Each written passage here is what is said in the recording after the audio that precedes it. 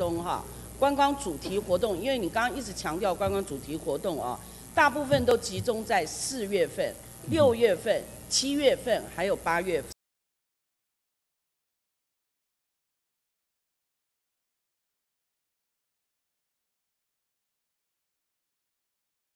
市长杯的海上龙舟竞赛两天，石门热气球嘉年华四天，大溪豆干两天，大溪豆干节两天啊，北横旅游节六天，竹围滑水道音乐派对啊两天啊。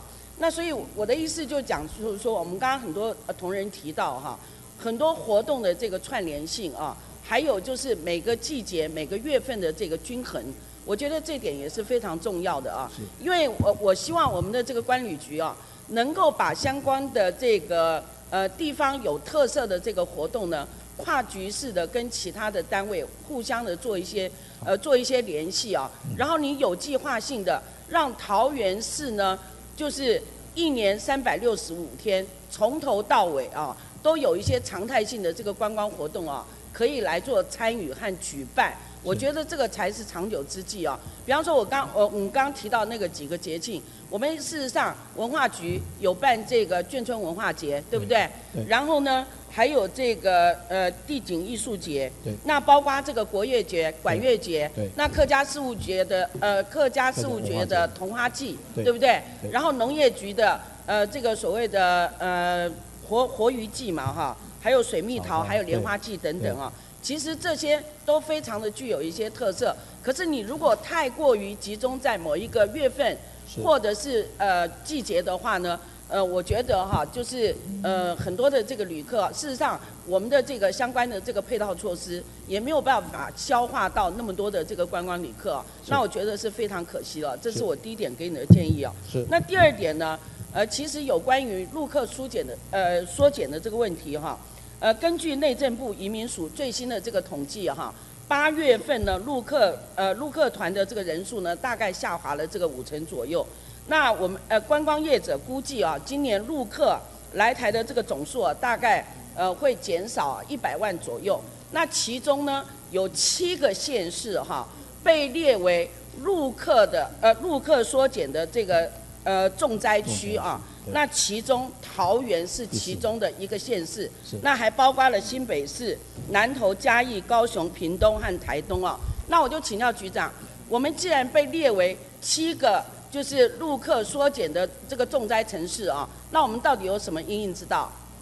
是，诚如刚刚一座所说的哈，我们是在整个排行当中，我们减少，我们是第四名了。我们就是在整个路对对，我的意思就是什么应应之道嘛。有。其其实你刚刚说了，我们现在要转移嘛，对不对？对。你不要再倚重陆客团的这个到来，那你要改变策略，那吸引东南亚的这个旅客，对不对？包括日韩。那呃，包括呃日本跟韩国嘛，哈。对。那你其实陆客他几乎都是团进团出。对。那我们可能还需要呃吸收一些所谓自由行的这个旅客嘛，哈。是的。可是，但是我就建议哈。我们未来哈，我们观光呃观光旅游局呃观光旅游局哈，其实哈，我们在这一部分啊，我觉得要有几个哈那个决策性的这个考量啊。第一个是什么呢？就是我们的在地的那产业观光基础是不是能够现代化和国际化？那刚才我们有同仁也有提到啊，比方说我们的这个光纤的这个网路，我们到底观光旅游景点我们到底建制完成了吗？我们的交通是不是够完善？还有特别是我们的这个路标呃路牌的这个部分，那我们在议会讲过很多遍了啊。高速公路上面是一种国际呃语言的翻译的这个名词，那下了高速公路交流道呃进入到行政区以后呢，那又是不同的这个呃拼音的这个方法，那会造成。国际旅客的这样的一个呃所谓这个迷失啊，那我觉得这一点也很不好啊。那第二个就是观光旅游景点，我们是不是具备了一些吸引的一个条件？比方说我们的这个餐厅，你有一些特色的这个美食，我们这些特色美食的这个菜单，你你让它国际化了吗？我们有没有辅导店家朝这个方向去做一些努力啊？那还有住宿的这个环境，还有在地特色的这个行塑啊，那么以及这个。呃，相关的这个呃观光旅业的这个创意的这个服务等等啊，我觉得都应该要我们要有一个周详的一个辅导的这个计划。那除了这个以外哈，我觉得呃我们到底就是呃，这些建设做完了以后呢，我们相关的这个配套措施，我们到底有没有能力去迎接局长你刚刚讲的泰国、韩国、日本，那甚至是其他东南亚的那个呃那个观光旅客哈？那那局长，请你简单回答好吗？好，刚呃易座所说的第一个就是产业的辅导，这我们积极来进行，包括国际化、特色化。第二个刚刚所特别提到的，如何吸引这些呃，我们今年做了韩国的，我们下半年会做泰文的，我明年还会做其他语言版的。我想这个我们都会持续在做局。长，其实哈，你泰国泰国版、语言版，你这个所谓的导游地那个逛游地图，对不对？对。其实你不是只有逛游地图而已对，不止其他的这个配套措施，我刚刚讲餐厅的这个菜单，对不产业辅导我们也包括我们住宿的一些呃那个就是呃导览啊等等这些哈，你都必须要配套措施要做出来嘛，好不好？好好，局长请坐哈。谢谢。那个交通局长是，呃，我想呢，这个我看到你工作报告里面哈，就是有关于呃我们桃园市哈民间设置临时路外停车场的这个奖励的这个办法哈，呃，其实我倒有一个新的一个一个想法，什么想法呢？因为我们现在桃园市啊现有的这个汽车呃一共有七十四万四千七百八十六辆啊，但是我们的这个汽车格呢只有一万九千零九十八呃八格嘛啊，那平均啊大概三十九辆汽车才拥有一个这个停车格。那我们桃园县现有的这个汽车呃机车啊是一百一十一万七千四百呃一十六辆啊，那平均呢二十五辆的这个机车才拥有一个这个停车格啊，所以可以说是供需严重的这个失衡。那当然，你在这个奖励办法里面提到，到今年的七月底为止啊，你一共奖励了五家的这个停车业者，一共发放了五十六万四千块钱的这个呃奖励金啊，那一共增加了一百八十八格的这个汽车格啊。那我认为呢，这个努力还不够。为什么不够呢？我觉得我我我们一再强调啊，我们各个单位必须要做跨局式的一个联系。比方讲，像我们都发局哈，我们现在正在透过都市计划通盘检讨的这个方式，我们桃园市哈闲置的，就是没有征收的公共设施保留地有一千八百啊，一千八百九十五公顷这么多。那这些未征收的公共设施保留地呢，都拿来做什么呢？学校、停车场、公园，或者是这个嗯、或者是市场啊等等的这个用地啊。那他们之所以被设定为公共设施保留地，就是因为他们跟人口的这个成长有关系嘛，对不对？所以我就在想说，你今天你要不要把这些公共设施保留地的这些地主呢，也把他们纳入奖奖励的这个对象啊，把它纳入这个奖励的这个对象，因为至少在这些公共设施保留地没有征收之前，也让地主有一条活路可以走嘛。那让他们打窃结书，如果只要一旦征收的时候，对不对？他们必须要无条件的，呃，就是返回原来的使用分区，呃，这样的一个呃土地的这个使用啊。那我觉得这点这一点哈是提供给你做一个这个参考。否则的话，你现在很多公共设施保留地啊，杂草丛生，而且呢也没有办法达到这个地尽其用这样的一个一个一个目的啊。所以呢，我呃，而且呢，另外还有一个啊。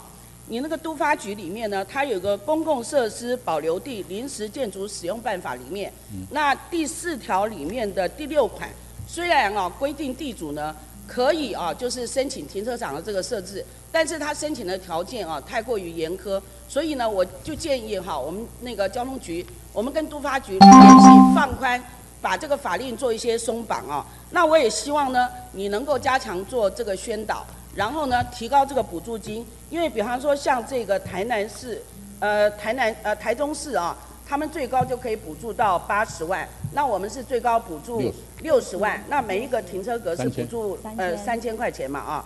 那像台南的部分呢，它就又更具体一点，它分为平面的跟立体的部分。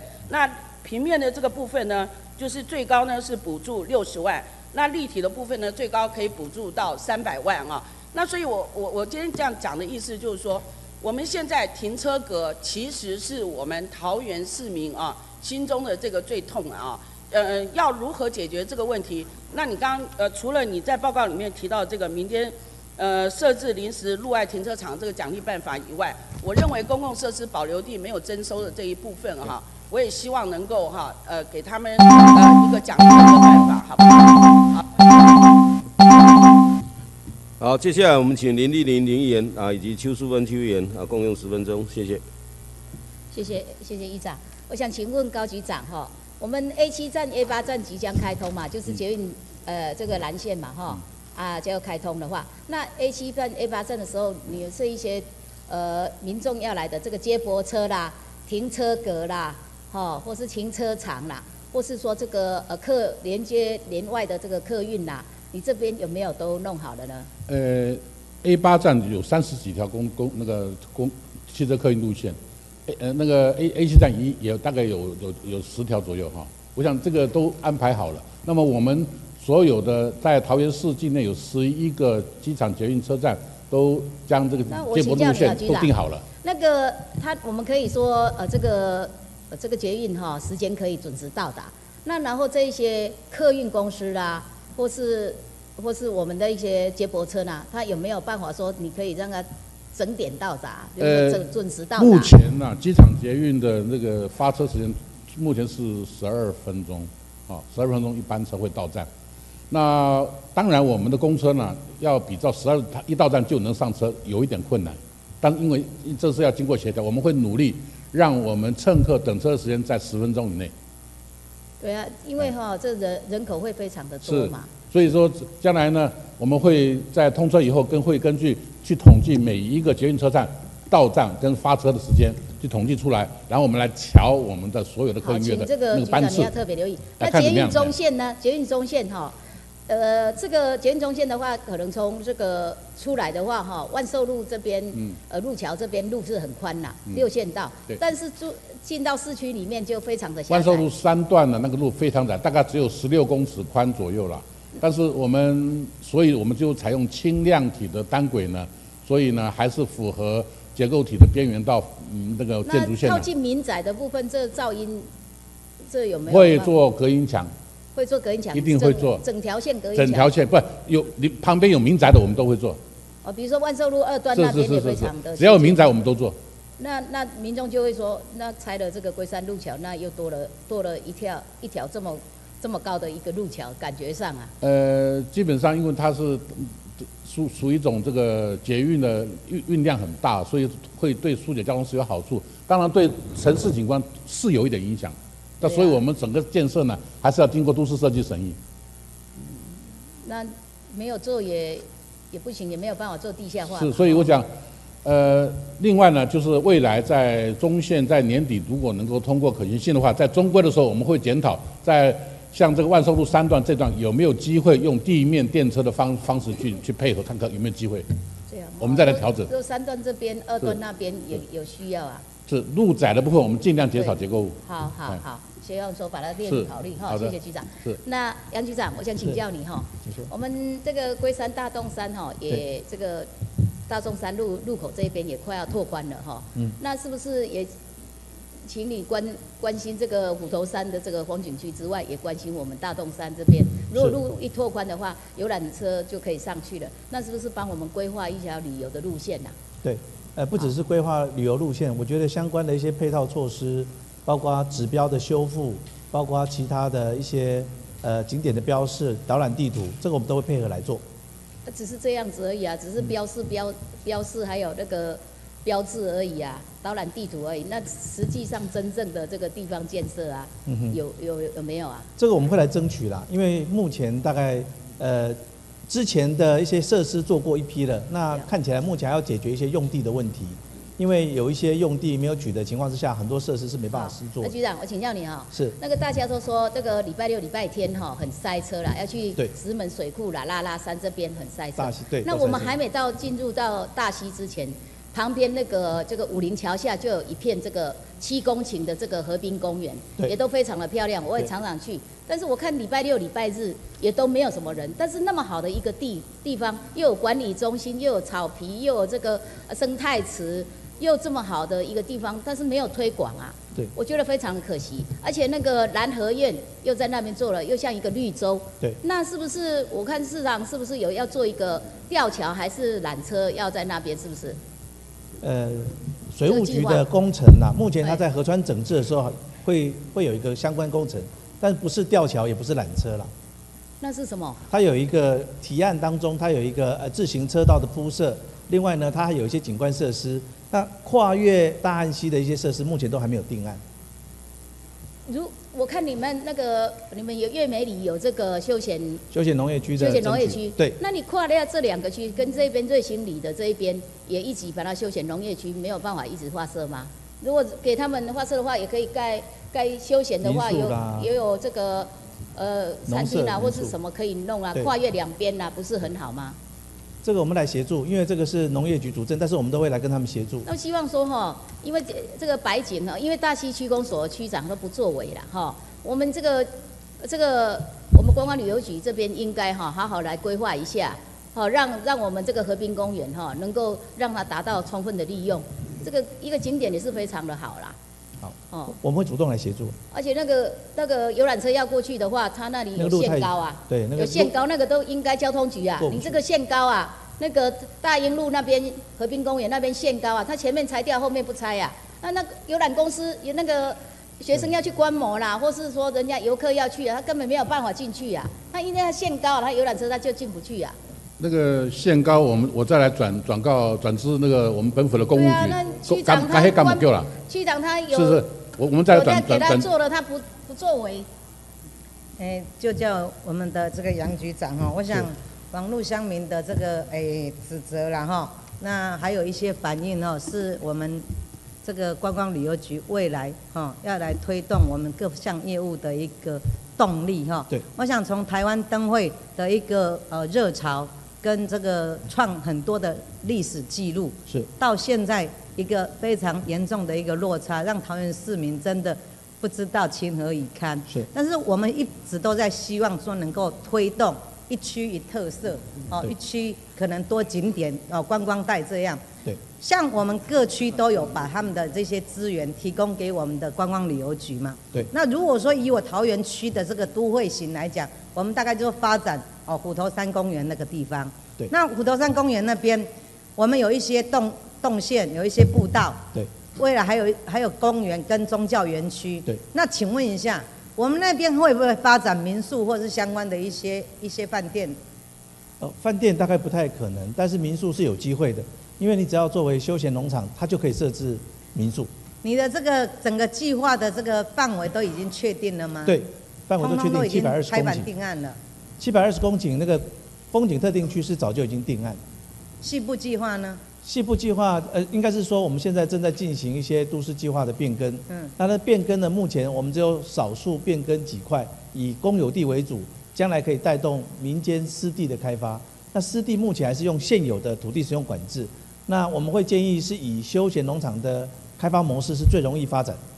我们希望是说，你未来的一个除了景点的一个规划之外，动线的一个问题，好，还有民众的一个友善城城市啊，是。哈，希望能够让桃园桃园的这个行销哦，能够带动起来。我想最近的很多记者会，可能市长到，您也有到哈，是。市长真的极力在推销哦，希望能够扳回一城呐、是。哦、那我想你要继续努力哈、好。那另外请教一下我们的这个高局长哈、诶，之前我们这个中秋晚会的时候，大家一直在谈论铁路地下化的问题，那我们也经常去参加这样的一个活动。那我想请问，高架采采地下化之后，我们整个这个经费要九百五十亿，那九百五十亿的话，市政府跟我们的中央会是怎么样来来做一个分配吗？呃如果是照我们呃中央定班的审议作业规则的话，我们要负担将近四百七十亿，大概五百多亿中央呃中央负担，我们负那担四百七十亿。之前的那但个是但是六都不是，这是按照审议作业规则，但是因为我们的铁路高架化跟地下化地理化是九十八年核定，审议作业量还没有还没有实施，所以我们认为有理由跟中央去专项协商，比照高雄市百分之二十五的分分担比例的话，我们大概负担两百四十七亿左右。哦，这样的一个金额是差很大，差很大差了差不多两百亿对对对，哦。所以我希望你能够帮我们尽量争取，因为民众来讲说，哎，高架踩地下，还在拆账，不晓得怎么拆啊、这个会动得起来吗？多久才能动？不要动一动的时候，哎，一届四年又到了。是哦，我希望你能够帮桃园多争取中央的一些补助，让我们的负担少一点，建设多一点，好不好好，好，以上谢谢。好，接下来我们请林正贤林言啊，林言请发言，谢谢。谢谢议长哈。那局长，我们高局长哈。那刚才讲到我们铁路啊，那个地下化哈。那我们我看了一下我们的台铁的铁桃园段的高架化建设的计划网站哦，从一百零三年十月以后就全部工程停摆了。那目前工程维持到四十九点八一趴哈。那停工已经超过七百天了，快两年了。请问局长哦，那我也从来没有听到媒体上不管林前也好，或是蔡英文也好，都同意要改为地下哈。那目前的铁路地下化的进度，到底到底到到什么程度？是不是简单讲一下？铁路地下化的部分，我们在分别送了交通部两次以后，有退回来修改。最后呢，铁路地下化的修正的这个可行性的报告，在这个月的九号已经报到交通部。目前交通部将这个可行性修正后的报告呢，分送中央各部会在审议。审议的意见回来以后，应该近期呢，会由这个呃这个呃不呃部部里面再再再来开一个会。有有把握会通过吗？呃，我们认为我们的可行性报告都该说的都已经说很清楚，应该有有机会。那那我再问一下哈，对不起，那我们的环评还不要要不要重来？理论上讲是要，至少要做环差。好，来那再来，厂商停工的球场哦，我听记得二十几亿啊，啊，这我们要不要负责啊？呃，我想目前还没有谈到铁路高架化停工所产生的那个施工损时间延宕损失的球场，目前我们还没有了解这个铁工局有这个这个看法。那那我记得以前哦，那个那那铁路局哦有有报告说一百零六年会完工高架化嘛哈，那我们现在哈都一直停工，啊不管火车站也好，桃园中立这个都都该要盖二十几层的我也都没有哈。我我当然也同意改为地下，但是我希望我们要跟时间赛赛跑，请不要再拖延了哈。要希望我们交通也要把它当做自己一回事，好不好？嗯，我我想不要再损害桃园的一个权益哈。那局长，那重大建设其实都延延宕落后哈。如果没有核定出来的话，哎，要不要有人负责？是不是啊？你认为呢？我想铁路立体化，我们由高架改地下，我们我们我们会交通局跟市政府会全力以赴，看争取看看今今年的年底能不能把可行性通过交中央的审查，这是我们的努力方向。我我希望说，至少我们在这个这一任的时候，一定要核定，好不好？是啊，一定拜托哈。好，那我在看到你们这个呃各各处的科室主管，目前呢、有五个都属于代理哈，比例要接近一半。你是老级老局长了，高级长，哎，请问这个原因到底是在哪里？那如果有有有那个原有人员优势，我看你要尽快争取来鼓励士气啊，这是怎么回事？是不是？简单报告一下。目前应该只有秘书室主任是代理了，其他还好了，其他都是正职。现在现在都被正职了，是是吗？是，我我有没有看错？呃，我我我因为刚才我怕时间不够，所以我就没有介绍主管，因为我的案子比较多。嗯，那个总总共五分钟报那个那个工作报告，所以我就节省了啊那个那那那。我们有人事嘛哈？那你是不是我我看错了，还是几几？是是怎么一回事？你要不要讲一下？呃，八个一座，那个一座问的是有五个主管，但是包括那个财局处的处长是？呃，有有五五位五位属于代理的啦，各科室主管啦。因为目前呢，我们有一位这个公共运输科的林林甘传林科长呢，好，他是简任训不在，所以由股长代理，并不是呃代理科长。哦，好，那那那我们我们再再查清楚了，好不好？你请坐哈。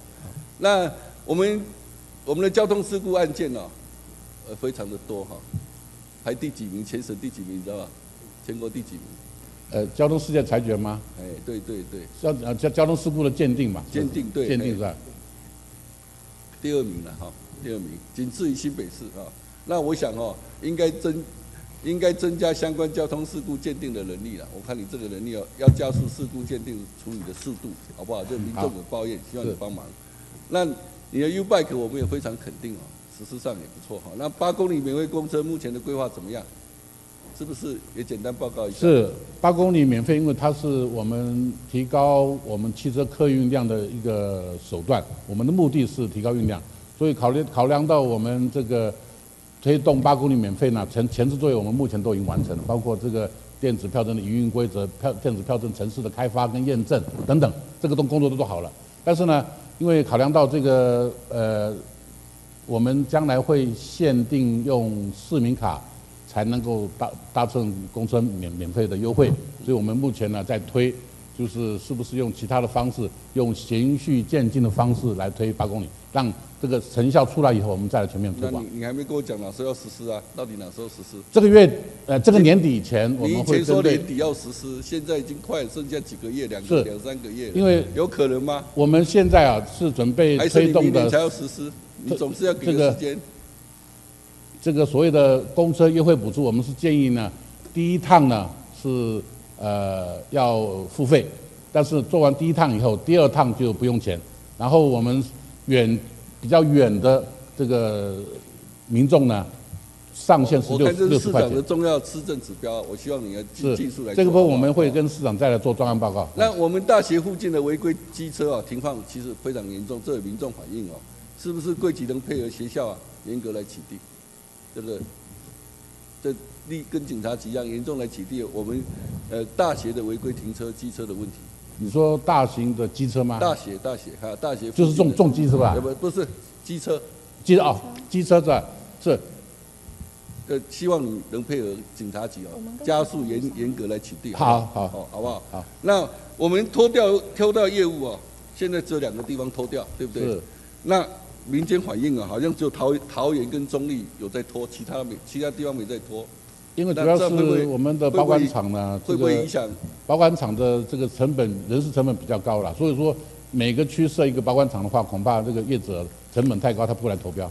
那你这个也是要解决啊？还是是我们希望说，在议会能够让我们把这个一致费跟保管费能够调高，比照五都。好，希望你帮忙哈。好，对来请请坐哈。来，我们的杨局长哈。是。那大家一直在讲哈，我还是要强调，我们的陆客骤减哈，那桃园是重灾区哈，第四名哈。那我们桃园两奖零钱啊，本来是大大陆客最喜欢来的。那局长对于桃园的观光产业啊，你有没有统计到底衰衰退了多少？上次问过了，对，我们其实有统计哦，以跟去年同期来比较的话哦，我们这边所统计的是减少三成。减少对三成嘛哈，百分之三十嘛哈。对。那那有没有什么辅导？刚才讲的，你你你你有没有什么辅导措施？施政报告我没看到你做任何的检讨。对对，对于这个大陆客的冲击，你也好像也没有回应哦，是不是？你有，我刚刚讲一下。好，我来提一下，主要就是因为我们认为这一次是一个很重要的危机啦，但是也是一个转机。我们希望能够扩大我们的来客源，也就是我们跟全世界都做好朋友。除了陆客，我们持续还是会来呃行销。我们希望包括像东南亚、像日韩、危机危机是转机，对不起哈。那大家都讲了，我们上次被评为最难玩的地方哈。那其实我上次有咨询你，你说其实桃园很好玩，只是外地人不知道。那我想啊，那就是行销上的问题嘛哈。是。那所以希望你是不是能够，因为因因应这个措施，是不是提一个一个专案报告？现在大家都在不管游览车，不管旅行业者都去抗议，是不是提个专专专案报告？我们桃园要如何行销，如何振兴观光？是不是？你是不是提个专案报告一下？可以没问题再给我们议会好不好？好哦，没问题。那那那也也也希望说，我们把观光做好，那让让我们带头来让观光哦，是是不是能做的更完善？好吧？是。那你刚才说危机转机，你也是不是简单讲一下，你大概要怎么做哈？对是不是简单讲一下？嗯对，呃，刚刚有特别提到的哈，我们其实要未来观光的发展哦，一样持续有三个动作还是要做啦。那个已经有的开发景点亮点哈，持续推动建设，刚刚有提到的。那么第二个哈，我是觉得全民来推动观光，所以我希望能够推一个所谓的微旅行的概念。我们事实上现在已经在做很多微旅行，可是这些微旅行哦还不够精致，再来没有人知道，行销力道也不够，所以这个我们都会持续来做。呃，上次的这个这个花灯事情，我们叫大家都肯定有能力，我们希望你这这方面多用用心，好不好？好，你请坐。那高局长，我再问一下哦，我们桃园中正艺文特区啊，有多座豪宅，当初哈都适用于奖励增设停车空空间嘛，嗯对不对？那你有没有盘点哦？有多少栋大楼啊，未依规定开放公共停车空间？这个我们再来拜托公务局来做。因为有人来说，是有人违规来使用。是这个是公务局的权责，我们来拜托公务局。你你，请你拜托好不好？好好那我想很多都是要合法嘛，公平嘛。了解。哦，好，谢谢你。谢谢。好，谢谢。接下来我们请黄婉如黄议员啊，黄议员请发言，谢谢。呃，杨局长，我想哦，您也真的是运气很好哦，才就任没有多久哦，这个全民哦网友就送给你一一个大礼物哦，让我们桃园能够在这个全国哦能够发光发热哦。但是这个光与热啊，并不是很光荣的光跟热哦。那我想，呃，说实在哦，我也因为市长在很多呃场合都是说啊，那只是我们哦没有做好行销，我们的环境哦，诶没有做到很友善哦。真的，我去走了一趟。第一个，我们的生活不外乎食衣住行，对不对？对食，你在火车站下车，你在公车下车，你在高铁下车，你有看到我们的金牌好店的那个金牌好店历年的金牌好店的这个的那个名单名册在那里吗？没有，对不对？对十大伴手礼有吗？没有，对不对？下了火车站，车站的这个火车站的这个计程车有七十五块跳表的，有九十块跳表的，我都搞不清楚为什么有七十五有九十的。后来我才知道，新北来的是七十五，桃园的是九十，对不对？这就让人家心里一直很疙瘩的，这怎么回事啊？对不对？好，去停车，有有的是三十分钟之内免费，有的是一进去开始就算了。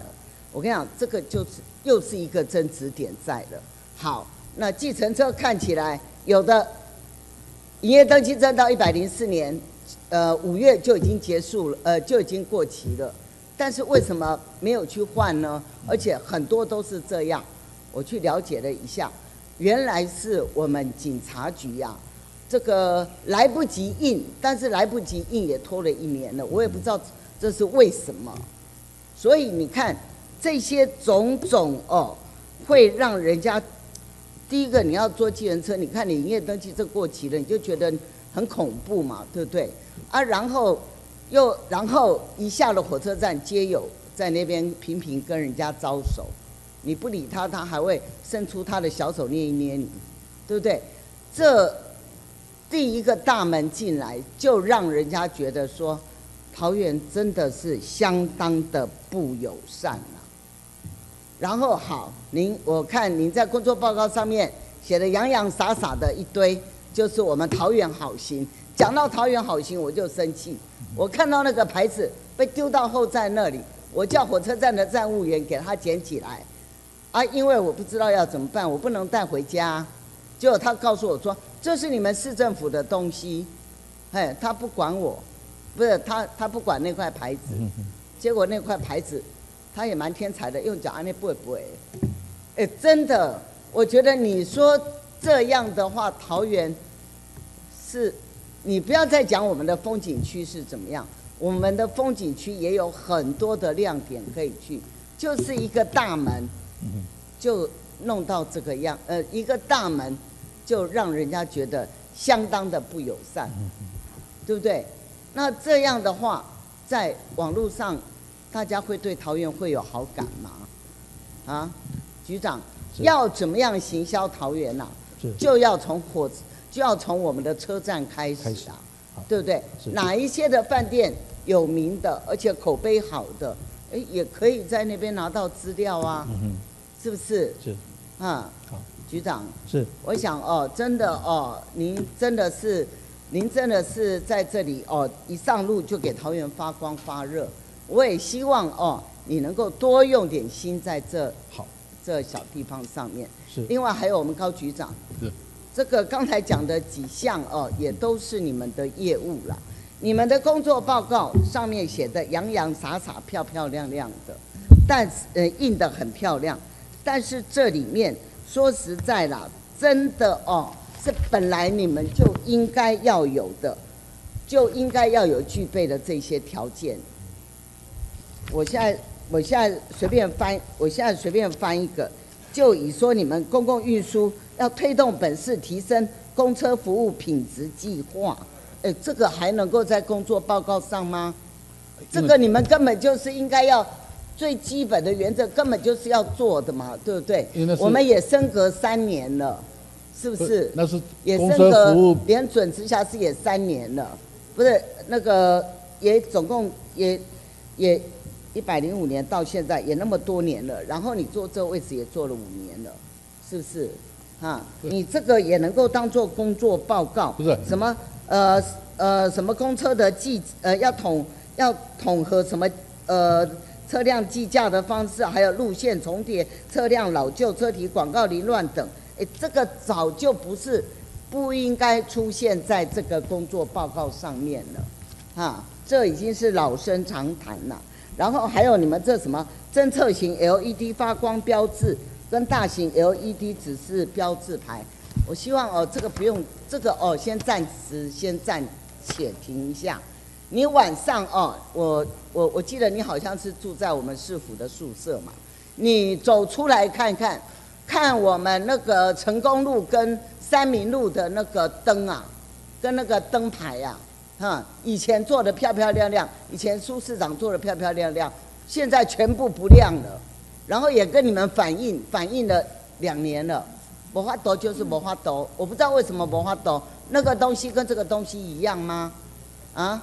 如果是如果是路名牌的话我，跟你讲，你先把那个修好了，好好先把那个修好了，好不好？再做这个，了解了解，好的，可以吗？可以可以。那那到底有没有办法修呢？那个我我们联络下区，公所，看看那个写那个如果是路名牌，可能是区公那个桃园区公，我们来协调区公所；如果是标志牌面，那是我的，那我们马上改。我跟你讲啦，已经两年了啦，没办法修就没办法修啦。我不知道哦，你们这样子，我不知道你们再继续做下去是不是哦？继续的再做下去，是不是让这个的这个错误越来越扩大？另外还有，说实在，U Bike 现在广设站点哦，但是你们对于民众的使用，你们没有去教育。我跟你讲，也没有专自行车的专专责的这个号字过去，然后快车道上也是这样修修修修修，你没有做好这种教育，对不对？我跟你讲，如果出了问题，谁要负责、另外啊，局长，更重要的一件问题啊，我们的桃林铁路的轻轨，呃，当初啊，我记得那是国民党执政的时候，大家呃，民进党一致都要做轻轨，然后市长的政见啊上面也是要做轻轨，啊，现在轻轨呢？呃啊，这现在轻轨呢？我我问你，还有没有这个计划？你只要说有还是没有？有长期计划，长期计划有，啊，长期的计划有。你的长期是怎么样？二十年、十年？呃，我们我们目前是目标年大概是以规规规划在一民国一百二十年，民国多少？一百二一百二，是一百二，你几岁啊？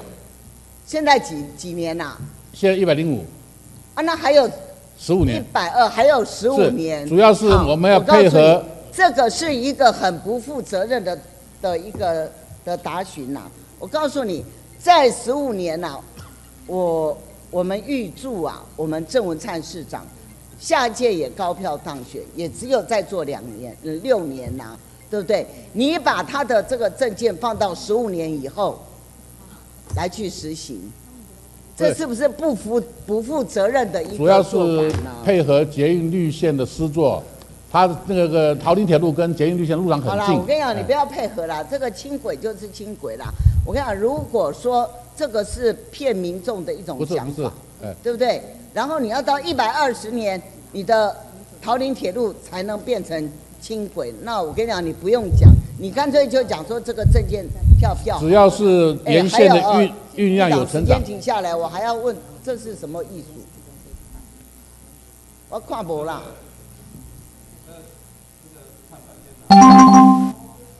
对啊，这看那个那个控制是再补一分钟给黄黄黄尔如黄业。另外还有哦，那个杨局长，是我请问你哦，我们真的你说好来到了桃园火车站，那我们总是在桃园区有个地方可以走走吧？你到了虎头山只有一条单行道上去，要下来根本没办法下来。对不对对？这也是让人家觉得相当的、相当的难过的，呃，相当的不舒服的一件事情。是。请问你哦，我们是不是可以开一条道路到长寿街？有有。有，目前的我们的都市计划当中，我们我跟你讲了啦，那天啊、城乡发展局的时候，我问呐、我有提出来问呐、结果根本没有啊，根本没有啊。你讲的那三大项，呃，什么改成寺庙专区啊，还有改成那个停车场，还有开十五米的那个道路，城乡发展局说根本没有啊。不是他，我想他的意思，他的意思是说还没有进到那个程序，。我跟你讲哦，我不希望你跟我们高局长一样哦，十五年以后的证件哦，一百二十年以后才能实现的证件哦，哎，这个啊绝对不会，绝对不会，不会吗？是绝对不会。那我希望，既然你有这么诚，你这么诚恳，而且你也讲得这么明白，我希望你能够把这个送去的公文书让我看一下，可以吗？好，啊相关的进度我们都会让一座知道。我们也希望哦，在尽快、最快的这个时间之内哦，让桃园变成不是很最难玩的一个城市。好，像我刚才所提的那几点，对，那真的是民众的感受，是，他的感受是觉得是这样子。对，没错。对不对？那很好改嘛，你环境改一改，然后你你你环境改一改，然后在一些的那个那个呃食衣住行方面注意一下，我相信大家会觉得桃园是最友善的一个城市。我们会加强贴心的服务，还有跟各局处的横向联系，这我们都会持续来加强。嘴巴讲比较快啦，希望以后能够比较平缓啦。好，谢谢。接下来我们请徐艺术徐议员发言，啊、以及刘正义村议员，下一位杨超伟杨议员，谢谢。好，谢谢。啊，请管理局哦，是，我们就针对这个观光旅游啦，这个现在台湾啦，其实走向一个旅游经济嘛，哈，大家都晓得。那根据啊最近的一些媒体的报道，我们今年呃到现在为止哦，那个旅游啊，跟去年同期的比例上差多少？是指增加吗？呃陆客还是指啊，陆客，陆客的部分是减少，那整体来讲哈、些微的减少。嗯，那如果是国内旅游的话呢，那是整体性的问题。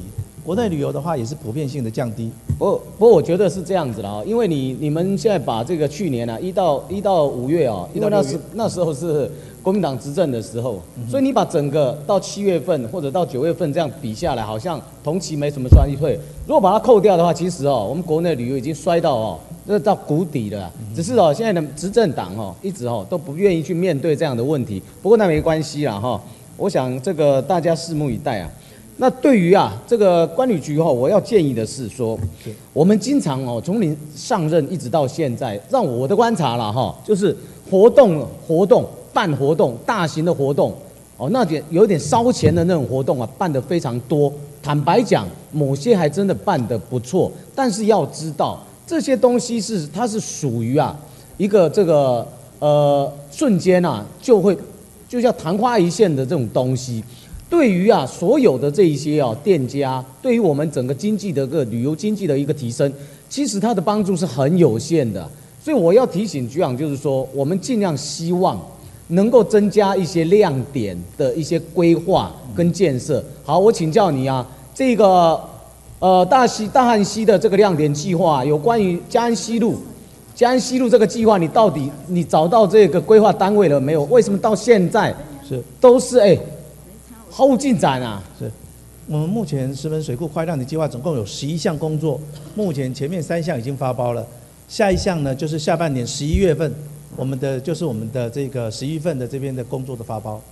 对嘛？你现在到已经年底了，你这个你这个预算都还没有执行，这个是从中央补助三亿，那大汉西来几里面来讲，其实嘉安西路这个算是一个很重要的一个亮点。到现在当地的这一些我们的乡亲，对于这个东西都觉得说一头雾水，始乱终弃啊，到现在完全都都没有哦，去去做一些规划，做一些访视。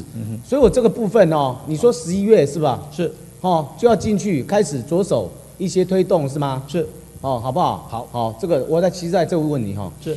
龙潭观光大池，我们知道现在那个调查已经封闭了两年多了，对，到现在为止，那我们现在说啊，整个大池要做规划，要先把这个吊桥，因为它已经是不堪使用嘛，对。对不对？必须要拆除，要拆除你也就赶快把它拆除嘛，是是不是？对。那你什么时候要把它拆除？我们的细部设计，因为它要设设计施工一起的，细部设计是在十月底会完工。你这个围桥，既然它是围桥，你拆除跟你后续的设计有什么关联？呃，我们其实因为还考虑到一点呢、今年的灯会因为一样在龙潭大池办，那么活动单位是希望我们能够保留它的形，能够保留下来。目前还在协调，拆很快，拆一下就拆掉了。可是是考虑到跟灯会这边来搭配，明年的灯会是不是？是希望保留那一个作为一个背景，是不是你的意思是不是这样子？。对，没错。那这样的你要让民众大家知道，包括民意代表或者地方的首长也要知道啊，否则大家问我们，既然是围桥，既然不堪使用，为什么还不把它拆掉？那拆掉之后，你倾向盖回去还是不盖嘞？呃，要盖回去，但是是在编后年的预算。后年的预算，呃，不对不起，应该是说明年的预算，明年的预算，在一百零六年的预算当中，我们已经把那个哦，所以哦，这个局长好，希望你能够尽量的哈，在这方面哦，真的要加紧脚步啦。好这两个哦，有关于龙潭的部分啊，是到现在为止大家都不飒飒。好，好，所以不要说仅是办活动，应该要去做一些哦地方的景点规划了，好不好？请坐。谢谢。来，局长，江局长哦，这个我想你也知道，有关于这个我们龙潭啊，到这个永宁站这个，我已经努力很多年，这个国道客运的公车了哈。现在那个路线是从平镇发车，是不是？三十顶，三子顶发车会不会到了龙潭之后没有有没有位置可以坐的情形？呃，基本上我们会根据龙潭上下车的客运的运量，我们来做班次的调整，应该会会会注意到。哦哎，所以啊，因为龙潭到永宁站势必会有很多的乘客啊，是，哦，所以还有就是，我这一件事情啊，已经推动了这么久了，我也经常在盯你们这个事情的进度，但是我都不知道你到底进，你告诉我说，明年的明年初才会通车嘛，对不对？但是我现在看到网络上已经有那个通车的那个站牌的那个，到底是哪里跑出去的、流出去的、为什么我不知道？就网络上竟然有说，哎，这条线啊，明年啊，是几二月份，然后通车，然后有那个车办的站站牌这些，怎么回事啊？呃，通常因为这个客运审运我会通过以后，我们有给他半年的时间去做那个营运的准备，让客运业准准好备嘛。如果啊所以这段时间，他要去安排站位的勘察、设置站牌、路线的那个班距等等，还有调度场，这个他要去做安排，所以需要半年时间。对嘛是？如果那这个进度，我希望你们主管的科室要给我一个进度的一个状况的那个回报，好不好的好？好，哦，好。那北二高交流道、第二交流道这个议题啊，我想我们从说明会也开过这么多次了啦，希望啊真正的按照进度来执行啦嗯好，好不好？好另外就是路外停车场有关于啊那个那个公有的哦，这个都市计划公共设施保留地未征收的，嗯，可以做路外停车场的这一个办法哈、再给我一份好不好？谢谢。是好，谢谢。好，谢谢交通局长。那个，我想请问一下哈，因为我们大概在两年前有申请那个国道一号中立服务站北侧的增设连外道路，你记得这个案子吗？有对，然后那个因为高工局他有推荐嘛，推荐，然后我们也更正了对。然后现在到底这个进度到哪里？局长，拜托你说明一下，因为已经我记得已经快两年了，你知道已经已经 OK 了吗？我的印象里哈，是因为当初也跟我亲自跟高工局的总工程师报告，他也答应全力帮忙，所以我我因为我最近是平常讲，我也没有去问他了，应该是 OK 的啦。可是到目前我们都没有收到这个信息哈，还有因为因为我觉得这个案子是方便这个呃内定里跟青浦里的居民，好，其实他们其实绕到街上，等于说绕到我们内地交流道来，我们整个交通的涌塞真的是让人家不堪呐、那如果说从那里能够那个消耗一些呃这个这个车辆的话，可以减少我们内地交流道这个车辆的涌塞啊，是不是这样子？我是我是希望局长你要多关心不要说这个事情就放他这样子，到底现在是怎么样，我们也没看到一个结果，好。是不是这样子？是还有一点就是哦，因为我们现在哦那个中丰中中北路的交流道，我上次看到你的书面报告，好像说还没有一定，是不是？在缩小中丰北路北路的交流道，哎，对，增设一个交流道嘛，是不是？是。五羊的交流道，确定要设，确定要设，可是为什么书面报告说，呃，什么什么什么预算的问题啊？不是，原来是完整的木薯叶型，四个象限都有达环道，那个要七十亿。那确定要设，我还有一一点要建议的，就是因为我们的那个三民路跟我们的南延二路，南延二路现在到新生路就截止了，对吗？对。所以呢，每次南延二路的车辆要进到街上的话，一定要转到新生路环北路。所以每天哦，那个地方的塞车的状况哦，让我们是真的是觉得太太过于不堪。每次要拜托就是红绿灯，是不是能够设什么左转、右转的那个红绿灯的号志？又没有办法设，因为呢，一设下去，我们所有的车子都要塞在那边。所以这样的困扰，让我们觉得南延二路是不是可以把它打通到中丰北路？现在我听说有在规划中，那么现在的进度如何？我们是有想要打通，但是因为现在中丰北路它这个杂环道正在做，我们会再跟高局协调，它的杂环道范围确定以后，因为它它方案还在评估，还在评估中。高工局还在评估，它要它要缩减交流道范围的那个量体，使得工程费能够降低，用地费能够降低，所以它那个还在规划。方案确定以后，我们根据确定的方案，再来看南园二路可不可以打通过来。如果如果我们的南园二路能打通到中丰北路的话，会改善很多我们市内的这个交通的拥挤。所以我希望说局长，我们积极一点，努力一点，好不好？好。那我想请问观光局局长，局长，我我常常看到中立哈，真的是可以讲说是三铁共构可能会最快执行，因为我们现在的捷运即将要通车。对。但是呢，我没有看到我们中立到底有什么值得我们推销的一个旅游的一个观光区。中立有。我我看好像只有每每次这个旅客到这里，好像只是过客而已，真的很可惜。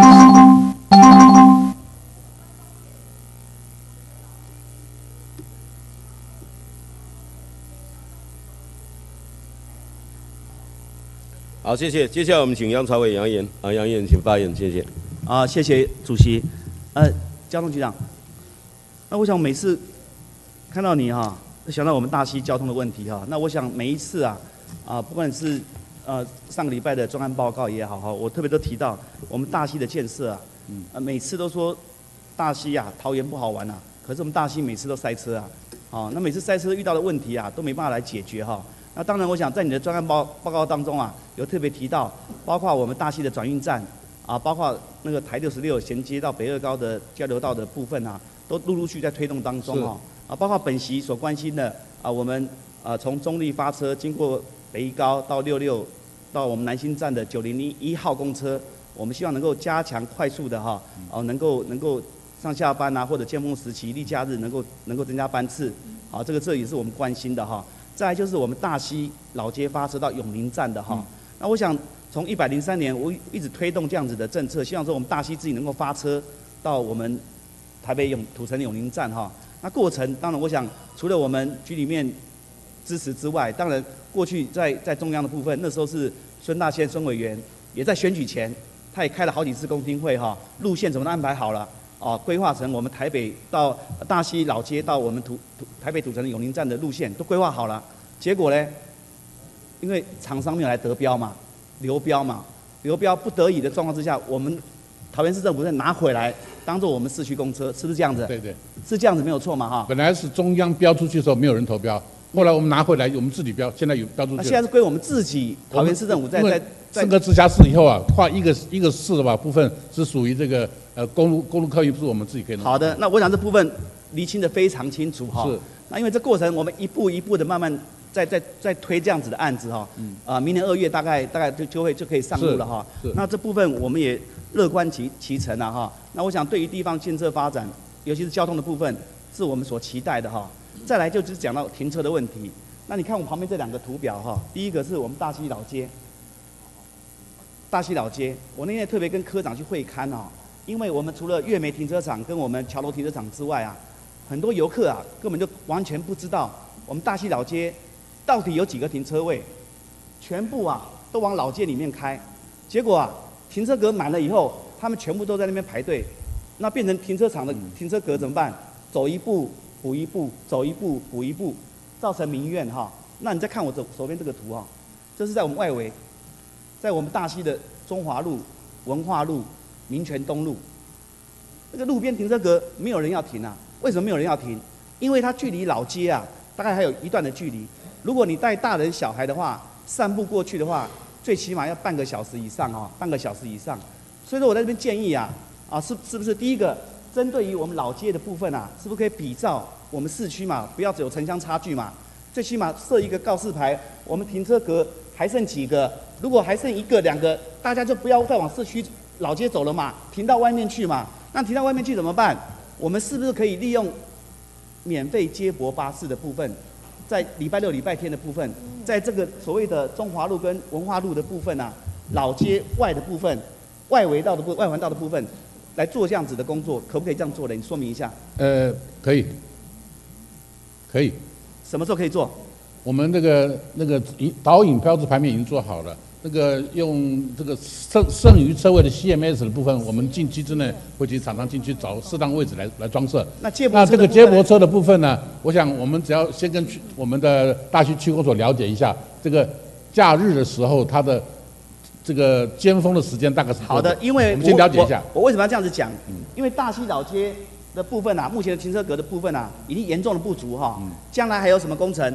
还有老人会馆，还有我们大溪国小的多功能中心，对，还有我们体育局要做的所谓的天幕篮球场，工程全部都要在做，停车壳是完全是不够用的，只好向外面来发展哈。是所以说我这边拜托一下业务单位哈，是不是来讨论一下？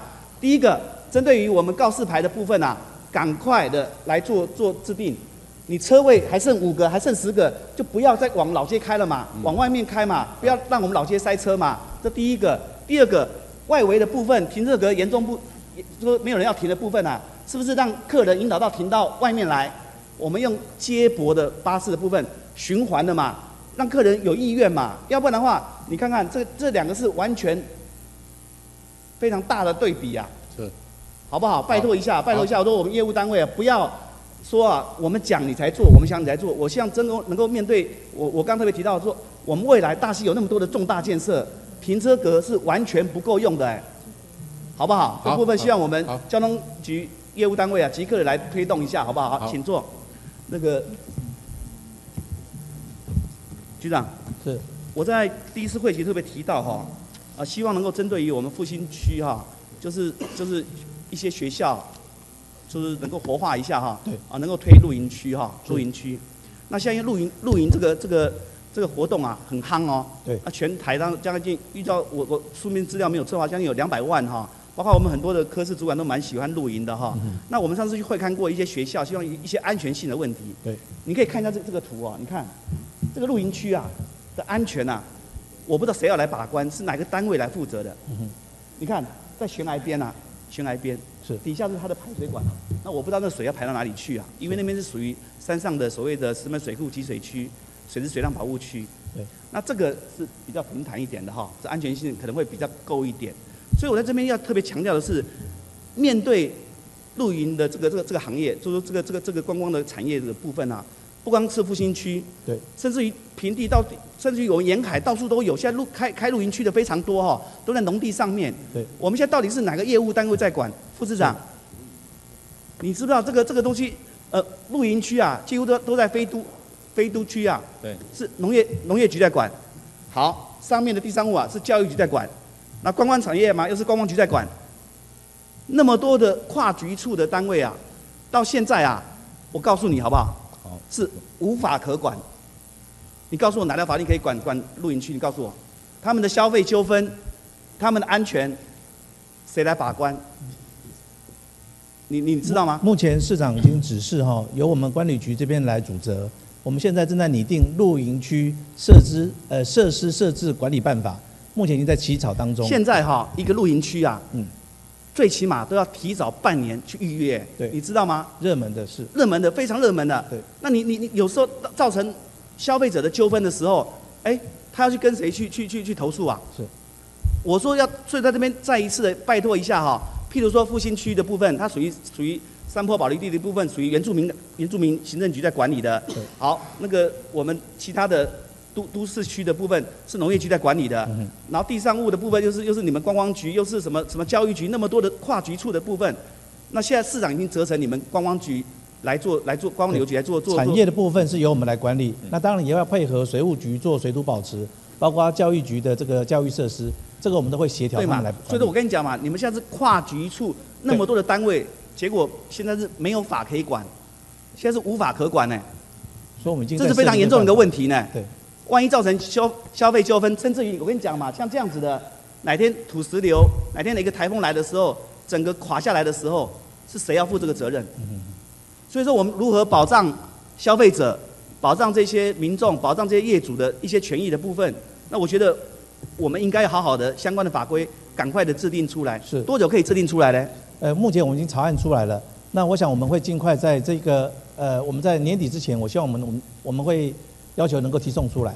好不好？我我想这部分非常重要了哈，攸关着我们民众的权益哈。我我想，现在很多啊，包括我很多南部的朋友来来这边啊，来北部玩啊，都不住饭店呢，是都自己都宁可宁可带带这些露营帐篷去找这些比较好的景点啊，他们都一般都喜欢到户外去。对，那户外去都是好山好水嘛，那你你你复兴乡又不让我们盖民宿，盖民宿又要取缔我们，那又要保障我们这些原住民的一些地主的权益哈，我觉得啦。我们不是要你们说一定要用严严苛的法则来来对待这些所谓的业主的部分，我们希望如何用制定相关的法规，能够保障这些地主，保障这些消费者，我们能够达到双赢，这才是重要的啊，是好不好？好我想这部分非常重要，不要到时候真的发生意外的时候，民众投诉无门啊。是，我想现在就面临非常多的啊，我刚才特别提到，你半年前就要预约了，万一突然半年后来个台风，好，我明天要露营啊，我明天要露营啊，已经定好了，结果我台风来了，我要取消，对，取消有纠纷呐，到时候人家不愿意，那那我要我要我要我要跟谁投诉嘞？好不好？我想针对于我们露营区的安全的部分啊，谁把关？拜托一下，我们桃园市政府真的要比比一般的其他都会、其他的城其他其他县市啊，要早一点拿出办法出来哈。好，不要让人家一直觉得说露营区的安全啊，一直无法可管，等到出事情的时候才来追究责任，我觉得这是不应该的啦。好，好不好？好，谢谢。好，我们休息五分钟。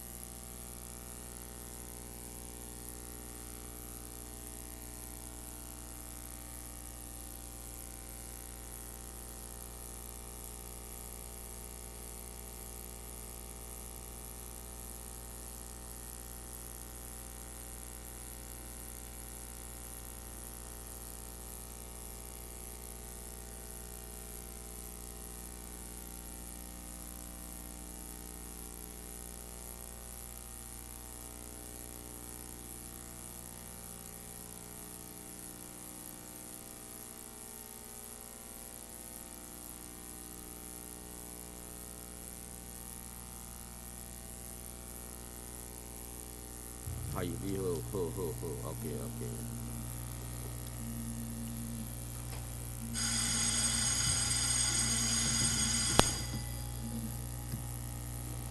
喂喂喂，对，你好。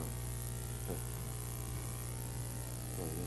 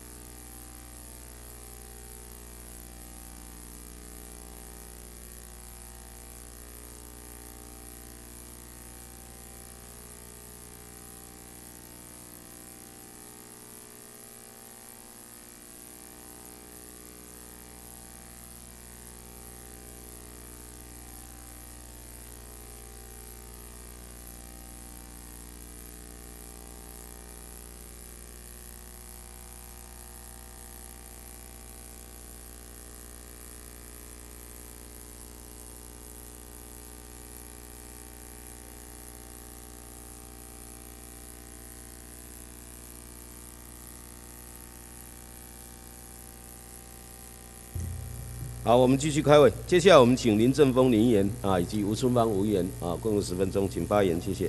啊，谢谢议长，请教我们交通局高局长。你桃园铁路为了工业区的分农跟自来水工程，啊，要延宕到一百零七年以后才可以完工嘛？啊，你桃园铁路的活化计划，你如此断六公里，说一百零七年可以完工，但是龟山地区为了这工程要拖一百一十年，啊，差个四年吗？呃，基本上哈、那个我们联络了水务局啊，它的那个排水分洪箱涵啊，已经发包施工了，明年一一百零七年完工嘛？也一百零六年底完工。对嘛？哎，啊，你如此段，你今年规划，明年完工啊？啊，龟山段一百零七年规划，一百一十年完工，啊，查姐查细泥沙泥吗？呃，基本上因为我们现在还要再要，给我说理由啦。如主一年完成，过就一年完成了，对不对？提早我为了工程牺牲，啊，个满四年，对不？因为这样不公平吧？这个桃林铁路活化没有时间让你去解释了，你想一想嘛。我们为了那个分农跟自来工程，满一年，结果要满四年完工。因老爹无为了这工程，因明年完工啊，安尼公道吗？看工期一年，我们工期要四年啊。你规划上就不对了，跟你讲。不是你卖这个龟刷的龟速化，龟刷不是乌龟，跟你讲会跑得很快，你知道吗？这一部分我们会尽快来加速来办理。像我们今今年下半年，你看看你自己的报告，啊，这点我因为时间不多了哈，要问你 A 八转运站你怎么规划？A 八转运站的公车部分，我们我们那那条你是做转运站的公车停车场嘛，对不对？是。好，问你有没有做地下停车场 A 八本身它就有地下停车场，？A 八地下停车场在哪里在它的地下室。？A 八呢？A 八，A 八的转运站在地下它都有，呃，地下二、地下三都有停车场。那是长庚规划的啊。呃，在高铁局结工处他们在办的时候已经规划好了，他现在用用连开的方式。那你现在不是改到那湖边道路这边来吗？做停车做停车场吗？你讲错了哦。不是，你你讲的你讲的那个 A 八是转运站，转运站和停车场是不一样的。转运运站转运站。你你你规划转运站明年要做转运站啊？是我们我们现在是目前正在跟长庚呐、在在协商怎么样利用 A 八这个这个公公园用地啊来做规划，整体来做转运站的规划，看你们做联合开发。公所有土地不是长庚有土地啊。呃，那块地呢是比较适当，因为它面积比较大，而且呢长庚有不管你怎么规划，龟联合山就没有停车场。我希望你在这转运站规划转运站的时候，希望做地下停车场。呃会规划嘛？你一年转运站的时候就就会并同停车场一起做，会。你你提这一年而已啊。你规划报告是假假的吗？不是我们的我们的转运站，因为要还要做规划嘛，还要做设计，设计还要发包施工，所以会有需要一点时间我。要求你 A 八转运站纳入停车场计划，地下停车场。我们会纳入停车场会，哦，同意。好，那请坐。好，请叫那个我们管理局局长。很多议员问你，你这两年来做多少一些景点的开发硬体建设？我吧，有多少？我们持续在进行的，包括石门水库跨域亮点计划三年计划，包括龙潭大池改造，包括第一个温泉专区罗浮专区，包括从结合观音一直连到新屋这些都是。小小一个建设了。其实要发展桃园观光，要大的建设案才可以吸引观光客嘛，对不？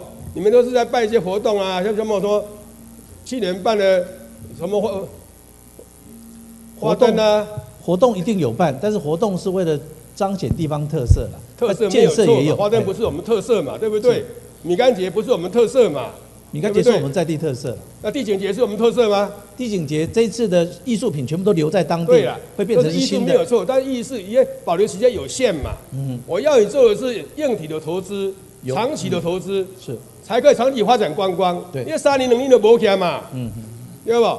一年烧钱烧那么多，为什么审计处会会会纠正你们？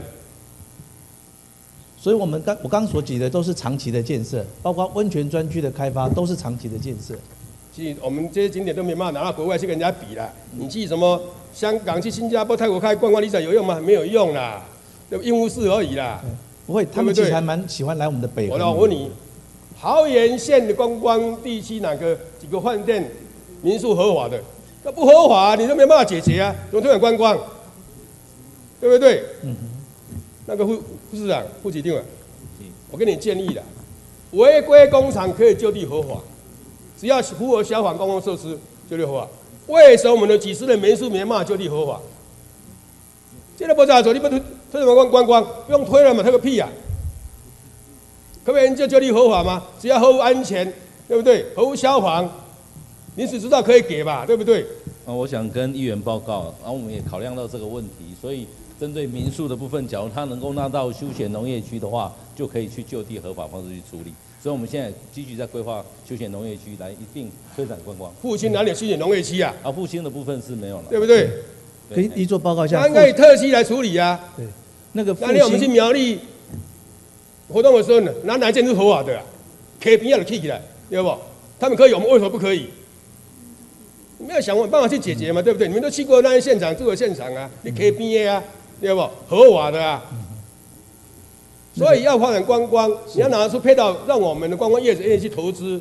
我上面来，我们来啊啦，对不对？好，胡座请坐。是跟依做报告一下。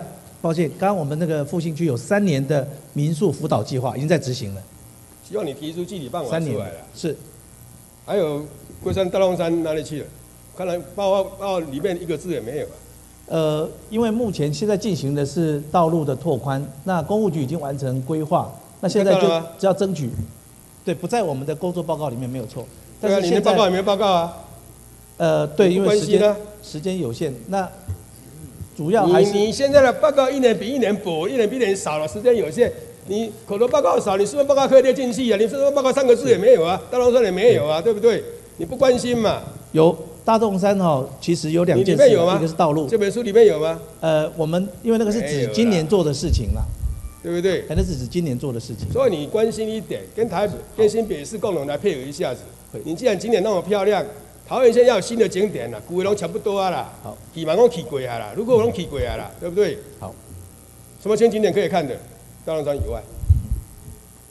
所以说，我那一家乡公所说，我你给他印一个大龙山的迄、个迄、个手册互看，无钱，你嘛无钱，公所嘛无钱。哎，二三十万没有钱，你们真的很可怜呢？从外钱一个比赛，那怎么推广啊？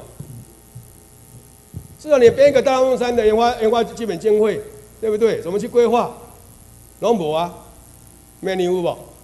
呃，明年目前没有编到规划的费用。你想办法去筹措了。好，好不好？好，谢谢。好，谢谢林议员啊，那个局长。是。刚刚刚我延续到那个关于那个民宿的部分的话，从从我上任到现在已经将近二十年的时间，民宿的合合在那个复兴区的合法化有几间？已经合法的是二十八间，就是在复兴区吗？还是整个桃园市？呃，整个桃园市哦，就是那但是主要区而已。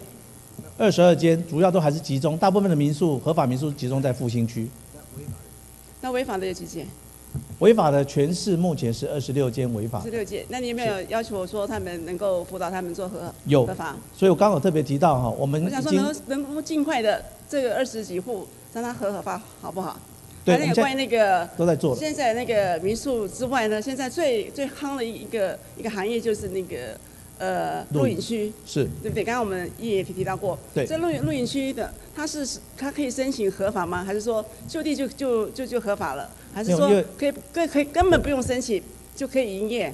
嗯它有两个层次啦，一个层次就是土地使用的合法啦，啊另外一个就是产业的管理了我我。刚刚说你产业管理归我们。在山区绝对完全都是原住民保留地，绝对不是所谓的一般的那个农牧用地或者是一些的那个地管业用地。我想说，既然是那个原住民保留地的话，我希望是说能够能够重视这个水土保持法，好不好？是万一有天灾的时候呢？刚刚我来的时候真的是有那个下雨了哈，我想说你们要关心一下这些这些已经在在山区已经在设立的、在新建的、在营业的那个呃那个露营区，你要说赶快做一个宣导啊！台风来了，台风来了的话呢，你要重视他们的那个一些那个建设，是不是会被吹被风吹倒？做这样一个防台的一个工作，我想说这个责任，政府有这个这个责任要要辅导他们，要宣导他们，要不然到时候呢，这个天灾是很难预料的呢，是。是不是？我想说这个这个录影区的部分，我想说那个观光局哈，那个能够好好的重视这个这个区块，好，好不好？让他如果可以可以合法的话，你就照合法的方式来做一个拟定一个自一自治条例，来来来来来那个来设置，好不好？好，不要让一做提醒得非常对，我们会来不要走这个法律的边缘嘛，对到时候政府也管不着，那个呃民间也管不着，到时候呢，这个损失谁谁负责？对，对不对？好，我想说这个部分请请多多多多的用心。没问题。好，谢谢。好，谢谢。接下来我们请啊陈英陈议员啊以及李博网李议员共用十分钟，请发言，谢谢。好，谢谢议长。我先就教于交通局长。高局长，捷运地线延伸到大溪，你目前这边是在讲说是一百零七年啊，会进行可行性评估。那么这个期程是不是正确？呃，目前哈，我们分短、中、长期来做，从基零一站到到大溪的部分。是。基零一站在巴德。是哦我们从巴德延伸到大溪，有短、中、长期。短期的部分，我们是用快捷公车；中期部分，我们来规划这个公车专用道；长期部分呢，再来配合我们这个大溪的转运站，并同捷运。捷运的方式很多种，可能是呃地面轻轨，可能是单轨等等，到时候再来规划。好要根据运量的成长和人口的成长。好，局长，那我必须要这样再提醒你哈，因为毕竟啊、呃北北桃的一个捷运是一个总串联哈。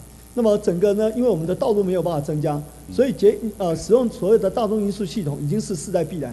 那既然捷运地线已经到大到了这个巴德，所以呢延伸到补顶，而且我们的一个捷运站的呃这所谓转运站的部分也已经取得，所以捷运转运共构呢，事实上是未来啊解决真正大溪观光发展必须要的一个工程哈。所以我希望就是说，在你规划的时候，能够把相对的条件能够把它真正说明进去哦。会，这个会，因为，呃，从巴德到大溪，如果用轨道的话，这个要一定要非常慎重考量它的运量的成长和人口的成长。那当运量够的时候，我们一定会来做这个轨道。好，好，那个这个清源，那另外就是说捷呃捷运大溪到永宁的部分，是不是确定在明年的农历新年前完成？呃，我们出按照审议作业规则的规定呢，它是核准核准以后呢，是半年内要筹备完成。所以客运院是台中的客运院，它目前也正在筹备当中。我们认为应该在明年二月可以顺利来来。好，因为我想因应的整个过年哈，所以如果能够完成的话，势必对整个交通疏解有一定的程度的帮助哈。所以请局长这多做一些好，努力我会不会跟科音院再来再来协商？好，那另外就有关于我们最近在推动 U Bike 哈，但 U Bike 目前在大溪桥部分面面临一个很大的问题啊，也就是大溪桥基本上都是行人在呃在那边在桥上漫步哈。那么一旦就是说这个 U Bike 上去了之后呢，车跟人争道哈，所以这无形中影响到人的安全哈。那这个我们目到目前为止并没有做具体的配套。那我有看到这个有一些啊人呃在新北有一些桥梁的部分哈。他们会要求人一定这个呃游呃骑自行车的游客，他一定要下来用推车的经过路桥。所以呢，将来我们大溪桥的部分也这么多游客啊，如果你是用行进的骑乘啊，那势必会影响到行人安全啊。所以你这个应该要规划所谓的脚踏车的专用道，让让这个脚踏车客哈、他们能够这用推的过桥。我想大溪桥啊，不，大溪地区我们原则上会设置二到三个租赁站。那么如果有通过需要通过大溪桥的时候呢，我会在大溪桥上根据它的它这个实际的需要来划设呃自行车的专用道，用用标线的方式来做处理。好，那么过去我们有经经过大汉溪评估所谓的这个合并道路的部分呢，这个计划到目前为止，未来整个大汉溪如果整治的话，这计划是不是能够当做是一个配套计划？因为哈、这个大溪的左岸或者右岸来设置快速道路，衔接到新北市的莺歌的部分呢，这个路廊我们呃在多年前呃我们府里已经有个规划报告了，目前还在等我们水那个水利署的水规所的这个大汉溪的整治的那个堤防法线要定定出来，我们才能配合。好，局长，我想哈，这个充分运用所有的和平滩地啊，事实上是一个啊土地利用最好的一个效益，而且真正去解决我们大溪的交通问题啊。所以我希望这一点能够多做努力哈，请坐。好，那个杨局长，目前慈湖的问题呢，事实上是蛮严重的，就游客的拒诊、拒呃这骤减哈。对但是我想，在游客锐减的一个情况之下呢，事实上我们对慈湖的一个重新的一个推动它的一个呃所谓的整修计划啊，或者是一个新的一个呃计划案哈，对建设计划势必是对慈湖是有所帮助。对，呃，局长不知道有没有什么任何的想法？是那个，因为这次陆客的锐减哈，让我们发现说慈湖确实它的魅力也降低了，所以我们现在要积极在做的有三件事情。第一个是扩大它的呃范围，我们希望从头寮到慈湖延伸到百吉隧道，我们希望能够招商引资，多吸入多吸引一些新的设施进来，这是第一个。第二个，我们是希望能够强化它的深度。过去在慈湖的现有的展示内容是老实说也已经旧了，我们希望利用这次机会能够强化它里面的展示，甚至我们希望能够引进一些所谓的演艺表演。所以第三点，我们希望能够结合在地的社区、在地的团体，相关的演艺团体能够进驻到慈湖里面来，让它能够更为活化。这个大概是我目前的发展的方向。好，那有关于我们大溪呃西周的一号沉淀池、二号沉淀池，那未来有设一个所谓的游客中心哈，对那那个地方将来也是势必会聚集非常多的游客，而且是在动线上那有关于这多功能的游客中心哦，呃，这游客中心将来是不是可以做多功能的一个使用跟规划？是因为那是吸引游客的第一站，将来去石门水库玩的所有的游客几乎都会集中在那里，以那里为起点，然后去践行、去跑步，所以那个地方将来绝对是一个展示石门水库、大溪相关的一些重要设施，都会在那个地方作为展示展示的一个功能。会。好，谢谢局长，谢谢。谢谢。好，谢谢李议员。啊、呃，就叫一下我们那个交通交通局长。啊、本席好像两年多以前啊，就一个很小的要求，就是在我们现在市府捷运绿线、蓝线、机场捷运一大堆呢，多关怀一下我们原乡的一些交通的一些配备哦。比如说，我们从大溪到拉拉山到上巴林，不知道有几座候车亭，你知道吗？候车亭啊，对，呃，详细的数字我要统计一下。要统计，其实不用统计，很好统计，只有一座。而且你要知道，在山上呢，天气变化很快，然后通常搭车的都是老弱妇孺，要不然就幼童。有时候因为工作的关系，就从部落把那个呃呃那个老人家送到路边等我们呃公车的时候，也老人也不会上网看现在呃呃车子几点到，就在那边风吹雨淋或者是啊呃日晒，不知道几点到，就在那树旁边或者就在路边空空的等待。这一个小事情，我们卑微的要求啊，局长，在我们台七线，你去呃你去啊看一下，到底有几座候车亭？只有一座是在霞云坪，而且是人最少的地方，站牌也不清楚。候车亭外面呢，不只是候车亭了，我们设施很多，当然支持市政发展，交通便利，能够也呃也普遍的那个呃回馈到大呃那个呃用路人，这都我们支持。可是不要忽略了山上嘛，好不好？好小小东西有用心就做得到。好，最起码让大家看路边有一个安全的，大家可以在那边是啊、可以遮雨的、挡风的啊、那个可以呃可不要被太阳晒的一个候车亭啊，在明年的时候编一下预预算做一下好不好？很卑微的要求，这样可以吗？可以可以好，谢谢，请坐下。好，在呃呃，我们知道哦，最近呃网络上面啊、我其实我们要谦卑的去接受了，毕竟有人那样反应，一定有我们做不到的地方哦。是当然我知道局长你很辛苦，在为我们的观光发展，不只是在我们的一些风景特定区，很多地方你也尽心尽力哦。再来，人家说呃桃园呃桃园市非常难玩，真的很难玩呢。我在前三个月的时候，我在家里刚好在下巴林，我就听到有有那个啊、年轻人呢、啊、呃年轻人说，哎呃，因因为高空弹跳的那个一些员工在我们那边等等游客，我说你们怎么还还坐在这边？他说因为我们要等游客要从机场包计程车到下巴陵。所以，呃，你你还记得的话，我曾经咨询过说，我们要如何将国外的观光客很便利的有车子可以直接到我们最远的一个拉拉山。我刚说过，我们要南下也好，呃呃，能能够有韩国的、日本的游客来呃来也好，唯一我们不用伤伤脑筋太多，就是有几千年的巨木在那边，号称东南亚快木群最多，你你你也很清楚。可是我们的交通真的是很难玩。你试想你自己下了飞机场，你要到你你在那个可能我们到香港那个呃去去做行销的时候，还是到哪里？你有讲拉拉山呐、啊因为那边才有特特点呐、一般城市化，大家哪个都市只要有钱就砸得起来。可是拉拉山这么几千年的东南亚最棒的一个，我们却让它很难玩得到。好不好？再去思考一下，怎么样？我从机场一下飞机的时候，我可以直达，甚至停几个点我都没关系。以后我停罗浮，我可以把我的行李寄在呃去行李箱。我搭下一班的观光旅游巴士也好，还是什么巴士，我那一天我可以直接到我住的地方，下巴陵也好，请呃民宿业者来请也都可以。这是一个很简单的、哦。再来，我们呃我们从来没有举办过我们的一个美呃美食的培训。啊，我民宿业者的培训，然后我你可以集结我们职训局、原民局做职训或者是服务礼仪、环境改造，这个我们过去都没有做过。我我相信从细微的地方做起来，一定不会难玩，也不会难吃。是。复兴乡这么多一个可以啊种植那么多好的蔬果的地方，假如我们能够再做一些啊职训的课程，然后啊啊把我们的一些美食介绍出来，一定会有大的改变。我们继续努力，辛苦大家。好啊、接下来我们请彭俊豪彭议员啊、林志强林议员啊、邱家亮邱议员啊、庄议辉庄议员共用十六分钟啊，请发言，谢谢。好，谢谢议长。呃，先请教我们杨局长啊，呃，其实今天很多议员都在讨论说，我们几个那种呃外外籍游客来台的人数哦。当然，我想陆客下降是一个现况，但我觉得这是比较一个政治性的问题啦，你们可能也不是你们可以去那个负责的。那但是另外一个现况是我们其他国家的旅客的不断在提升嘛。对。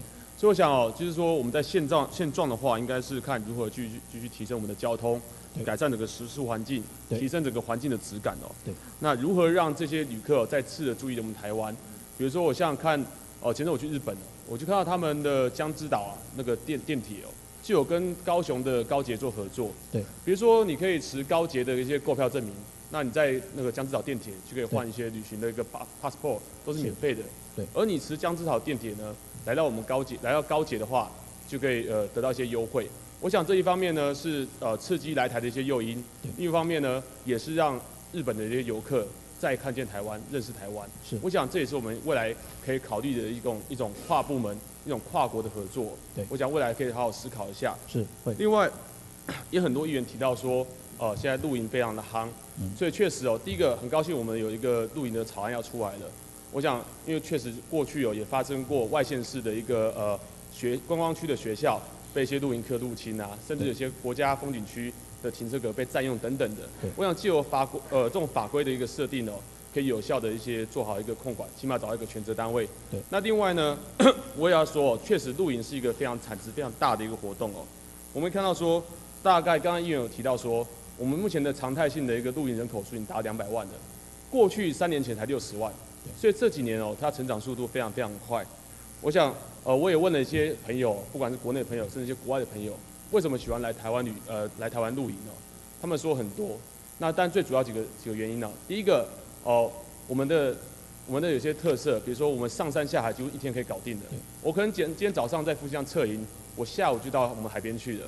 那另外我们气候也比较舒适，我们都没有像东南亚国家那么的热哦，所以说人口数成长非常的多。所以我说哦，现在哦，大概全台大概一千个露营的景点哦，我想先请我们的那个关旅局好好盘点一下，我们桃园区有几个适合的景点做这个露营的营区。哦，而且我要再说哦，这种周边的效益是非常非常大的。我们可以看哦，大概这种露营营区的租金的效益哦，一个月大概就一一亿多、哦。按照我们这样常态性两百万人口数来算的话，那另外其他的话还有很多周边的一些效应啊，包括露营的设备，那要配合露营的一些机能性的服装，因为必须要防寒、防晒这些的机能性服装嘛。还有像我们一些呃露营时候每天消费的食材，所以都加起来这种效益非常大的，而且又可以把这些旅客有效的留在露营区，留留呃留在这种观光景点。对。而且事实上，你设置一个露营营区，成本是比民宿、比饭店是低非常非常的多的。对。所以我希望说，好好去思考一下，怎样把露营哦这种文化、这种活动，好好去做提升，改善露营设备呃露营营区的一个设备。我相信露营露营这种文化，再配合比如说像一些音乐季啊或各方面的话，我相信哦这种以后的效益是非常非常大，观光产值是非常非常大的。是。那请我们那个杨局长以后再呃思考一下，是怎么去做规划，好吧？好谢谢我们局长。那请教我们的高局长。对。呃，我看你们的工作报告在呃第十一的时候，说你们用科学的方法要去分析我们这个一个旅运的行为哦。那你也说这个是大概是六都首创第一个这样做的嘛？嗯、但是我有有一个问题想请教一下哦，呃，因为现在大概全台的车辆的 e-take 的装设数大概有六百四十万，装设率达到九九百呃九十四趴，比方说几乎很少很少没有装设 e-take，那比方说有很多的数据跟大大呃这样的资料，呃，但是我想请问一下，这些建制或数据资料是由远通公司来做提供吗？不是，它只开放我们第一层的资料，让我们来来截取。所以我们收取资料以后，这个资料都是我们交通局自己来收集的，是这样的，然后再再来做分析。对，是是这样的，因为按照我看那个合约哦，因为我我大概看一下合约，虽然这种这种我相信利益良善是非常好的事情这样子，但是还是我觉得也是有关于人权的问题，我想就稍微想了一下，包括像我们在签约的时候啊，因为它整个数据显示说，大概这种数据的资料都是在侦测我们在高速公路上的资料，但是现在我们交通局在使用的一定是我们平地上的一些旅运的行为嘛，那这样跟我们当初在跟远通公司签约的时候，这样的契约是相符合的吗？基本上我们截取的资料不会涉及各资，嗯所以没有这个泄密的问题。那我们收取的资料也纯粹是做做旅行时间跟那个车辆的数数量、屡次对去做做比较。对，因为我我知道你们强调是去识别化嘛，是是收集外码，所以没有各自问题。没有各自但是事实上，你们还是可以追踪那种车辆的一个，不管是它的起点跟终点，或者是它的一个行驶的路径嘛，对不对？这是你们工作报告上自己写的。这我们要对其实不一定要的对对嗯那如果搭配上其他资料，比如说监视的画面，或者直接从远通公司的资料库再做调阅的话，那我们一举一动不是很像电影那种全民公敌一样，都暴露在那个那种天眼下的感觉吗？就总总是觉得有点可怕啦。对啊，我所以我想后路后面后续的话，或许有很多深度问题可以做探讨这样子。是是。那另外哈，最后 U Bike 的进度哦，我知道你们最近然后如如火如荼的去探讨很多 U Bike 景点的设置哦，但我希望说你们呃看完之后，到底进度怎么样，要不要设？要希望可以跟我们讲，比如说前阵子后站有个景点，我本来说要设的，但是到现在两三个月都没看到结果，而且现在已经停满了一些摩托车啊、脚踏车之类的，所以我想说，未来增设的结果，到底评断的结果如何，希望跟我们如果有设不下去或者不设的，一定会跟原报。基本上要答应的一定会做。好，谢谢局长，好，谢谢。呃，那个交通局长，哎，局长好。我想目前呃我们的停车场哈，不管是路边还是立体的哈，都是采取这个按时的计费了哈。那也就是说，到了一定的上额就呃就不再计费了。呃呃，一个小时二十块，那一天呃大概这个上限应该就是到两百块了哈。那但是呃看了你们的工作报告哈，呃我们的这个违规停车的拖吊的业务里面啊，却不分一个小时还是呃一整天，只要进行拖吊啊，这个只要进到拖吊场，一个小时通通算一整天的钱。我想这个制度是不是呃必须要检讨？基本上我们二十四小时内哈，这个我们是不收保管费的，但是一致费还是要的。哦，这你们你们现在是二十四小时之内是不收保管费。那我想这个部分哈，就是说，呃，使用者付费哦是一个尝试了哈。我们也希望说，呃，在违规呃违规停车的部分哦，应该受到处罚。那但是违规业务里面，除了呃收呃收取这个违规停车费，呃一次拖吊费啊、是这个理当啊、当当然要给付的。但是按日计算的保管费啊，跟停多久、付多久这样的一个概念哈，显然是不一致的啊、所以这个部分你们还是要检讨。是我们就是第一天我们原则原则不收费，让民民众赶快把车取取回去因为。我是希望它是一个对呃，是一个这个这个呃一个对价的一个关系，它不要不要变成一个不对价的关系，好不好？好，好。那第二个就是说，呃，捷运是城市的一个大动脉哈，桃园即将呃迎接第一条捷运的通车。那么在捷运通车的同时哈，呃相呃相应的这个配套措施啊也要处理好，其中停车就是一个很大的问题。但是我看到你的工作报告里面，总共呃这条这个捷运线哈，总共规划了四千五百二十一个停车格，等于是呃全市哈一万九千个停车格的将近四分之一啊。我我看这个部分你们是呃都已经准备好了，是不是？当然，我们市市内十一个捷运站，由市政府主动提供的就是超过四千五百个小客车停车格。嗯，哎，那另外在站内，就是捷运站站本身，当初高铁在做的时候也有一些捷运站，大概有三百多个。我我想我想停车的部分啊，捷运呃周边的停车场的部分，它是一个呃车辆这个分流的一个呃呃部分啊，避免这个商圈或者是捷运周边的这个呃环境的交通的阻塞啦。比如说呃，它也是一个这个呃搭乘捷运到到呃另外一个目的地哦，这个呃从事这个呃相关行为的一个呃措施嘛哈。那不希望就是说呃我们利用。呃，捷运啊、呃因为我们要鼓励大家搭乘捷运啊、是这个是是我们未来的一个宣传的这个方向啊、不是说呃周边的停车场呃造成我们整个呃交通的这个打所以我们会原则上就是，如果搭乘捷运，开车去搭乘捷运或者下了捷运这样的话，我们停车部分我们会做一部分的折扣。OK，好好，谢谢，那请坐。那再来请教一下我们那个呃关于局长哈，我想呃公安局哈这几年呢努力努力行销这个呃桃园哈，我想让桃园被看见，让台湾被看见哈，这是呃这个应该要给你们努力啊，呃给你们肯定的啊。呃，那么但是观光客来到桃园哈，如何移动就是一个很大的一个问题了哈。那其中一个交通方式当然是搭乘游览车，那许多游览车司机哈，我想呃大概都是我们原住民比较多啊哈。那今年由于呃这个对岸的政策，呃这个对岸的这个政政府哈、不友善，导致中国观光客大量的流失。我想在同一时间，我们的呃这个游览车也面临了呃这个无客可载的这样的一个窘境。那可是呃在你们的这个工作报告里面哈，呃国际的观光客是有增无减的。那我想呃请教局长，在这样的一个呃来来去去加加减减，我想我我我们现在目前桃园市的观光客是是有没有成长或者是锐减？呃，它有少些微的成长，不过主要还是在于自由行的部分。那刚刚易座所提到的哈，应该是属于团客的部分，所以团客的部分我们会持续来努力跟加油。所以，所以这个部分哈，那希望你们来继续努力啊。我讲说这个游览车的部分哈，所以我们不是没有客源的问题啦，对不对？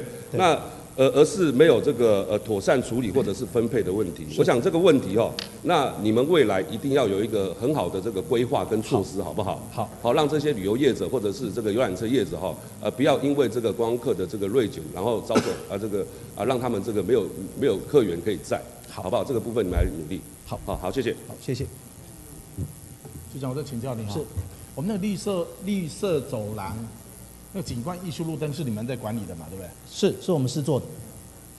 哎，重看不重用啊。嗯。啊，很多的民怨的哈，局长常常不会亮。好，拜托一下，好不好哈？现在已经做好了，不错。是。质感还不错了哈。那是我我来争我争取来的嘛。对对可是现在常不会亮，好不好？你们要积极一点，好，我多注意了，好不好？巡视一下。啊应该是请公好，这我们来我们来处理。我们现在地景艺术节都在那里，对，所以常灯不会亮，很多民众就打电话也有这个问题。啊，所以好，地景已经结束了，可是你还是要注意。好，我们立即处理要注意哈。。好，立即处理。还有我们那个，诶，香辛皮也是你们管理的嘛，对不对？你们做的嘛。呃，施作不是我们。皮塘公园呢？路面是，哎，路面嘛，你们做的。嗯我跟你讲，那很多已经坏掉了，那还没验收嘛，对不对？不是我们做的，那这都发局的那是都发局的，皮塘是属于都发局的，但是没关系，我们可以来协助了解，这都没问题。哎，它那个草长得比人还高啊。好，好不好？我们来协助了解啊好，民众呢在反映这个问题。他的公园以前是都发局吗？都发局对，没关系，我们来协助了解。那个也做乱七八糟，后面还没有验收吧？嗯哼，凉亭到现在还没有做，凉亭。好，我们来协助。好好，谢谢。局长，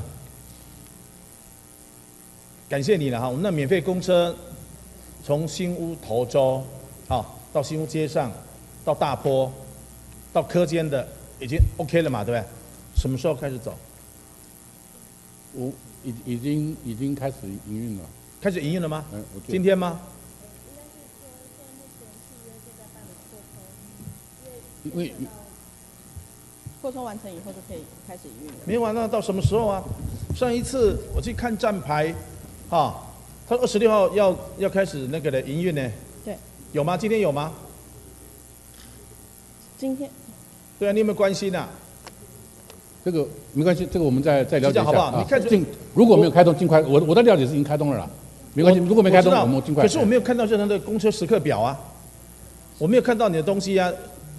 好，那时候地景艺术节说公车不够嘛，拖到二十六号。这个不都资源对 OK，可是我没有看到公车时刻表，是因为我现在已经在宣传了。好，好，很多民众要做时刻表的问题啊，我再提供这个资料给你，哎好不好哈？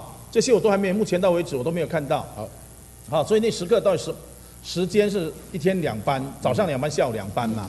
到底什么时间上会比较配合民众的需求？我想都还没有讨论这个问题嘛，好不好？如果可以的话，时刻表赶快来，我跟民众哈报告这些情况。好的，好的，好不好？局长，谢谢。好。哎，高局长，我请教你啊，我们凭证是那个金陵路有没有规划那个机车道？机车道，对，嗯，基本上没有，因为它那个路宽有限。你哪里在不？机车道呢？对啊指所谓机车是指的机车专用道，对吧？对啊。哎呀，没有吗？我的印象里是没有呢。那谁负责的业务？这是我们交通科。那中公路有没有？哦，中公路没有。你负责业务你都不知中丰路道，谁讲金陵路没有？维量曼大条。嗯。啊，你唔知承办业务单位也唔知，啊，你就假便当就好啊，免做事。你要呃没关系薪水哦。这个机车道，金陵路的机车道那里不？我记得那你们业务单位怎么都不知道？它是双向四线道，最最外线是混合车道，我记得是这样子了。我记得是这样子。你不知道还可以讲，你是业务主管机关，你都不知道吗？你都没有了解吗？金陵路难道没有那个规划机车道吗？你都不知道，你还问你旁边的人啊？那我中丰路没有啦，我跟你讲。那你改天你自己去看一下，你再跟我报告。是。表弟您，哦，您业务单位既然我们在黑位不啊，因为他沟通难怪不好。不是不是，问题这多他因为刚来报道没多久，嘿，他才来报道是吗？是他本来从是在交通部，从交通部调过来的，对，所以他不清楚。那那是我我没有弄好，对。好吧，那个我跟你讲了，你现在看金陵路有没有？好。还有你看我们的中丰路有没有必要？有没有必要性？好不好？好好，你啊，你要是实际的了解啊，我本来想要问那个观光行销局，好吧，那我改成总咨询再问好了啦。好好，谢谢。谢谢。好，谢谢啊。接下来我们请范刚强范议员，时间七分钟，请发言，谢谢。哦，谢谢主席啊，呃，高局长哈，我们这个捷运绿线是我们桃园区哈，桃园北部最重要的一条捷运线哈。那不过因为当初有些这个车站哈，因为环评的时候通过，想要赶快避免二二阶段环评，所以有一些问题哈。那么我上次有问到哈，基零九站，因为它协调还没有成功，所以目前都发局那边没有进行都市计划的变更哈。那这个我是有点担心了哈，因为我们都知道，你假如说直接从 G 八哈跑到呃 G G 十的话哈，它是二点一公里，这个占据实在是太长哈，很不理想。那协商的状状况到底怎么样？能不能很快的讲一下？像这样啊，因为嗯，当初在送环评的时候呢，这个我知道，你哎直接讲状况，这个我就不讲了哈。那对那现在呢，我们会在呃这个零九站的地下的前盾隧道的时候，我们会预留出将来的联通的出口。那么这个 G 零九站大概二十六户啊，这个我们会继续协商，啊，会继续协商。所以现在协商如果同意，如他们一般征收他是没得商量了。如果是连开能够同意，那案子就成了。我们会重新送到环保署做环境差异分析 OK OK 好，再回来做那没关系度假变更。听起来综合综而言之就是还在协商嘛哈。当然望是速度真的要快一点，是因为我上次我在都发局的时候我已经讲过，我有点担心哈，这个到底要不要去做那个环境差异分析报告？只要你到时候通过的话，很可能要做环差的要做环差。那环差分析的话，你这个时间哈，因为我们预计 PCM 是明年年底完成嘛，呃那你最保险的做法是要应该在 PCM 完成之前把这个不是 PCM 我们我们将希望在最近一一个月内就能够绝标，那么 PCM 进场以后会完拟统包标，对，发包设计完成是对对对，明年年底嘛拟统包标的时候呢，我们就会在一边试做，一边会针对机零走在用地的取得，我们继续协商，还有机会，还有时对对对因为。时间哈，时间大概剩下一年一年多一点了哈。是所以我希望赶快快一点，因为这个环差分析报告，我看呃不能够不能够太乐观了哈，我们总是要预留比较充分的时间。那另外一个问题是我们捷运绿线的基石站的问题哈，因为这个我们桃园区明德里的一些里民哦，他有一个疑问呢，其实蛮明显哈，从基石站也就是大兴西路站哈，跑到基石一站南平路口这个站哈，它的间距是零点七公里，零点七公里是比较短的。那么从原定的 G 十一跑到 G 十二车车站，也就是同安街口，它的间距大概是一点四公里。那这很奇怪哈，一个是零点七，一个是一点四。那事实上，假如说把它把它拉中线，这是明德里哦廖里长他提出这样的一个意见。只要拉成中线的话，它大概的位置大概就是在同德十二街街口。那那个地方有公有地，就是呃中正公园等附近的哈。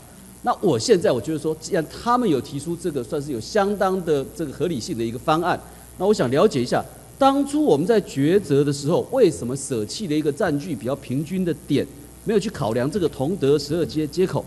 那我想一定有它的利害权衡关系，你能够很简单的简短的说明吗简？单讲呢，就是我们的捷运站，因为这这条路啊窄的地方呢，我们希望出出口通风井的用地尽量是公有地，尽量。那然后它的面积要足要够用啊，原则上这样在这种条条件下，再考量到运量，你这个站设置站这个点运量够不够，要有人去上下车。可是可是同德十二街那边有中正公园啊，你现在所谓没有公有地的状况是什么样的状况？就是原则上选点就是考虑到这些，当然我我我知道了哈，哎我知道选点要考虑很多，因为间距这样不平等不平均，我相信一定有它的理由。那这样好不好？因为当地李明既然有这样的这个这个声音，我希望就这个部分去做一个清楚的说明。是，好，我相信是有它的理由，可是能或者不能，我们都应该清楚的跟当地的住民交代嘛。要不了解然你零点七公里跟一点四公里哈，这个所有的人一看都知道这个有点怪怪的啦。同时在捷运理由在哪里？是在捷运好好好线是。那没关系，这个你再跟我补补充说明哈，好不好？好。那再过来哈，就是说也是我们的重大建设，我也认为是非常正面的建设，也就是延平路要通到和平路的这一个这个这个计划哈。是。那我们第一期是两百九十公尺，宽二十二十公尺哈。那么我们所采取的方法是一百零七年底要发布实施 G 零九整体发展的哦西部计划，一百零八年底完成区段征收工程设计哈。啊，不过当然我们都很清楚。第二期、第三期是怎么样征收呢？这一段是区段征收，可是后面那两期大概两呃大概一点七公里，它是采用所谓的一般征收。那这两种征收当然有相当的区别失异。那我现在想要了解说，因为区段征收它通常它会涉及比较大的面积。那我刚刚算过了，这两百九十公尺哈，它的面积大概是零点六公顷。我请问一下，假如我们采区段征收的话，它大概要征收的面积是多少？大概呃几倍？哦，没关系，算不出来没有关系哈好没关。我我我只告诉你哈，我我只是提醒你一点，我相信你们区段征收会有它的理由，可是区段征收因为它株连的范围比较广，所以在我们整个台湾的这个土地的发展史上，哦，征收史上事实上比较容易产生争议啦。那我先跟你确确认一点，因为好说真的，那个地方区段征收我有点怪，觉得怪怪，是因为它跟基零六站有点相当差距嘛。基零六站跟这一个所谓的延平路跟呃延平路口那边大概是差一点二公里啦。那中间夹了很多的农业区，它不是只有那个地方是农业区。那为什么我们的西部计划，我们的这个整个开发计划延到那里，是整个区都已经做区段征收吗？是不是？是还是不是？呃，因为区段征收的范围呢，是那个那个吉林六站的周边是由都发都发局那边去处理。有征收到广到一一点一点多公里都还区段征收吗？重点是不管是不是区征，我们现在有个策略，就是在都市计划变更的时候，在都市计划这个书图里面加注同嗯将来民众保留参与区征的权利，然后 OK，OK，这段时间我们用租好没关系。地方式。所以你现在，所以你现在是预设用区段征收的方法，对对对先去可是你要去采择民意嘛，了解民意，因为有的人喜欢征收，我相信很有可能他们是想要区段征收了因为区段征收你才能够做整体开发嘛。是。可是这个东西一定要去了解民意，因为毕竟我们在现代比较法治的观念来讲，认为用所谓区段征收去取得所谓的都市发展或者经济发展，这个东西是有争议性的，因为它涉及人民最重要的财产权。对，所以这个部分，请把你们的想法再清楚的说明。那在事后的这个状况，哦，再好好的来跟我说明，好不好？好好好，我我想这个事后跟民意的沟通很重要，所以现在那当地的民意还不清楚就对了。对。哦，好好好啊，另外一个哈，我再简单讲哈，铁路地下化的问题，哦，我们现在估计的期程其实还蛮乐观的了哈。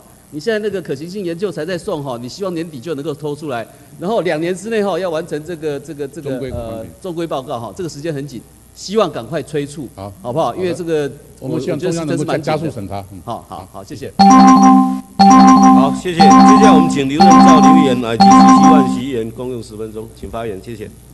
好，谢谢议长。那个首先我先请就教育局长，交通局局长，嘿，局长，高，局长，好，局长不好意思，我先请教一下哈，有关于那个我们现在 U Bike 的，呃，U Bike 现在是老老蒋，现在这个政策对我们那个所有的老百姓都觉得非常的赞誉有加啦，这个政策哈，那我相信我们现在点也越放越多，那设置的点越来越多，那可不可以简短讲一下 U Bike 目前的效率？那效果，然后设置的情形是大概是怎么样？目前在中中立平镇区，我们大概已经设了至少二十三个站以上，未来在年底前还会增设二十二十个站左右。对，那呃站跟站之间的那个起乘环境，我们都是在改善环境以后，再配合站建制完成，再来开开放营运通车，大基本上是这样子啊。嗯，哎，好，所以所以原则上我们到年底来讲，中立凭证还会再增加二十，还会还会哎，那那因为我我我们这个契约里面还有后续扩充啊、那么即便不在我们名单里面呢，那只要民政有需要，我们还是可以再加设。都还可以再检讨。对，因为很多我相信各个地方都在争取这个，想要设置这个，只要有有有酝酿，我们都会说，然后有有公公有地，哎，尽量。那另外就是要检讨的部分，就是说，就是呃路线，就是我们那个骑乘 U bike 那个环境的部分啊，这个部分这个是我们未来第二步要来进来努力来改善的部分啊。因为我之前你们在推行这个政策有方有一些想法嘛，对，那目前因为我们会我们根据上上一次议会的大家的决议，我们我们现在是先先针对骑乘环境先做改善，对然后并同两个站的建制时间同时完成，一次开放，对哎用这种方式。好，因为因为使用的人，我相信我们的使用率，我记得我们那个中立火车站那个站点的使用率那个是最高的嘛。漏了讲，这个这个目前中立好几个站是一天的周转率超过十五次，也就是一部自行车平均一个人借超过十次以上，对，最多到十五次。所以这个使用率这么高后，是就是说我们汽车环境这个部分要来努力，看是不是要来改善的部分哦，以免到时候也发生问交通问题的部分后。然后第二个，我再请教一下，就是说金陵路，就是金陵路跟六六那个路口啊，其实这个交通瓶颈大家一直一直都在考。一直这个问题一直存在的，那我想问一下局长有什么想法？因为其实它的路幅很小嘛，对不对？对。那要如何来改善这个问题？因为金陵路这这一部分，它这个岔路口啊，那个平面车道部分确实是跟转向交通量很大，所以我们除了用交通工程手段去做处理之外呢，也只有看看金陵路将来拓宽的时候能够增加车道，啊，看看能不能能够解决。所以目前的听起来的唯一的解解决方法应该就是拓宽哦。应呃该是这样，。通常在既有的交通工具手段是有限的，所以呢对，拓如果能够拓宽，它这个都计外应该是拓宽是会比较好。那么目前我们的了解是，公务局已经为了配配合这个大学的那个附近的交通，已经在在做拓宽的计划。面的演绎，我的了解是这样子。因为这个对我们平镇啊、中立地区这个已经这个问题延宕很久，希望到时候对对对交通局要给那个我们的公务局一些意见，哎，这有我们个看是怎么样哎方式来来解决这个问题，好，好。不好？好，局长，好，局局好，局长，再一个就是说那个。我目前我们市政府推出一个，就是说停车啦，嗯。停停车场的部分，我们是不是有那个鼓励民众就闲置土地来做那个停车场的规对划？，只要提出申请，我们会根据他的用地的这个情形，先做那个用地是是妥适性先做审查，审查完以后，如果合合可以的话，我们对那个车辆停车车辆进出对交通没有什么太大冲击，我们会同意他，那我们就会补助。对我们市政府有这样补助。那目前来讲，截至目前为止，已经通过了多少？呃，今年到现在为止，大概我们补助了大概有六六十万五将近六十万左右。那大概有几个停车场？呃还是记得是一百八十八个。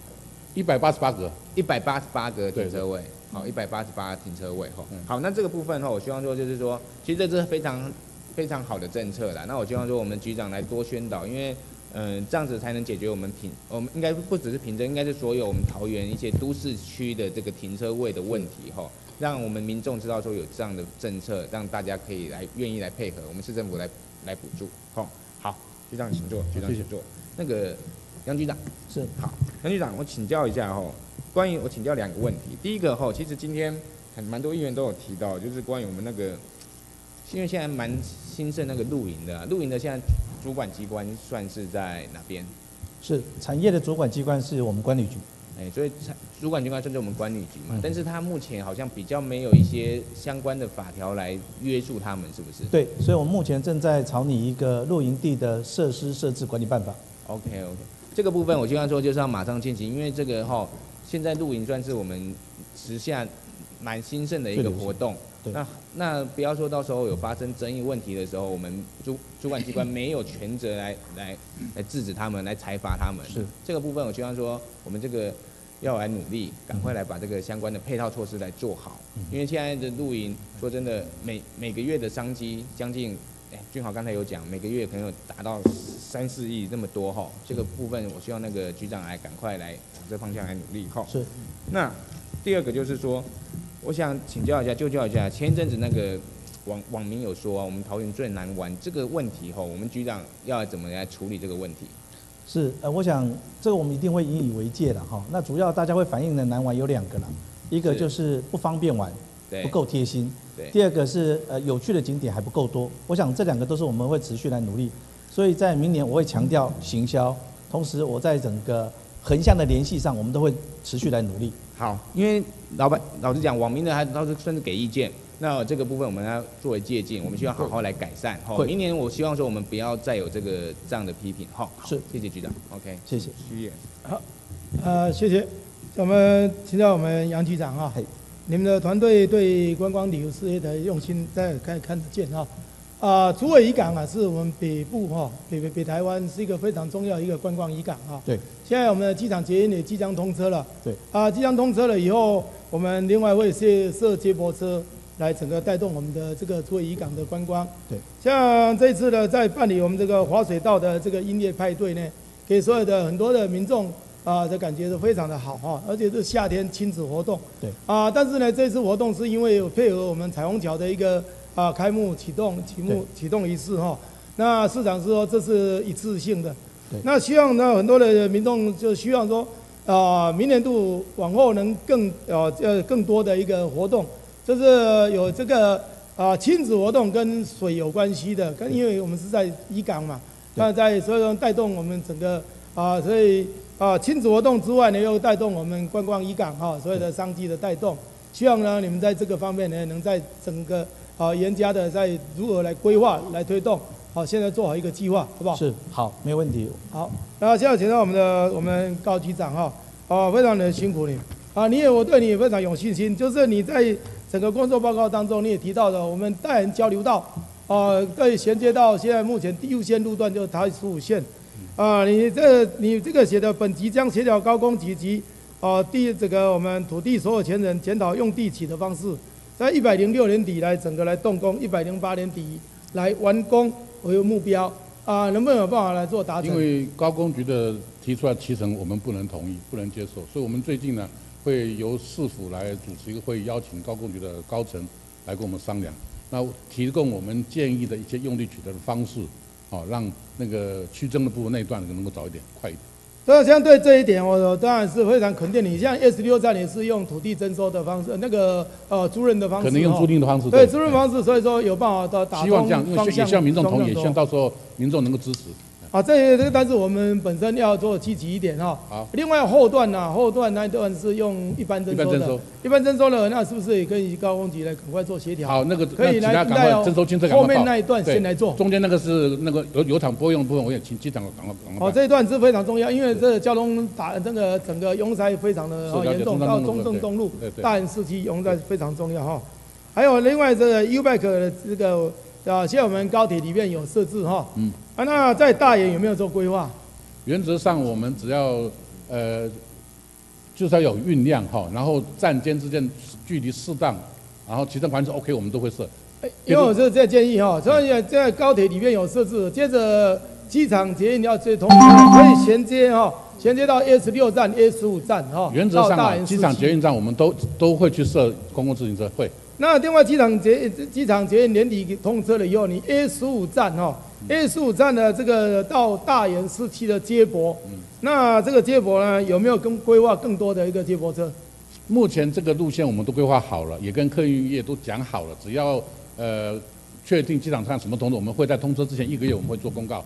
那路线的部分，我们在试营运以后呢，接驳以后，如果运量不足，我们半年之内还会检讨，再再增加。好，另外一点很很重要的一点哦，说我们每年公车啊，这个候车亭哦，经费我们编制三千万，但是在大研市区，大研市区呢，没有一个真正的一个一处哦，这个候车亭。你看到我们的大研市区的这个百姓呢，就是在因为，哎，这个就是候车亭晒太阳的。设置哈，至少宽度要有人行道或者路肩宽度至少要三公两点，最少都有两两公尺。这一点都是希望说你们在帮好啊、接下来我们请张江村张议员、苏翠玲嗯苏议员、卢明哲卢议员、杨朝伟杨议员、梁啊、梁伟超梁议员共用三十分钟啊、请发言，谢谢。好，谢谢议长。那个观光旅游局杨局长哈，我想这是新政府上台以后啊，呃，我们感触也蛮多的哈。那我想，既然大家已经选择了新的政府，那当然，我想新政府的政策，我们当然要推动一起配合嘛。现在啊，我感受比较深的是，因为啊，我们啊，观光旅游景点啊，我们的慈湖两蒋陵寝啊，那游陆客啊，几乎啊当了五六成以上啊，我讲这还比较保守，大概要七八成以上哈、那我我我时常去那边啊，我想处长也非常清楚哈、那他的新南向政策，政府好的政策，当然我想政府只要推动出来，我们当然要配合政府往前冲啊。对，好的政策带我们走向康庄大道，不好的政策带我们去望战深渊呢。我想请问一下，我们桃园市政府对于我们新政府蔡英文啊所提所提向我们全民所宣告的啊、新南向政策，我们准备好了没有？你可不可以说明一下？我们就是全力在冲刺这个新南向政策，包括我自己亲自到泰国去办理呃招商说明会，这个都是我们目前在进行的。那么同时在行销这一块呢，我们在文宣品也各种语系你的文你的文宣品的部分，那是其次。当然啊，这些啊，不管是韩国人、日本人、印度人、缅甸人、什么马来西亚人来这边，你印各国的文宣那是应该的哈。是。我请问一下，你的导览人员对有没有准备好？我请问你有没有有没有开始培训？导览人员哦，我们已经有编列，明年有编列预算，明年才编列预算，因为我们今年的预算确你现实是有点在你现在现在几月份了？对这游客已经逐年的在逐月逐月的逐月在减少，你现在还说明年才要编列预算？我指的第二个，我再预算在请问一下，你的相关的硬体的设施的部分，不光是导览人员哦，对，将来一条龙的部分哦，包括游览车，包括餐厅，包括饭店这些服务人员，他们会不会讲韩国话？会不会讲马来西亚话？会不会讲印尼话？会不会讲缅甸话？我想这都是非常非常大的一个考验哈、对，我刚刚特别提到新南向政策，政府要推政策，我们一定会支持嘛。对。但是这种政策到底适不适合，到底可不可行？我想我们真的要好好评估啊，不要等一下要突然要转向，向向向呃新新东向，又等一下又西向，怎么我我我们真的搞不清楚啊。所以说这部分拜托一下，真正的要拿定好主意啊，做好我们真正的观光的产业，要不然的话，我们现在慈湖真的很惨哎，那个游客啊、陆客啊少了五六成，他们那些做做所谓的伴手礼的、啊。那个生意啊，都降到七八成以上以上哈、我想对于我们民众来讲啊，我想损失非常的大哈，好不好？谢谢。我们慈湖也会持续投入建设。局长，我想网络票选桃园是最难玩的县市哈，我们真的不能接受了哈。我想这个你也应该要负最大的责任哈。我想在吴这样县长时代哈，那时候小乌来空天公不到刚完成的时候，网络票选第一名梦幻景点，我们十大小城那时候大溪呀、台湾全十大景点小城啊，大溪也是网络评选第一名啊。怎么会？你上任局长一年九个月时间，我们桃园市就变成网络票选最难玩的第一名。我觉得第一个，你真的要负很大的责任哈。是，我们桃园市给我建设的重要的光建设大县，也是景点最多的县市啊。这个数字，我相信所有的市民都不能接受哈。那我就教一下局长哈，过去这一年十个月哈，我们桃园市政府记者会最多第一名，活动办最多第一名，但是整体深入的行销，对于桃园市各个景点的行销，到底市政府有没有用心去做网络的行销也好？刚才杨议员所提的新南向政策，新南向政策是这一年才有的吗？只有这一年台湾才针对亚洲各国去做观光的行销吗？没有哎，过去一一二十年各国的观光行销，我们中央都没有在做吗？有在做呢。观光绝对是全全面性的，不能局限于东南亚、欧美各国，甚至是大陆地区都是必要的。我不懂为什么蔡英文政府一上任之后，一个政策就影响到整个大陆地区的人民，台湾人民不愿意来到我们台湾消费，不愿意来台湾旅游，这个是你们应该思索的。局长问你，我们石门水库是不是好的景点？是，应不应该宣传？当然，所以打勾应该嘛，对不对？没问题。而且我们有三年的计划。对不起。龙潭小人国应不应该宣传？应该，游乐园，唯一的游乐园。唯一的要打工啊。哎。复兴拉拉山应该是全台知名的景点嘛，对不对？是的，而且我们引进高空弹跳。应不应该做行销？应该，我们也引进高空弹跳。竹围渔港、永安渔港都是。石湖、大溪、脚板山、杨梅、八德、皮塘生态公园，还有桃园市各个的景点。是。你的网络行销到底做够了没？没有做嘛，网络行销不够才会被票选为最后一名嘛。不足的地方我你真的应该负最大的责任。是。呃，局长是，这个我想啊，或许南向政策也还不错了哈，但是我们要如何吸引这些啊，这个东南亚这些国家啊，不不同不不同国家啊，这个会来到我们慈湖跟中正公园，你你有有没有想过说怎么样来建设，然后能够吸引这些人啊，越南啊、泰国人啊，然后来来到我们那个中正公园对两蒋这边。这个园区有有兴趣，你你有打算怎么做？有没有问题？告诉我怎么做啦？好，三个，第一个刚所提到的行销一定要加强。行销怎么行销？让泰国人来认识蒋中正。事实上，我这也是行销的内容之一。哦。对，那因为慈湖过去呢，我们确实，我们现在准备要投入新的建设在里面，因为来看的人。那你怎么做？你你有到那个到到那个泰国去？南那个南向政策的这一些国家去做宣传吗？有，我去泰国，我发现其实泰国。好，那你做怎么样的宣传？对，对于我们目前来讲啊，那个大溪慈湖这一部分，你做怎么样的宣传？是，其实泰国人对我们大溪慈湖很有兴趣，因为他们从来对台湾的了解，尤其对我们台湾了解，其实都还不够多。所以我发现他们，我们跟他们把这些资料给他们之后。实际上，他们真的是非常非常的感到兴趣，他们希望能够来到桃园旅游。不要骗人了，纸上谈兵的哈。绝对没有。好了，这个我人在现场。我们那个交通局哦，交通局，你现在那个台铁地下化哦，那个等到评估要两年后是不是？呃，我们是希望在今年年底前可行性能够获得行政院同意。嗨。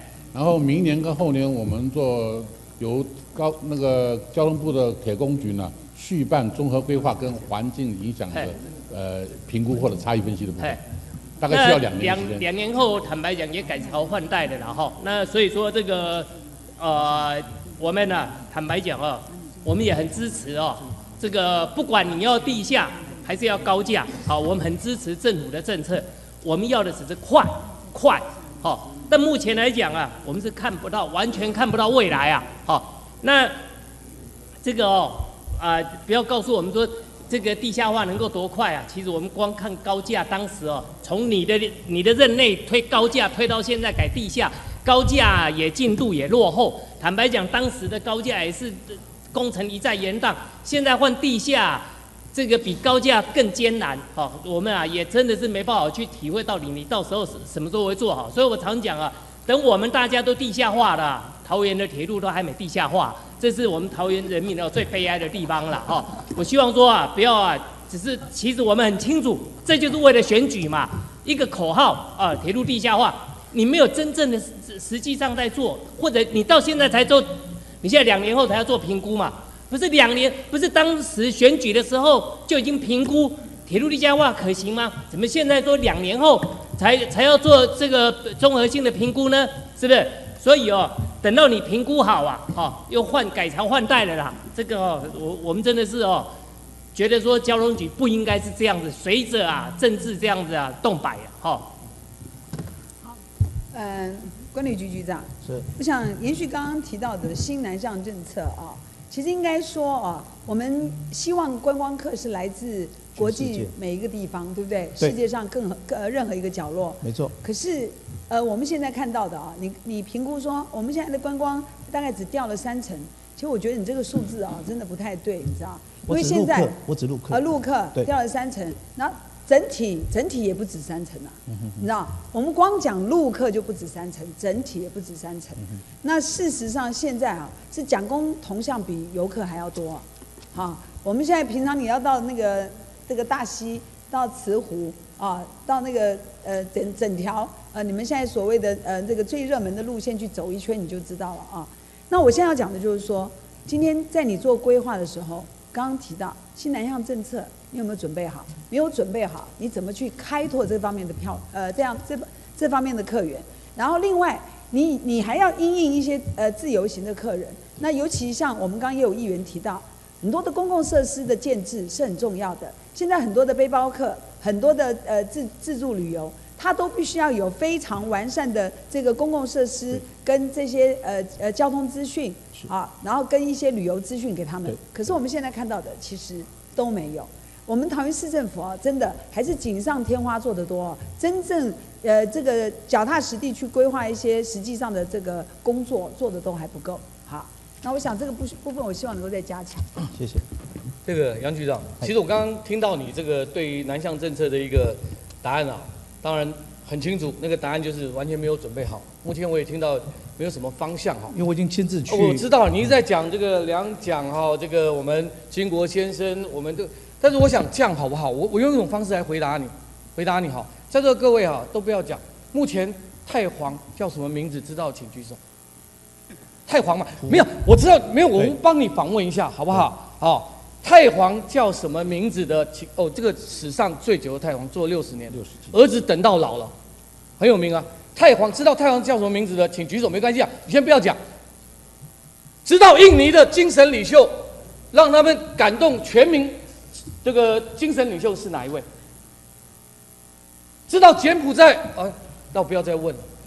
我我只想问一件事：即使泰国在花了一百倍的精力，告诉他什么几事，在他几百年前干了一件大事，跟你要去观光什么关系？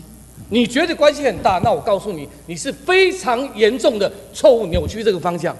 因为金国先生对我们来讲，本我们是非常有意义。不管去看毛泽东也好，是有敌意、有兴趣、有那个点呐、大陆客有有有兴趣的点啊。所以阿里山卖茶的人去总统府前面抗议啊，我觉得牛头不对马嘴啊。我们新南向政策，新南向政策他没有在在泰国唱这首歌、阿里山的姑娘美美如水啊，没有在泰国唱，没有在印尼唱嘛，没有在那边唱嘛，大家没有幻想嘛，没有热烈在幻想。所以你今天啊，用不断用两蒋园区来去吸引南向客人啊，我是觉得准备不够了，哦，准备不够。但我教你一招，不要紧张，我有招数，不要说一直骂你。想一下嘛，桃园有优势嘛，机场就在我们这边嘛。我是真的跟你强烈建议，桃园有一个优势，全国最大的优势，就是我们桃园的外配、外籍配偶。我跟你讲哦，老鼠会没做过，有没有听过？你去那边拉下包商，鬼吼鬼叫去哪一国？我们两讲园区，人家真的听不懂啊。然后呢，你把你说去招商，又是搞那一条龙，不必了，好不必了，你不必了。所以我说拜托你啊，外配五万六千人。当然，如果你这么郑市长要这么顺从小英这个两岸不对谈的态度，我就帮你扣掉三万人入配，还剩两万是其他国籍，但是大部分属于南向政策的两万人，再加上桃园的外劳，在去年十月份的统计，全国五十八万人，桃园占了九万六千人，占六分之一的外劳在这里。但是我跟你讲哦，这九万多的外劳有百分之八十是产业的外劳，在各工厂里面嘛，百分之二十在家庭的看护里面，这没有让你想象到什么吗？这些的外劳第一名，越南三万人，菲律宾二点五万人，泰国一点七万人，印尼一万人。没有想到这不是刚好就是新南向政策吗？我今天不应该这样跟你说了，好像我是，但是我觉得哈、东搞西搞啊，东不来西不来，苦到的老百姓，老百姓没有分党派的，所以光这个两个加起来，外配扣除大陆籍的，再加上外劳十二万人，十二万人了、我跟你讲建议了，不要再去浪费什么钱了啦。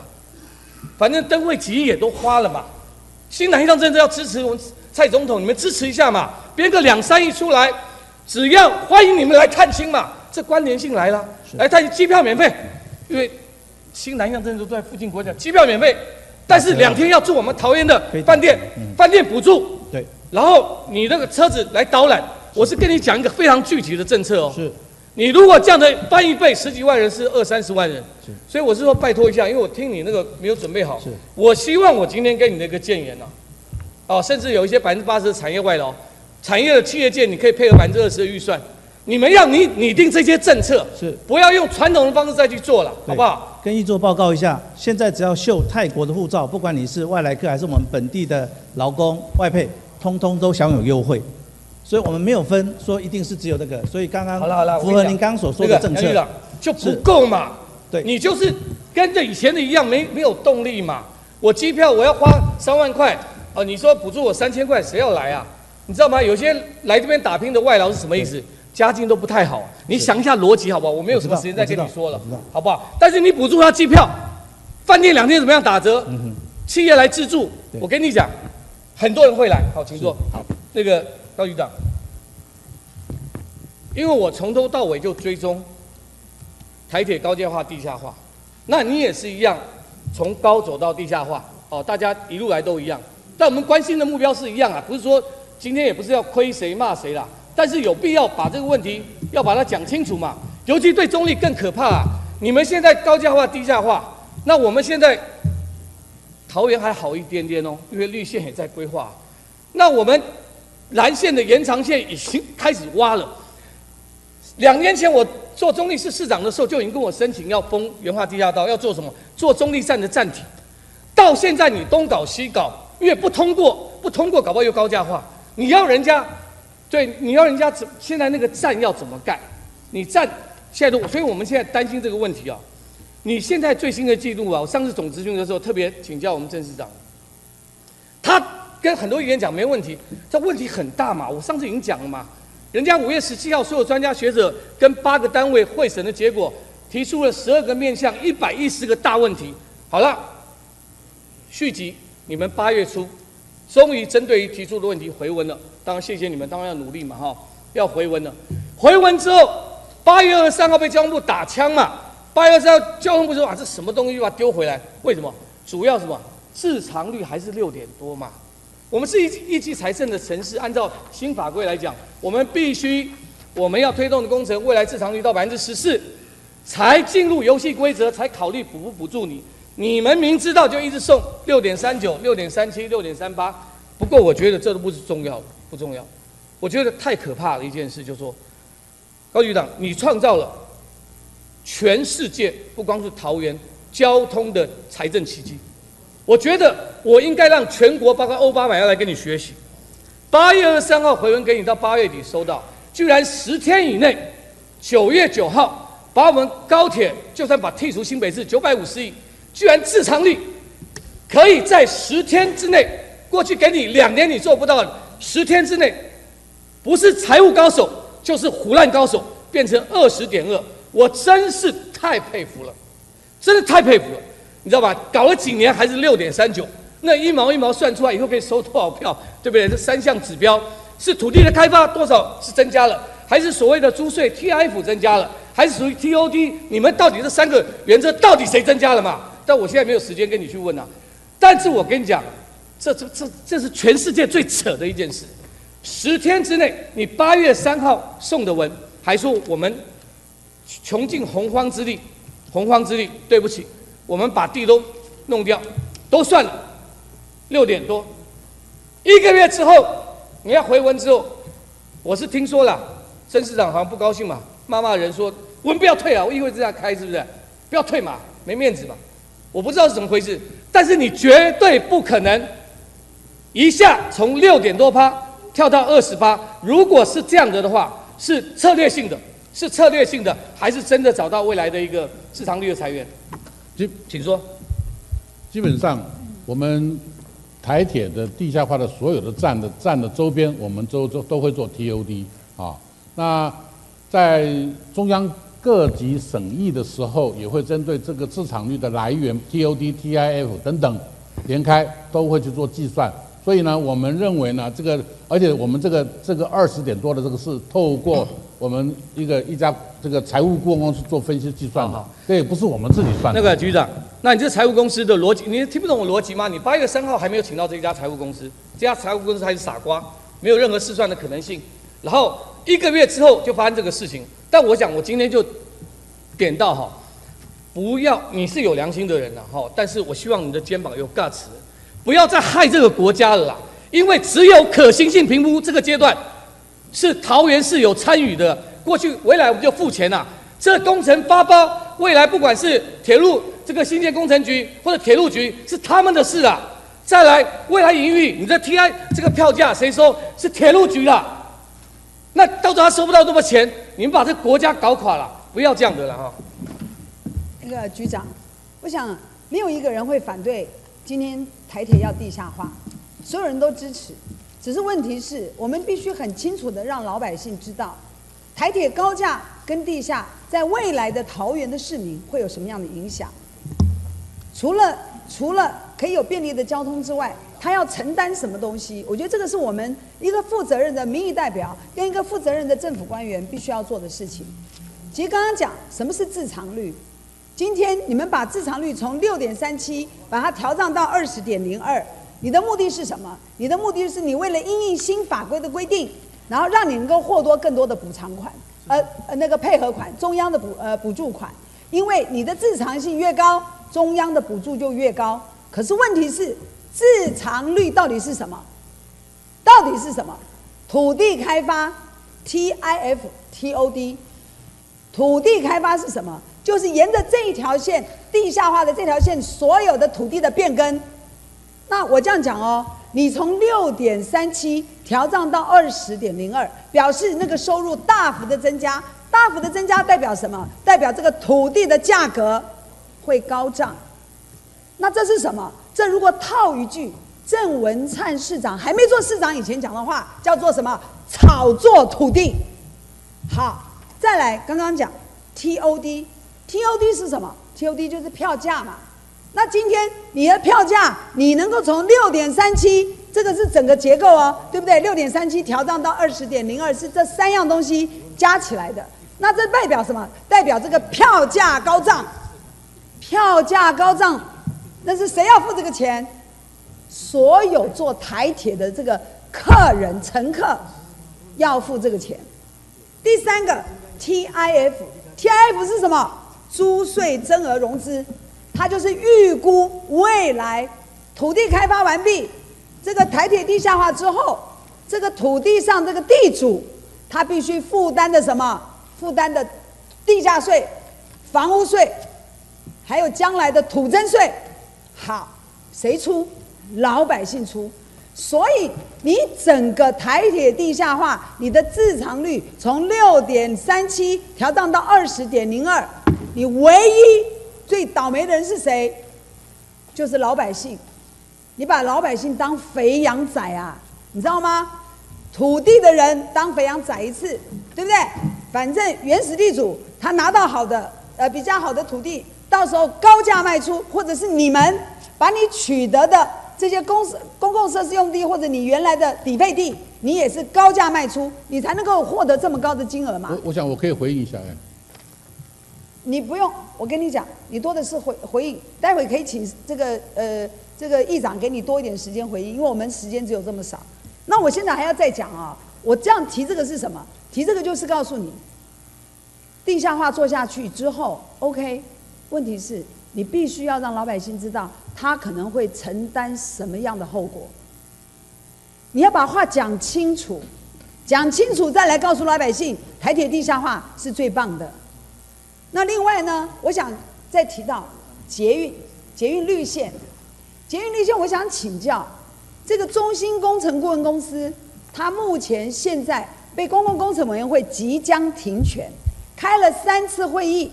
然后现在要进入大会啊，因为他不断的申复，不断的说要补充资料，它。为什么要补充资料？他就是因为新北环快收贿嘛，他的员工收贿，所以被一审判决有罪。那因为一审判决有罪，所以公共工程委员会就要把他停权。然后这个时候他说：“哎，他身负身负，好，不断的身负。好，我现在请教，我们现在评选出中心工程顾问公司，我请教，如果在你签约以后，中心工程顾问公司就被停权了，怎么办？”如果议价的时候是议在前面，停权在后面，那么议价是成生效的。所以意思就是，即便他被停权，我们还是必须要按照合约走就对了，是不是这个意思？按照那法令是这样。好，那我们就明明知道这家公司已经有这么这么辉煌的记录，对不对？机场捷运到现在还没有通车，它有这么辉煌的记录。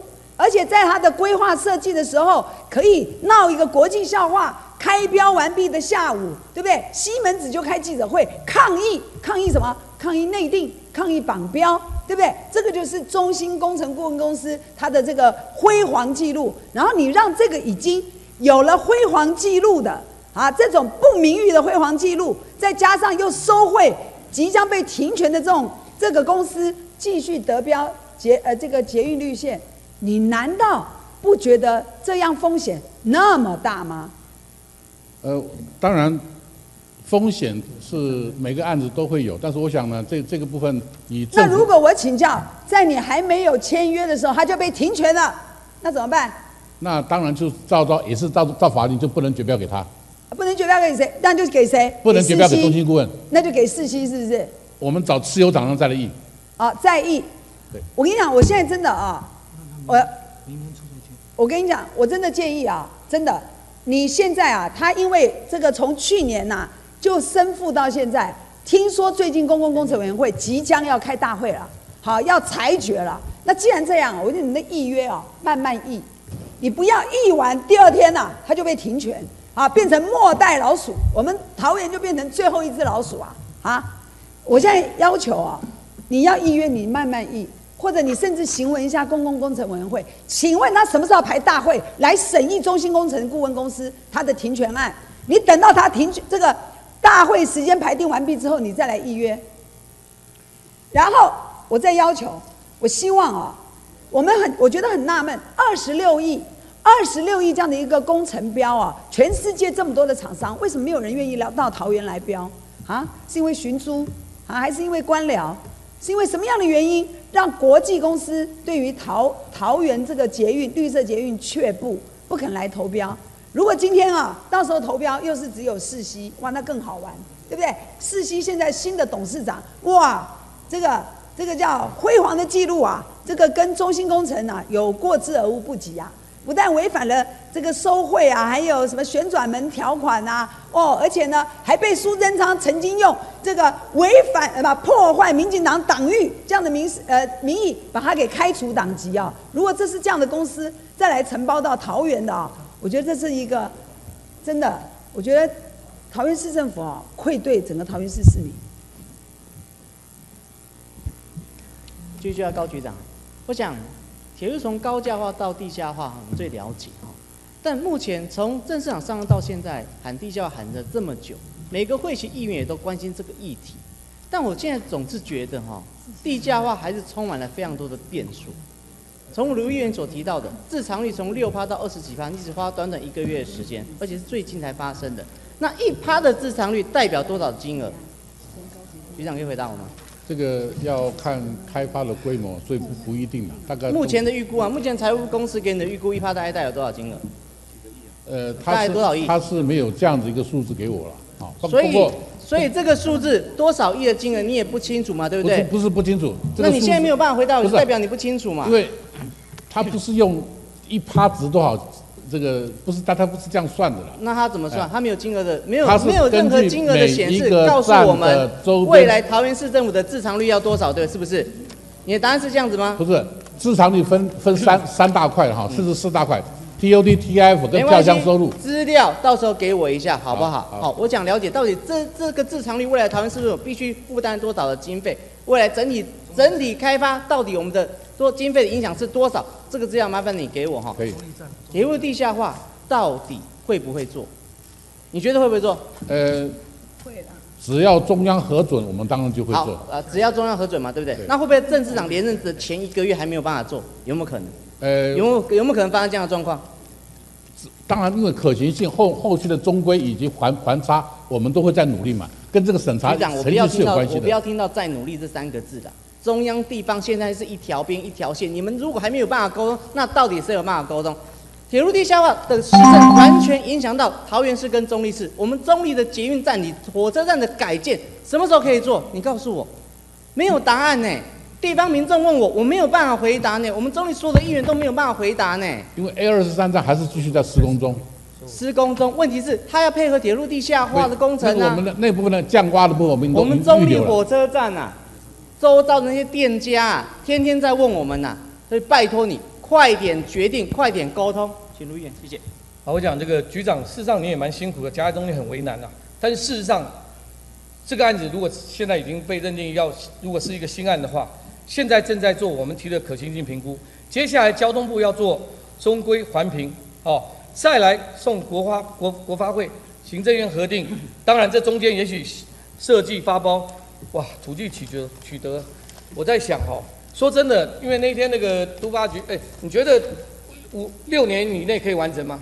呃，我们认为就是铁路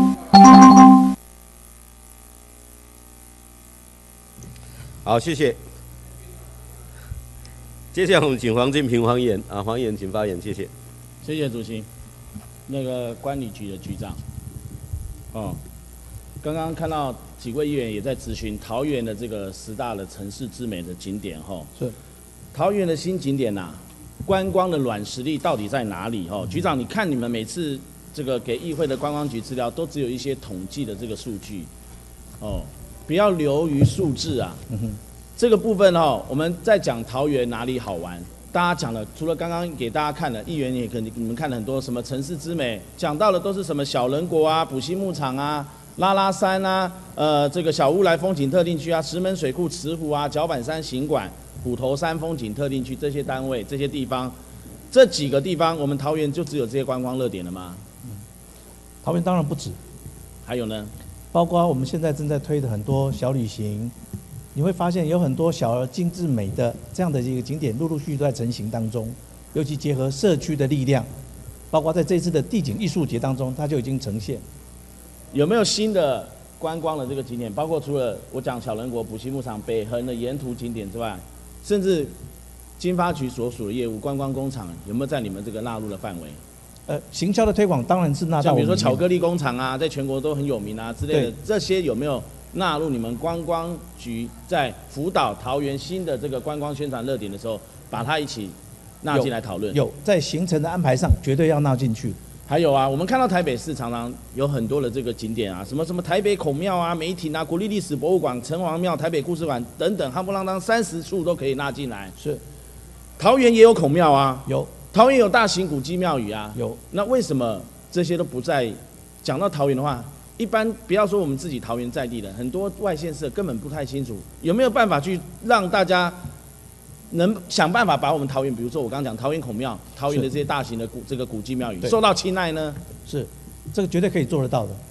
我们有客家文化馆啊，对，那为什么也没办法列入？像那个苗栗的这个他们客家园楼，比我们的客家文化馆还晚盖好。是，可是人家的这个观光，当然中间荣获有一些状状况或争议，至少他们在观光卖点上也形成苗栗一个很大的资产。那我们呢？我们起码龙潭不要说只是客家文化局在那边而已，它有一个客家文化馆，假日我常经过本溪，也看到很多人在那边亲子在那边休闲。对，我说那个都是我们观光局的很多的，是不是可以纳入它的景点的讨论和规划？是，全部都可以纳进去的。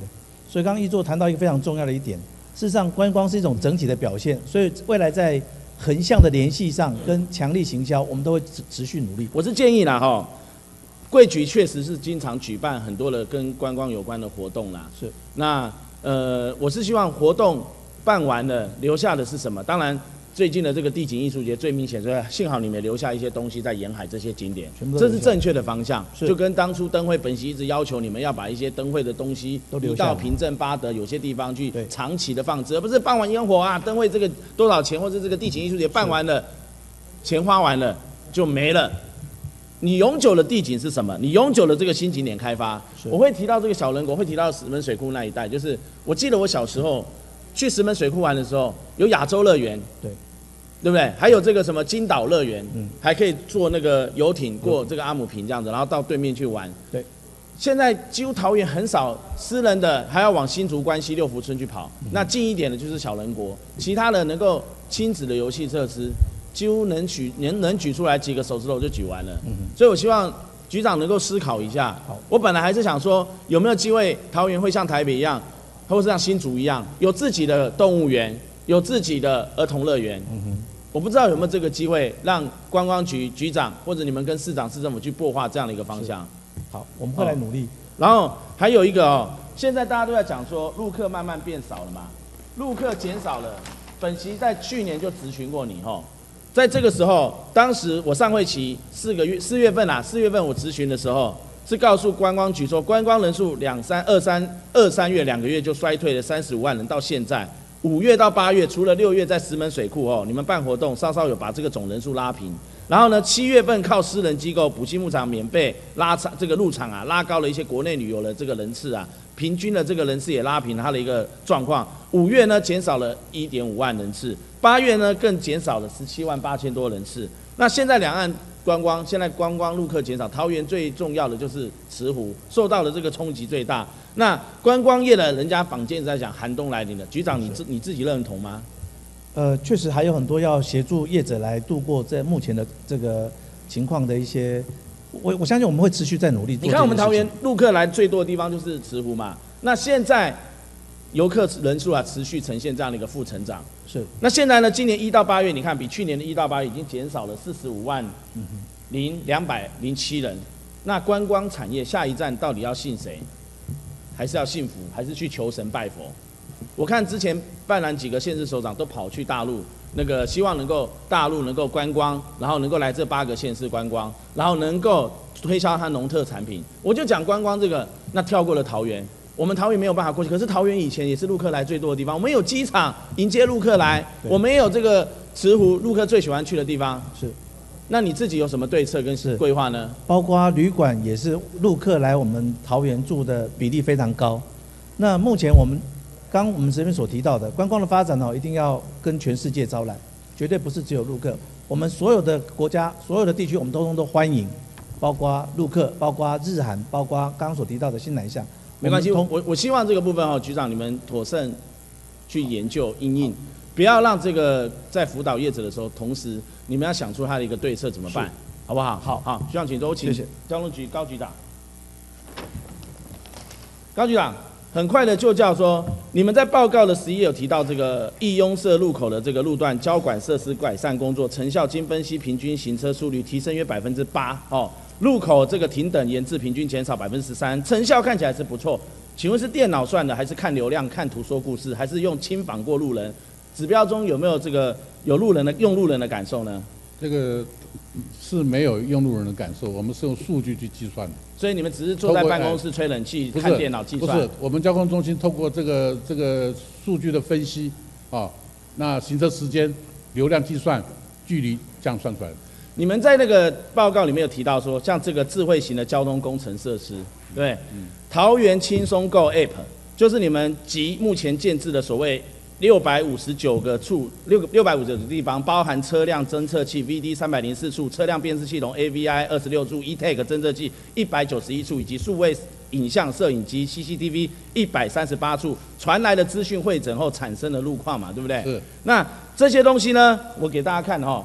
局长，这是你们自己哈的路况的这个桃园轻松购的这个 app 哈，市府的路况资讯，这个是上面。你告诉了那个用路人呢，都是绿油油的一片哦。这个是昨天晚上哦，本席在你看桃园新屋交流道附近的一个路况，每一个路口都是绿色的。下面呢是 Google 的，Google 的它自己有一个它的一个系统，几乎好几个路段不是黄色就是红色，没有像你这边全部绿油。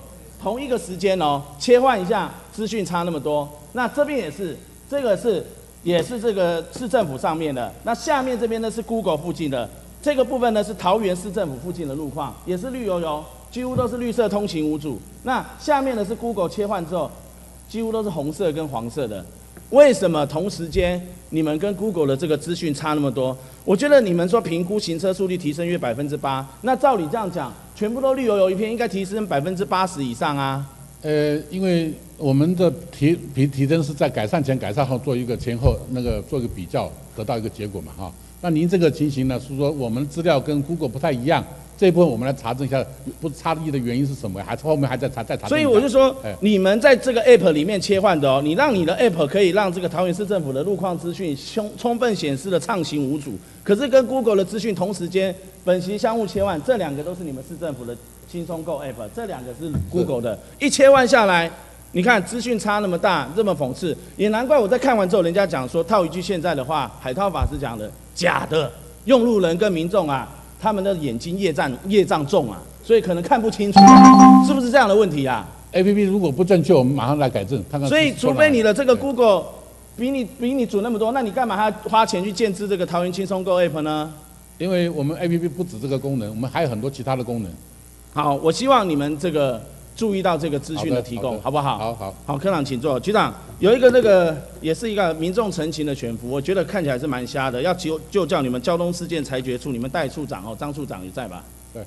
哦，这个是民众陈情的哦，他的状况是比较有点夸张，我会简简单用三十秒跟你们说明一下。嗯当初他在五月二十七号收到第一张罚单，他的违规情形是三月九号，你们中间相隔了将近九十天，他后来违规他都不知道，然后结果呢，从三月九号到五月二十七号，这中间他又违规好几次，当然违规是错的，他就要去缴罚单。但是你们为什么交通事件台就说，你到了五月二十七号九十天后才告诉民众，三月九号他违规了，三月中、三月底、四月初、四月中他好几次违规，如果早点收到你。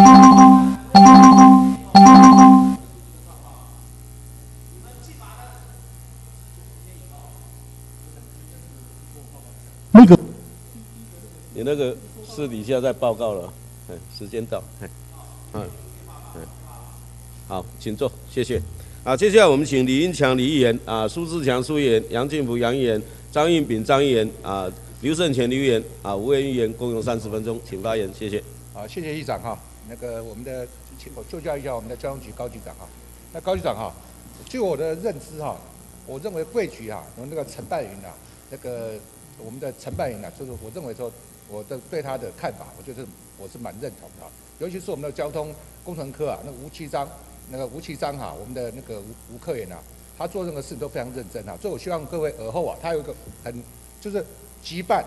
只要通他立会立刻办，而且还会立刻立刻回报哈，所以我希望这个这个你好好给他奖励一下哈。这个尤其吴其章已经认识他两年多，他办真的是非常认真的一个一个科研啊。这是说先跟你报告一下。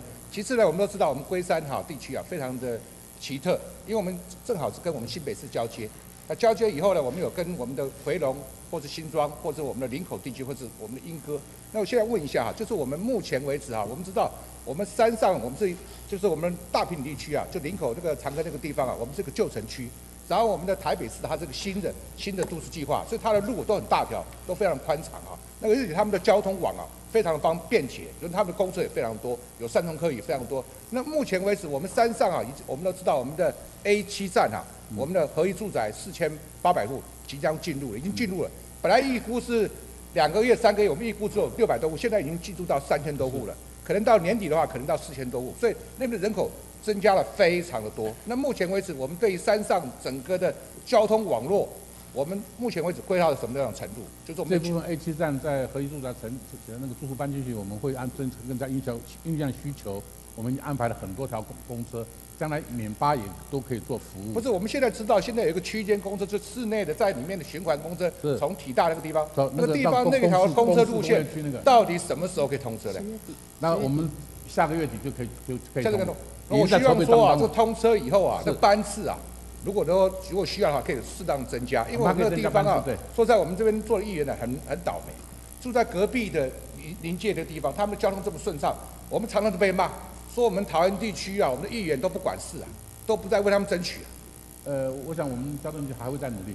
啊，你一定要把它努力好，这条是这个这个整个的循环公车一定要把它弄好。其次啊，我们都知道我们的回龙地区啊，回龙地区也算是个比较，算是我们离我们应该是跟新北市的他们的生活圈比较接近。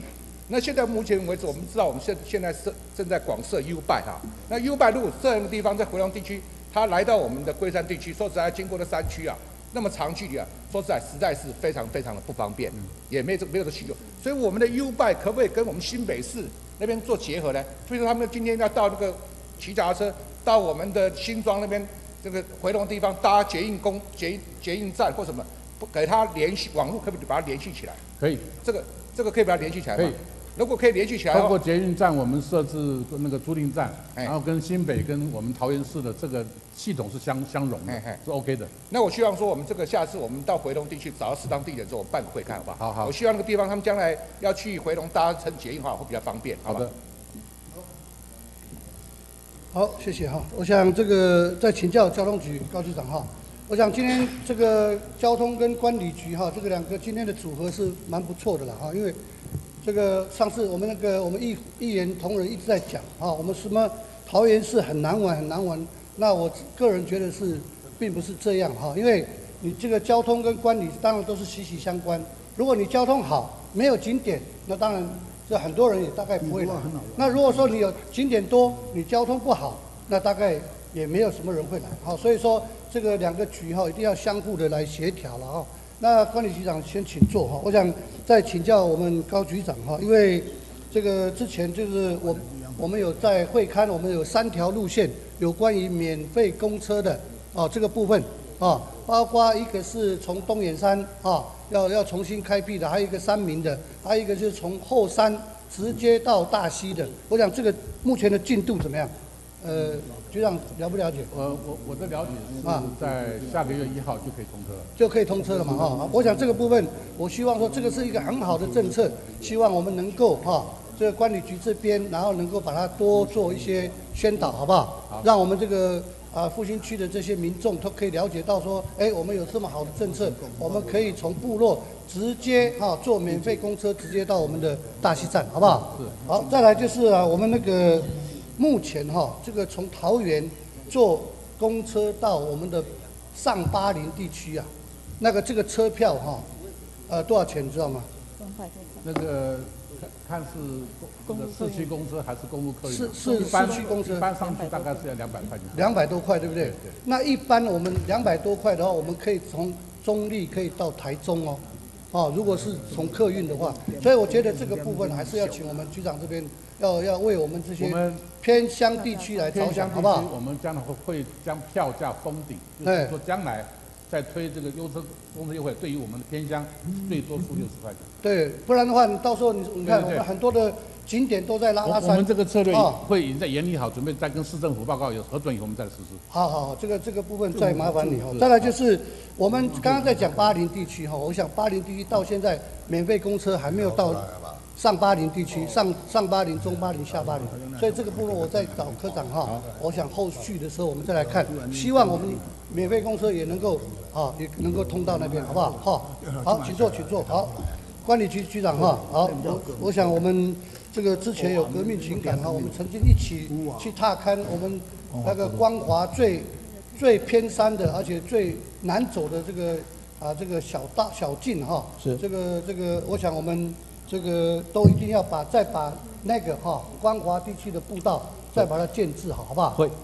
那刚刚很多的议员哈很关心，就所谓的新南向政策对这个部分哈，我想这个因为啊、有议员讲有的正面有的反面，我想这个好了，给你一分钟时间哈，好，让你来好好说明一下啊，到底我们这个新南向的我们未来管理局我们要怎么去规划或者是怎么去拓化这样的一个啊这个政策好不好？好，呃，跟大家做个说明哦。其实我们不只是新南向政策，我们也包括日韩政策，我们也包括陆客政策，我们一定是跟全世界做朋友，这个是一定的。那么有关于新南向的政策呢，其实我们亲自到现场去发现一件事情，其实泰国对我们台湾还蛮陌生的，真的陌生，尤其对我们桃园。对。所以未来的发展呢，不只是慈湖，不只是我们的拉拉山，不只是我们的呃原住民地区，不只是我们的石门水库，甚至到海边，甚至有关于宗教，他们都非常感兴趣。这是一个，因为他们对我们台湾的景点是陌生的。嗯。第二个，方便性不够，所以刚刚我所提到的，不管是语言的隔阂啦，我们如果让他觉得很方便，再来资讯的提供、交通的提供，尤其是台湾好行，我们这次配合新南向政策，台湾好行我们一律都是打折，甚至凭着这个我们的护照，台湾好行可以打折之外，所有的住宿、所有的这个餐饮，我们都有配合的这个业者都提供这个打折的服务，所以这一次其实我们做了一个整套的配合。同时呢，如果你是家人在台湾工作，然后一起过来台湾玩的，两个人通通都打折，因为你只要是凭的是护照，而不是凭登记证。就有一些优惠就对了。对的，啊这是六都当中只有我们桃园这样做的。所以所以说你这这个政策非常的好说，所以我希望说你好好的说服说服我们所有的议员。是我想这样的话，我们议员才会知道说哦，你原来你的政策有这么好，能够吸引把这个不管是啊这个南南方的客人也好，北方的日韩或者是大陆客人也好，通通都有对不对？对让他们都能够觉得说，哎，你们这个这个政策是非常好。我想这个这样的话，我们议员才能够支持这样的一个建设啊。是谢谢啊再来就是也有人在提哈，就是说很多呃说，哎，我们管理局哈只会办大型的活动。嗯那确实我们大型活动非常的多，包括灯会啦，包括现在地质艺术节，那么多的这个大型的活动，那还有北横啊旅游节这些等等。对那到底我们除了这些大型活动之外，有没有对于这些观光的这些建设啊，你有一些有什么样的一个啊做法，或者就是我们有在持续在做的，是你能不能再说明一下？其其实即便办活动，我们都会想办法让这个活动呢能够留在当地。是第二个也希望能够带动地方的产业发展。嗯那么其实我们其他很多的建设呢，在我们的报告里面其实都有提到，我觉得很可惜是议员都忽略了，包括我们的石门水库亮点计划三年的建设，包括龙潭大子的改造，包括虎头山我们有一个全龄友善步道，从零岁到九十九岁全部都可以走的一公里的步道，这个在年底都会完工。另外呢，我们在海边也是一样，从呃这个白沙甲灯塔一直连到这个海边，一直连到所谓的新屋的绿色廊道，这个都完全的串联起来。当然，其他的建设我们都持续在进行。重点建设之外，我们也希望能够推小旅行，因为地方的发展，他们也希望能够投入、能够参与，所以结合社区发展的小旅行，这都是未来我们希望能够做的内容。好，那我想这个你也大概讲得非常清楚了哈。那我想说，希望就是说，我们就真的是哈，把我们桃园市真的是非常多的观光景点，是而且也真的是很好玩，是绝对不会像那些人所说的是，好像我们桃园市是最难玩的，特别是我们复兴地区，非常好马上就要有一个新溪口吊桥，对这个是全全台最长的吊桥，所以说这个部分我们有太多的景点可以玩，所以只是说看看我们如何去行销啊，如何去推销，我想这个是最重要的哈。对那后面有有两个部分，我在我想我的时间没有哈，是不是请我们的这个承办单位给我这个书面资料？一个就是石门水库的跨域亮点计划，是包括我们整个啊复兴区那个罗马县的这个沿岸的部分，我想我这个一直在在讲的哈。好所以刚刚很多议员也讲在线先导，对不对？那个先导从石门水库游过去，然后那边可以我们可以。在线让他们从以前的这个啊原住民的舞蹈或者里面的这些手工艺品都可以来推展，这一个拜托我们承办单位这个再给我哈。第二个就是整个新溪口吊桥整个规划啊，我想我们也常常我们也到公所那边去哈。那到底他们现在做的怎么样？我想这个部分你这个承办单位在呃科室哈再把资料给我好不好？好，没问题，谢谢，谢谢好谢谢谢谢。呃，交通局高局长，我要请教一下，呃，所谓市那个呃区市市内的一个公车免费公车，它的里程数有多多少公里数才算是免费？基本上我们不是按照里程数，我们把它叫做短中程。至于里程数，我们要看实际的需要来决定这个免八的 O 跟 D，基本上是这样，不是按照里程算说几公里才算免八。那当然，通常是针对这个运量哈比较比较特殊的情形之下，我们特别为这个服务我们的民众啊，又或者是偏乡的，我们特别服务他，才是开了免八。否则我们固定路线、固定方式也可以服务。那那我再请教一下，免费公车是不是有限制？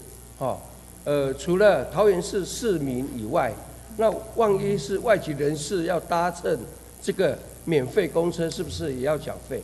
呃，是这个问题呢，呃，本来我们是要用刷刷这个电子票证的，比如悠游卡、一卡通，这要刷嘛。我们是这样要求，但是因为现在客运业呢没有要求司机去强制，所以你刚才讲这种情形啊，那个外国客人呢有可能可以免费，但是我们认为这个不合理，我们认为呢明年我们要去修，要持市民卡你才可以坐免费公车。如果你不持市民卡，那你就要现场付现付现金，或者用优卡刷卡。我想啊，呃，这个外籍人士在桃园哈、也蛮多的人口数在做，差不多将近有呃，据据说是叫将近十万个人口哦。那我想他也在桃园市，哈、来做一个为我们做一个服务嘛，哈、我想也一并啊，我是建议了哦。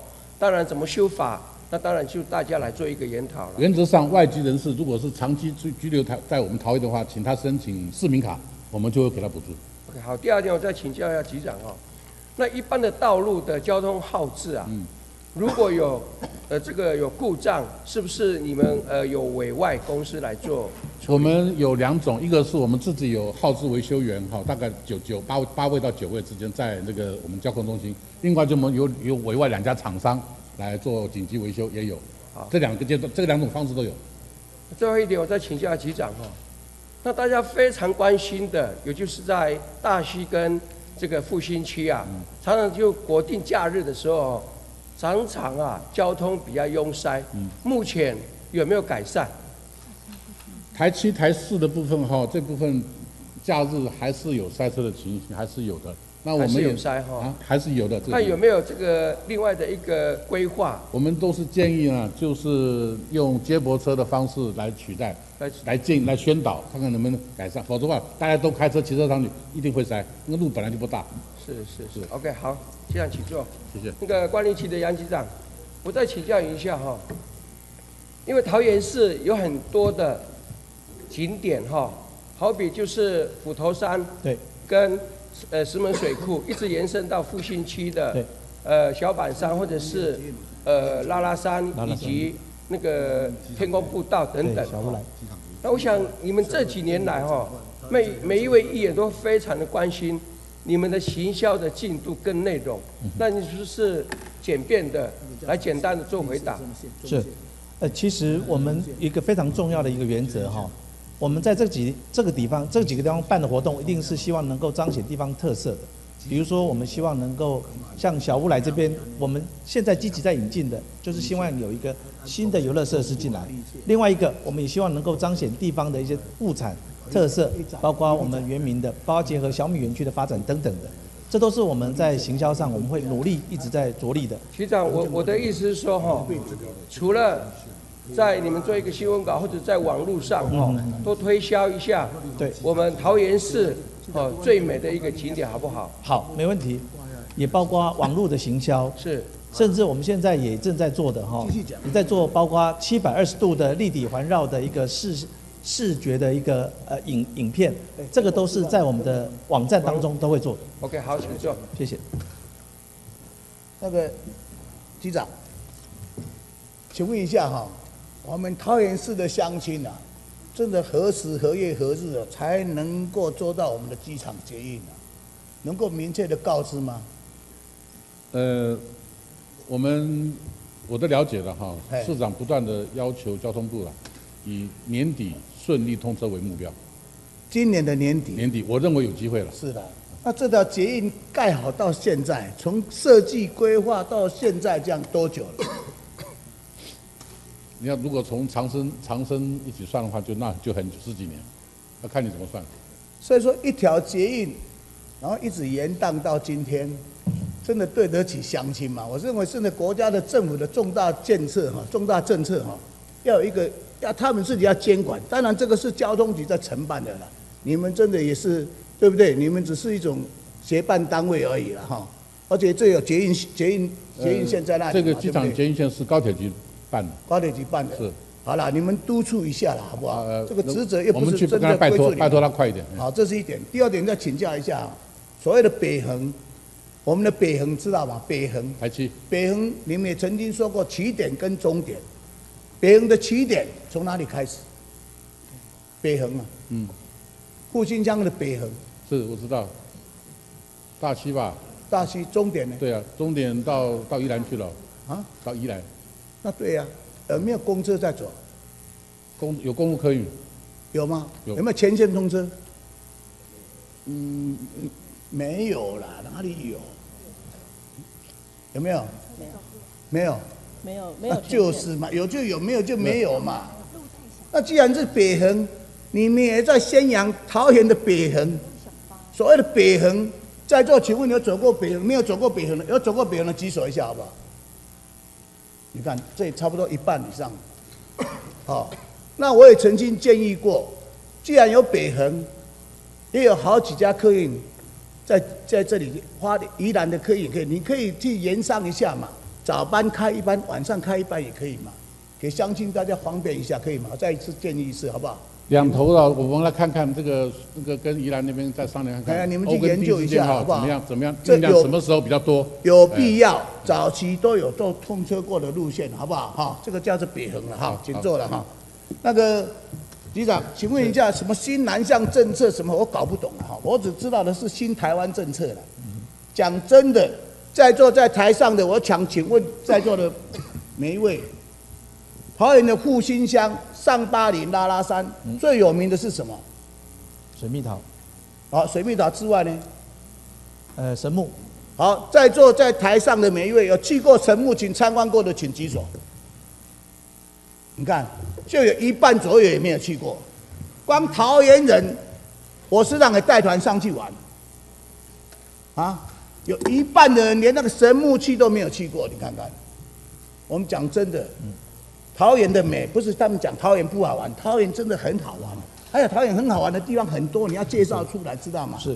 哦，有的在很好玩的地方，我也不知道的，刘议员会更知道，他会跟你介绍更多的好玩的地方，好不好？好。那么，桃园说真的，整个观光旅游地带，你从山线也好，海线你要分海山海两路，对对不对？结合市区，哦，沿海的海线，你们不是有有几四十八点几公公里的什么海岸线吗？对。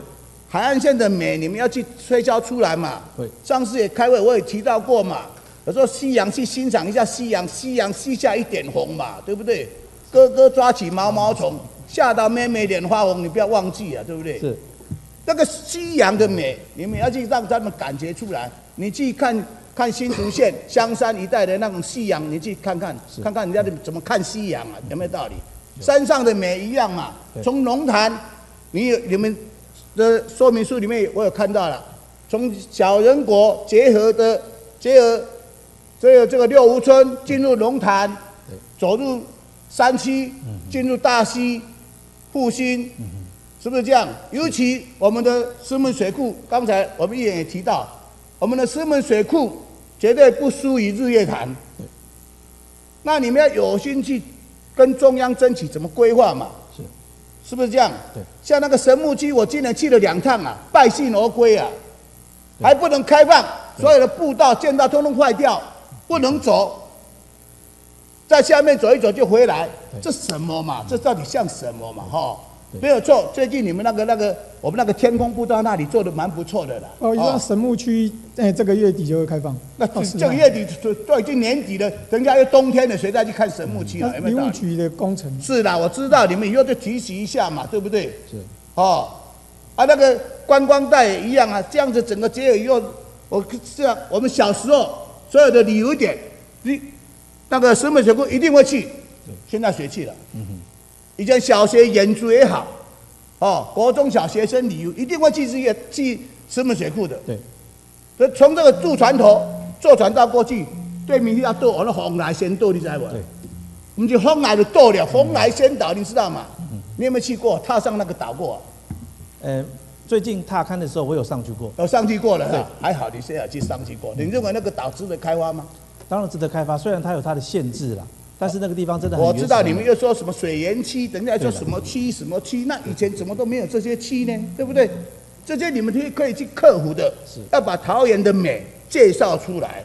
桃园最主要，对不对？石门水库、上巴林这些重要的景点，沿海的美，对，全部介绍出来。还像南澳南向真的，光桃园县还有多少人没有上过上巴林的？讲真的，还有新兴部落区，我一直强调，新兴节奏小污染，你们现在开发温泉区的，对，新兴部落区那里有野有野溪温泉，知道吗？是，你有空去探看一下，走下去泡泡汤，上来你会很舒服的，是啊，你会心神愉快，好不好？好，让你感受的桃园之美，会让你更流连忘返的，会再想回来，拜托你一下，好不好？好。去了解一下哈，实际踏进一下啊，谢谢啊。好，谢谢。啊，局长是，那就接着又就交给你了哈。是。那明天如果没有台风的话，明天九二八，那哪些单位要上班，哪些单位放假，你晓得吗？呃，就我知道是劳工放假，九二八是军工就要上班。军工，那如果以幼幼儿园来讲呢？幼儿园也是一样啊，就是一样是老师的问。私立幼儿园跟公立幼儿园不一样，公立幼儿园应该是正常，那私立幼儿园的话，我觉得是劳工的都是放假。没有，好像是教保员的话就放假，教保员对对对幼对幼教老师的话就要上班上班啊对。那一般银行企业的话，又可以好像可以可以放假，但是又不能放假，因为为了对不对？是。为什么会问到这个？因为这假期哈，大概跟你的旅游有点关系啦。对。关系很很密切哈密切，对。那接下来，因为今天有跟几个原住民的议员哦一起来做工作报告的一个询问了哈。是。那接下来请问你，复那个拉拉山的轻旅行目前办理状况如何啊？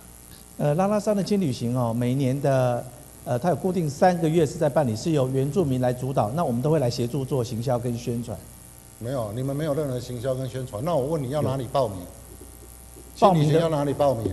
然后它目前有几条路线？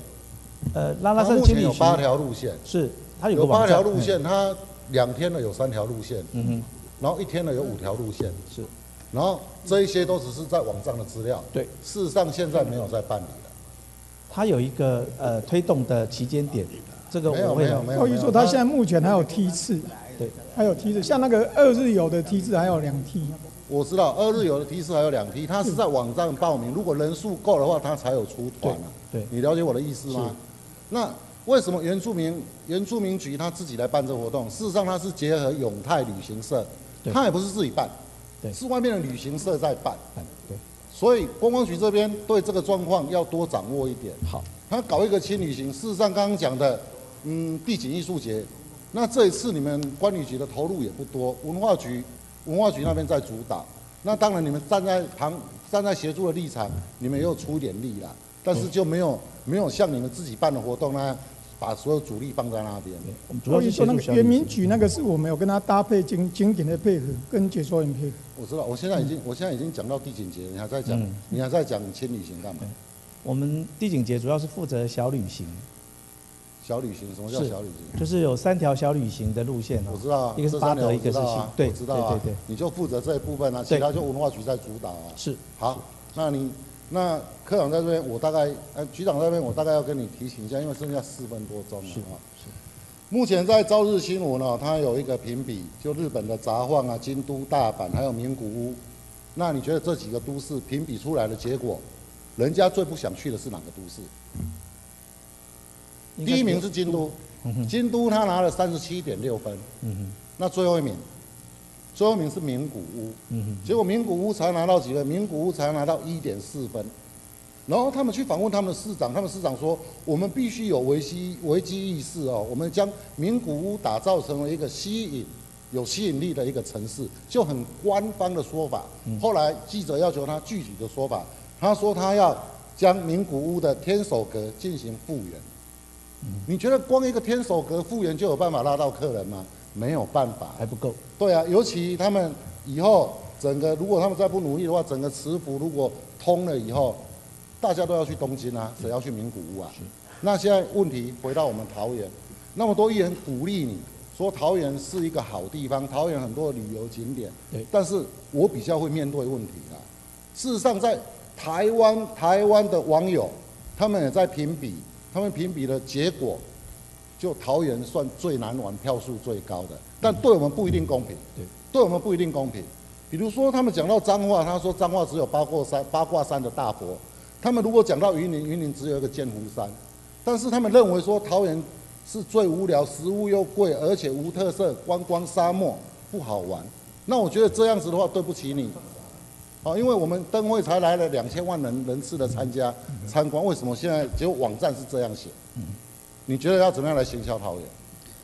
呃，桃园真的可以玩的地方很多了哈，但是我想，我们先分析原因呐。原因所谓的难玩哦，它其实包括不方便玩、不够贴心，另外一个是不够有趣。好，那讲到这边，我看你就不用讲。你如果要用用用那种教授的授课方式来讲的话，这三个我是不认同啊，我是不认同啊，很方便啊。比如说那一天陈金峰隐退那一天，两万多人在我们的桃园棒球场，哦，整个高铁过来，整个人回去很方便啊，就因为太方便。为什么没有办法留下留下这两万人？两万人，桃园在地人就算一万，外外县市的人也有一万啊。那为什么不想办法把他留下来？我参我带团参加过大甲杯马祖的手球赛，我们去了八十几队，大概你大家遐，你大中遐找大的所在，找无呢？所以说，很多可以结合的地方，你应该去结合。运动赛事可以结合嘛？那好，我们继续来讲日本。日本最出名的两样运动赛事是哪两样？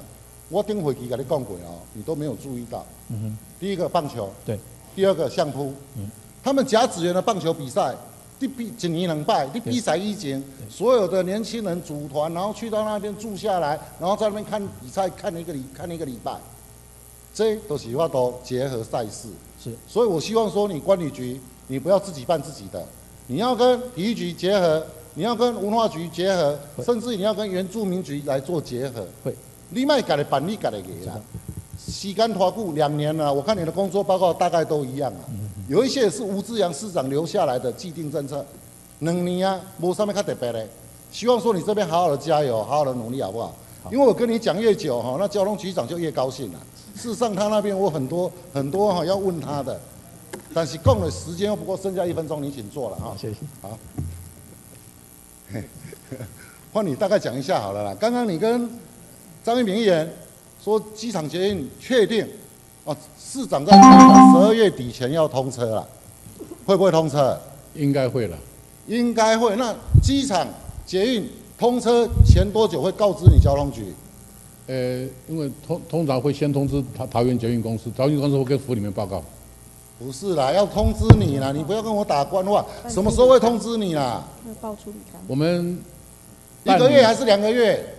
通常是他有初刊、旅刊完合格就会通知我们了。合格通常通知你通常会在在这个年底以前会完成的。讲时间了，剩下三十秒了。一个月以前，两个月以前，六个月以前，或几个月之前嘛。现在十二月一般惯例大概是两个月了，哎，两个月，大约了好，两个月要通知你。那现在所有的战区，你在工作报告上面写的哦，不管是 A 七、A 十六、A 二十，你所写的初期以中巴或小巴或免费公车或评选计程车队，我觉得哦充满了很多未未未定数啊。所以整个战区的交通运输要好好规划。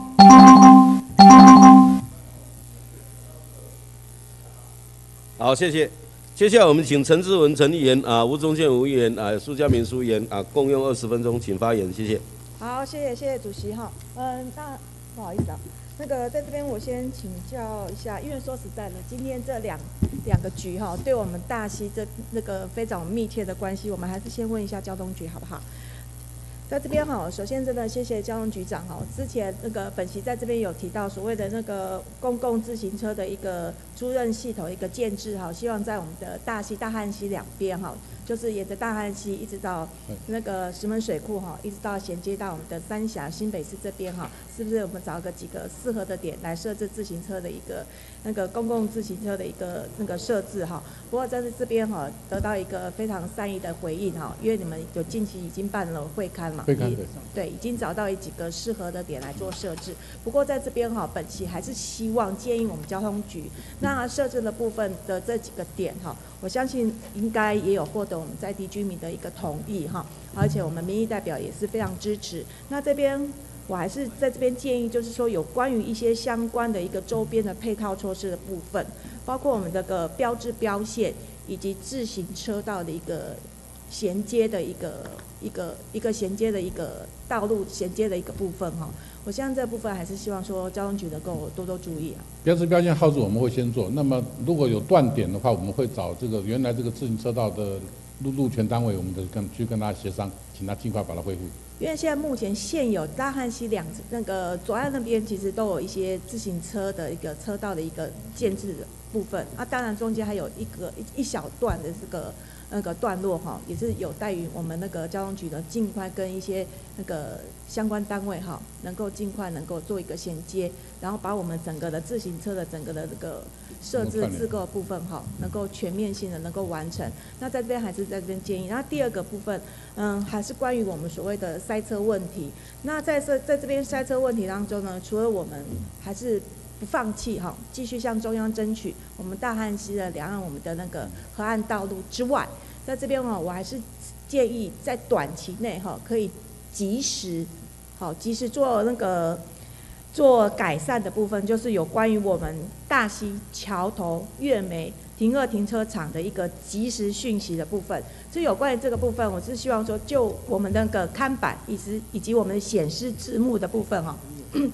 会后我们是不是办个会看，来去现场看看？因为你你们在那个那个五岭桥桥头那边有做一个设置看板，其实那个设置看板，说实在，我每天经过，除了那个慈湖停车场的那个停车位的一个有做临那个及时的做一个及时的那个更新之外，其他的包括我刚刚说的桥头月美停客停车场，基本上来讲，在这整个停车位的一个。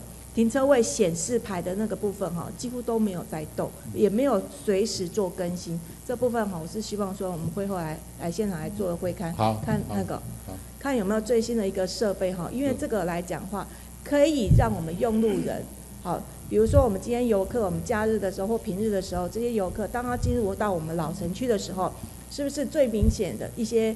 一些那个显示告牌，哈，显示的一个字幕，能够告知我们用路人说，哎，哪几个停车场目前有哪几个停车位，不要到了现场之后才发现说，哎，那个停车位的停车格已经停满了。尤其像我们停车停车场，它又位于老城区的范围内，然后进去的话，有时候进去出来的整个动线会影响很大。好，这个部分，然后还有呢，就是有关于我们那个，想请问一下，就是。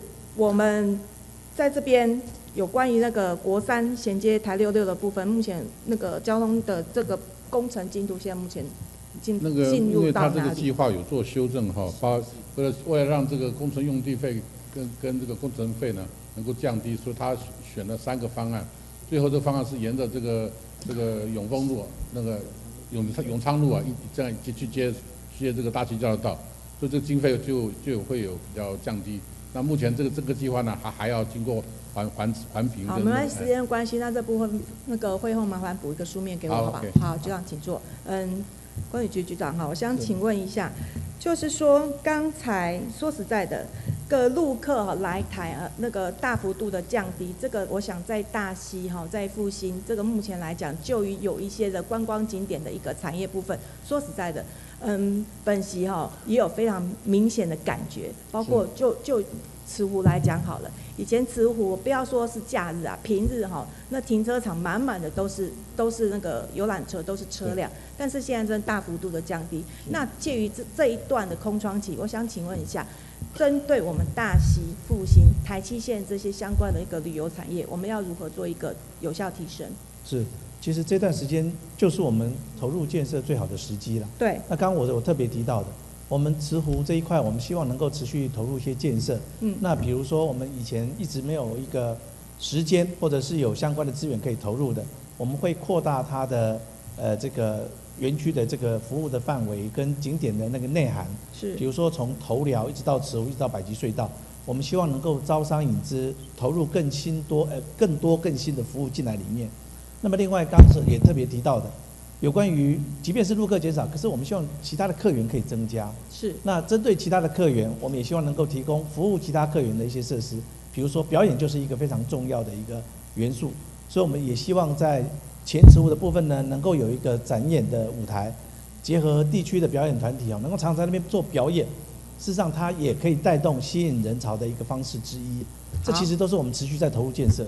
好，希望能够多多加油哈。是。那还有一个部分就是，本席在上一次的时候有提到，有关于我们那个你们亮点计划当中，有关于西周地区沉淀池这个部分的话，目前我们是规划作为一个转运站的部分嘛，对不对？转运站跟游客中心。对，转运站跟游客中心。因为前两天我在那个我在这边哈，也有是里面还有就是说我们义和里上次有一义和里。本案那个本协是希望说，将我们义和里的那个那个里民的一个集会所的部分也纳入我们的计划当计划内嘛。那上次来讲也获得我们市长的一个支持。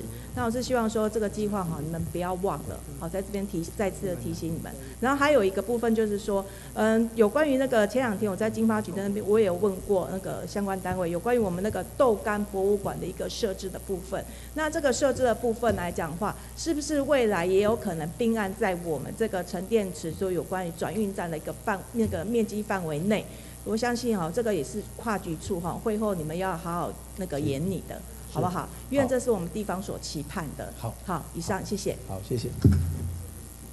好，高局长，你安尼一个头前较厉害呢，本来一个后边，安尼坐在头前。你迄个桃园区哦，一位难求，停车位，你有没有再规划一下？哦，呃，是我们除了公二四，呃，已经开工对之那外，我知道们那个文昌国小，啊不，文昌公园哎，文昌公园有没有规划？我在想着咧，文昌公园有没有规划？有有有，公园是我们明明年就委托建筑设计了，明年都要委托设计哦。建筑设计。你有无去想迄、个诶、汽汽车停车塔？你无来无及想到哦，我的迄个本来诶迄、个文化文迄个民政科头前一地，你想干咧？后摆你莫搁想要停车塔吧？你即摆袂搁想停车场吧？停车场是奉市政府的裁定是暂缓办理，停车场那有市政府叫你做停车塔？对啊，暂缓办理。对，暂缓办理对啊，啊，所以我毋知甲你提醒一下，是你莫搁想要停车场。文昌公园、桃园国校也可以参考一下啦。哦，迄、个俩停车，迄、个民族路啊、民权路呀、太济人咧出入啦，啊，佫有市场。哦，刚好是二的可能哦，可能很多地方停车场，这桃园区一个四十五万呢，四十四万外呢，一贵难求。那以前我当市公所当市长，无迄个钱啊，无迄个预算啊，我一个停车场，你讲是爱，你敢有讲讲爱开偌济钱？你讲二市地下停车场爱开偌济？大概四亿多吧。对啊，那你文昌公园去很快好好公规划一下吧。好好。好，请坐。还有那个 U bike，哎呀喂，那个后面那个科长请坐。U bike 你这摆哦，多一人你借，然后有一车难求了哈。那以后的安全规则、交通秩序，这个交通队也没有办法罚。你有安怎规划者？这法令有什么办法呢？基本上公共自行车使用，我们会加强宣导这个骑骑骑乘的安全，看应该遵守的法令。我想这个我们来宣导。另外呢，这个骑乘的距离，还有这个这个周边的这个站跟站点和站点的位这个资讯呢、我们看再人外口囡仔哦，定咧黑白徛啦，交通秩序也不遵守了，法规也没有了。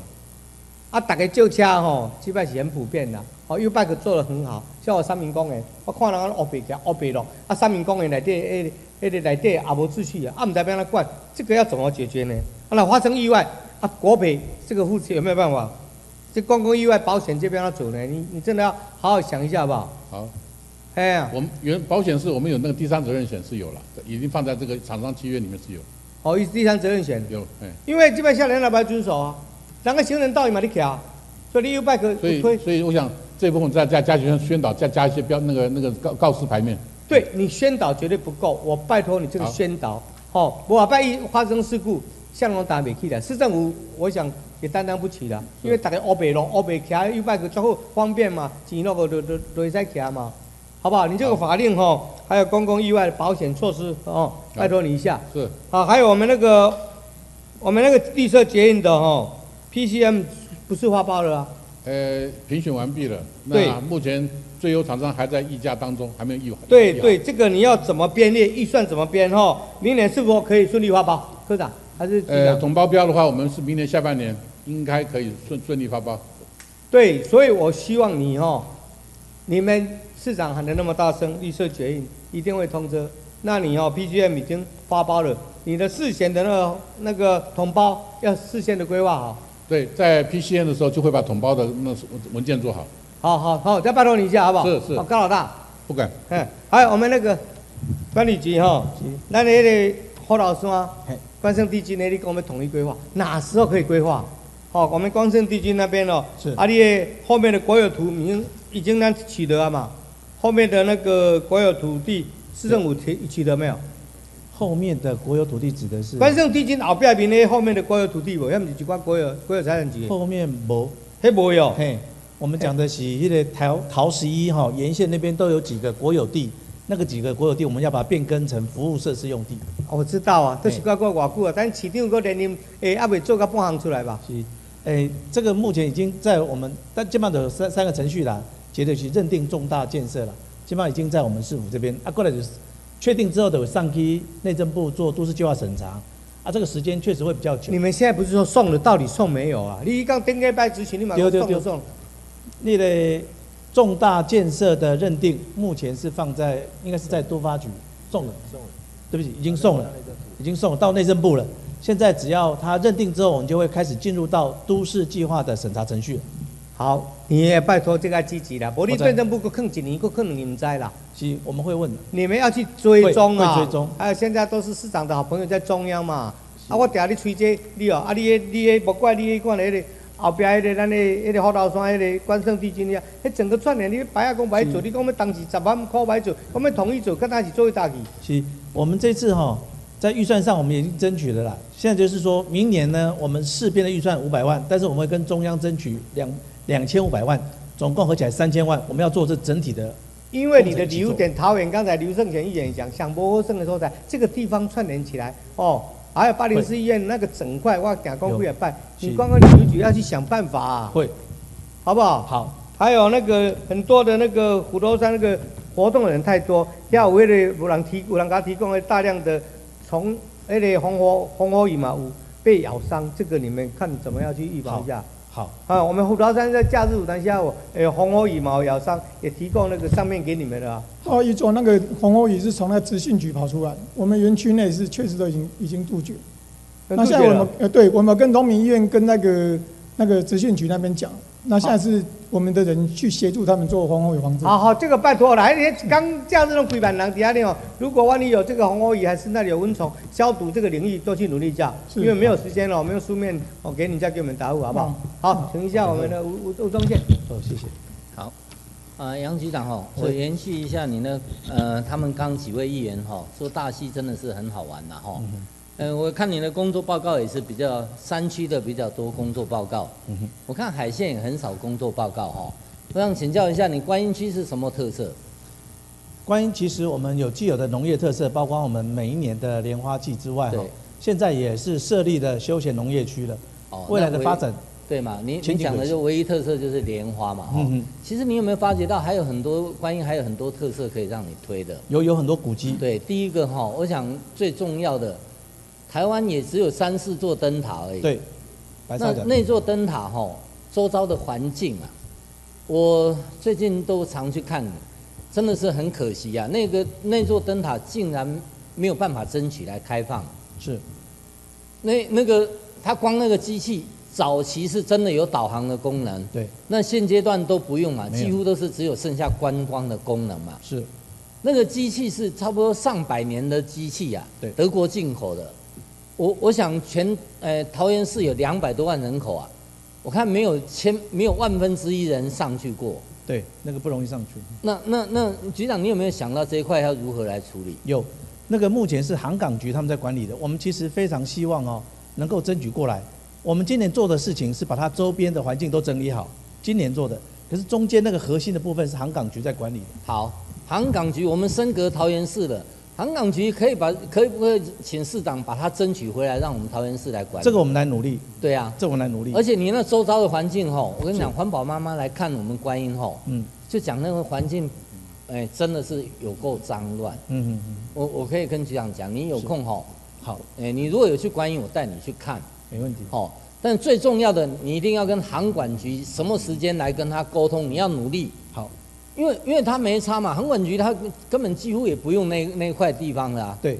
那是不是交由我们管理局来来管理？可能会比他们管理的好。好。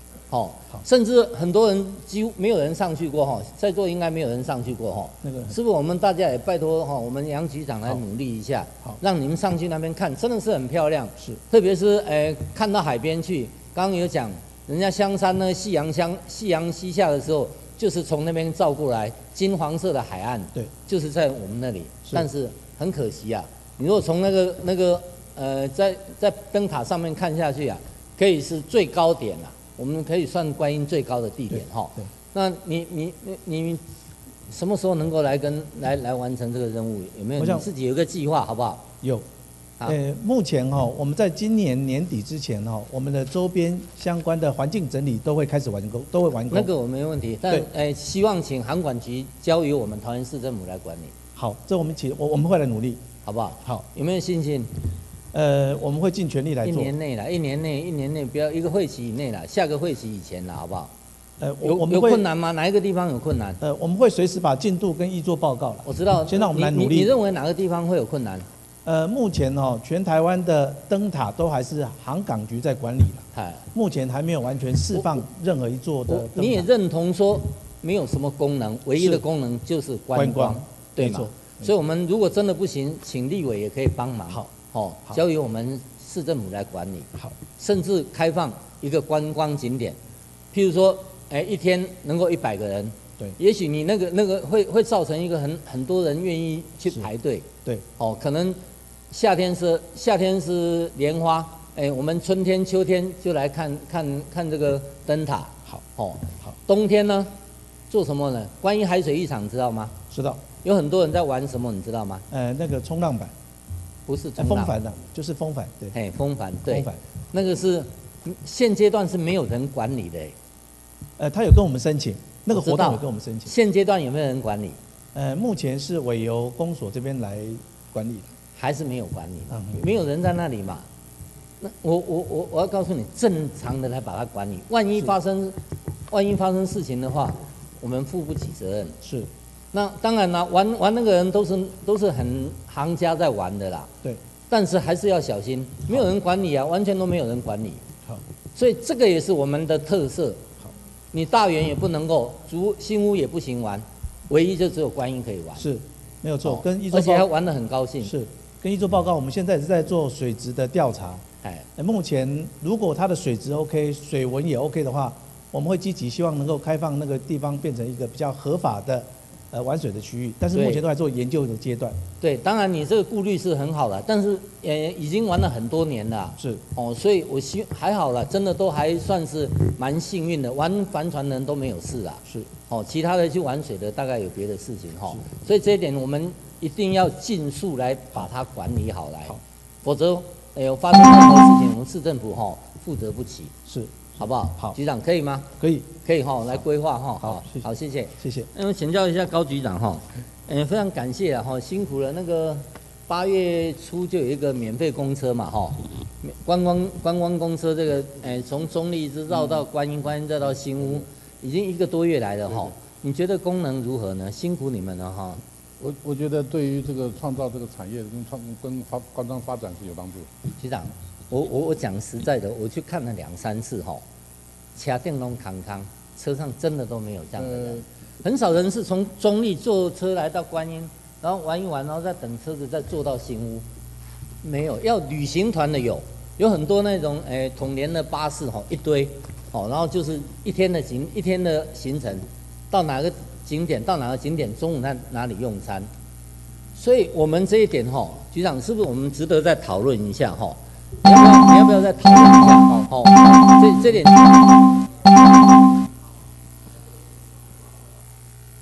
好，谢谢。啊，最后我们请李光达李议员啊，蔡永芳蔡议员啊呃两位议员共用二十分钟，请发言，谢谢。呃，谢谢议长，我们交通局哈，由副市长，呃请请站起来一下哈。呃，副市长，请问一下哈，台北市的大巨蛋哈，如果最后回到跟啊远雄哈续约哈啊，你觉得说市民的台北台北市民的观感会怎么样？这个反反复复不太好。好，就会浪费到一两年的时间了嘛哈。我想即将也两年了哈。那现在大家所关注的一个问题哈啊，台铁哈桃园段的一个地下化的一个工程哈，我想很多议员在关心哈，呃，市民也在关心。我想市政府更努力了哈。我想现在的进度哈，应该是进入交通部的一个复审嘛哈。对。啊，复审最后还是要等啊所谓的定案，定案就是就是才可以来动工嘛哈。呃，对，一般来讲，谈到重大计划了，定案是算可行。这个过程，我想我们的交通局、我们的市府的团队哈，应该都是一直在跟中央来持续沟通，来努力哈。包括这个啊复审哦，包括中规啊环境差异影响的一个评估哈，还有我们中央中央的部分规定我们的啊自偿率哈要达到百分之十五以上。我想我们已经规划设计，就桃园、中立两个站体哈，这自偿率已经超过百分之二十，是不是这样子？那，目前我们报上去的资料是这样。是这样子，已经超过中央的自偿率吧哈。在自筹我们的资金的一个部分哈，我们市长、我们市政府团队也是啊积极的哈啊，要希望哈在专案跟啊我们的国发会来商讨哈我们的自付比例，希望能够比照高雄市就百分之二十五。那假设预算如果是一千亿的话，我想我们的两百五十亿哈。两百两两百五十亿的一个支付额哈，我们的财政上哈啊，大家在质疑说我们能能不能负担？事实上，我们的财政以分期付款的方式，包括将来所创造的一个这个啊土地开发的一个收益的话，远远超过这个东西哈。我想大家是支持的哈，但是市民所关心的，所有议员所关心的是什么时候可以动工？市民他不知道说在跟中央协商争取的一个过程是需要时间的。哦，所以说在一百零七年哈，我们市长要选连任之前，您认为能不能动工？我我我我猜应当是核定上没有问题的。对，核定了，这计划核定应当应当有机会。是啊，啊核定之后，接下来就等定案嘛。对，核定以后才。做相关的规划设计啊，哦，我想哈，这个是我们全市民所关关心的哈，大家也殷殷期盼哦。这是啊，如果我是资啊新任的议员哈，听我们资深张玉炳议员哈，在早在刘邦有时代哈，就有所谓的双子星计划，就是走地下化的意思哈。我们今天没有推翻啊所有过去谁的一个政策，只是回到正道，对我们地方的发展最有利，是不是这样子？嗯，我们认为直辖市的规格应当是地下化是最好。我想哦，这个部分我们蔡永芳议员他有他很独特的一个看法哈。啊，谢谢啊，请请坐。局长，我请教你啊，那个台铁高架化目前还有在动吗？就你所知，目前它是暂停施工，因为它的临时轨做完了以后呢。那个那个内地以南的临时轨，它就暂停施工了。你说这一段目前都还没有在动？呃，内地以北的临时轨它是完成了，内力内地以内地站以南的临时轨它暂停施工，因为它都市计划没有通过，没有发布实施啊。那等于说就是目前都是没有在动了，对？对对，临时轨是暂停施工了。他在等什么？呃，他在等什么？基本上在等。地下化核定吗？我想应该是这样子。应该是这样子哦。那我想请问你哦，你的那个工作报告第三十六页这边这样写哦，他说我们去年十一月六号送交交通部可行性研究报告，对不对？嗯。然后新北市政府表示，新北市的莺歌凤鸣路段仍然要依照原核定的高架化计划来施作。我请教你哦，朱立伦市长的态度是什么？他们认为就是他们新北市辖内的，他们还是维持原计划用高架。他们要高架，我们要要地下。是，所以我们的我们的地下化的。到时候变成云霄飞车了？不是，从上钻下来吗？它会有一定的重坡度，将来不会有这种现象。那你的意思说，朱立伦不喜欢桃园高架化？呃，他没有这样讲，因为他们他没有这样讲。他他们自己都市里面的做法，他们自己决定。我们的这事情，我们自己决定。那照你这样讲，如果我们地下化，他们高价化？怎么接？好接吗？呃，可以接，可以接，可以接。它只要有足够的长度，就可以把中断面降下来。那他们如果一样地下的话，市容景观会更好吧？啊，当然，当然嘛。为什么他不要？呃，这个我们尊重他的决定。尊重他的决定。嗯。你的意思说，那个桃以前的桃园县长不支持，我们现在桃园市长由铁路高架化改为铁路地下化了？朱立伦不支持我们郑文灿是吗？呃。这个不是这样讲，因为他每每个每个城市的这个环境跟想法都不一样，这个各有各的想法，我都我们都尊重。那朱立伦是桃园人呢，那他为什么不想这样去连接呢？我想他们有他们的看这个这个论调了，嘿。啊，根据这个问题，你有跟他们讨论过吗？我们有正式开会协商。他们协商，他们理由什么？呃，没啥你讲。不是，他们就是他们认为这个。新北市的部分还是维持高价，不对他们都都是比较比较方便。哦，他们高价比较方便，我们地下比较好，是吗？因为这是他们的意见，我们还是要尊重嘛。哦。要不要是他决定，不是我们能勉强的。我以为我到剑湖山了，忽高忽低，云霄飞。不会不会，那都不至于。不至于啊。哎。哦，好，谢谢你哈。那你你请坐哈。我请教一下我们的观光局局局长哈。是。请问你，你第一次约会去哪里？真的还记不太起来，记不太起来，记不太起来。你请坐，交通局局长，请问你啊，第一次约会去去哪里？电影院电影院嘛哈哎，好不好玩？好玩，好玩哈，印象有没有深刻？深刻，深刻嘛哈，所以好玩对不对？对，那现在叫你去带老婆去电影院，好不好玩？不好玩。不好玩，请坐。观光局局长，我请教你，好玩不好玩怎么界定？呃，当然有很多的条件啦。那刚刚所举的那个例子，事实上是跟人有关啦，跟人有关哈、跟去玩的人有关啦。对嘛？我还刚有路的过看一个，暗时啊七八点看一个，诶、我咧看飞龙在天啊，几十年前的片。我们讲，诶、阿姆，你哪过咧看飞龙在天？哈尼久的片啊？无啦，你唔知啦，即嘛广告无共啦，剧情共款，广告无共，嘛是真趣味啊，知无？我我也是要讲啦吼，我们桃园很多景点哈，我不知道那个什么最难玩的城市怎么评出来，我不知道啦。嗯。但是哦，很多去玩的点跟心情、跟对象、跟当时的气氛氛围有很大的关系。对。但是同样一个地点，可能你去的时间点不一样，也会不不同感受。我上礼拜去那个大溪那个韭韭菜哈、那个韭菜特区哈、对我记得哈、我去年带我太太去的时候，她心情不好，整段都很难玩，啊、结果上礼拜去她心情好，她好玩我就好玩了，结果想说哇，然后这个景点哦，太可惜，可惜什么你知道吗？那里哈、我们开车去哦，居然没有 U bike 了，啊、如果有 U bike 的哈、配合来玩哈、会更好玩。U bike 是谁？我我我想请教你哦，你 U bike 是以交通运输为重点的，还是以观光旅游为辅？原则上是油气比较重，油气比较重哈、是。对呀、因为那天咱们看到那个很多从英歌，好、从新北市骑过来的，很好玩呢。是。就我们要租租不到，对，好、所以你们两个要互相结合一下，好不好？那好玩不好玩哈、不要说什么韩剧来拍个戏就可以扭转好玩不好玩，韩剧来拍干我什么事啊？我是蔡小姐出去，我干嘛卡好胜？对不对？心情很重要。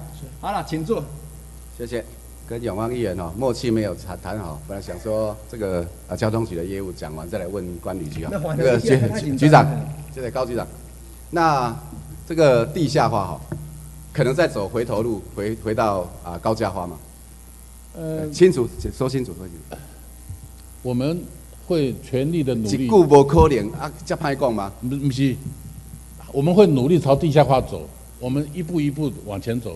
我跟你讲，程序如果说再回到在高价哈，那会被骂死了哈。我跟你讲哈，另外哈，现在台湾哈好不容易七月份的出口哈，财政部的统计哈，好好不容易转黑的部分成长百分之一点二哈，表示我们的出口哈还不够畅旺哦，再再需要我们的啊内需哈，包括民间的投资、政府的投资，过去的一个高价化哈，框列预算大概是三百零八亿哦，还不包括土增哈，所以一定会再增加这个预算哈。所以说我们目前来抓这个啊整个地下化的一个预算哈，大概花一千亿左右哈。我想扩大地方的一个投资，增加个五百亿、六百亿哈，我想能够促进我们的经济哦，我们的 GDP 成长哦，绝对会更高，是不是这样子？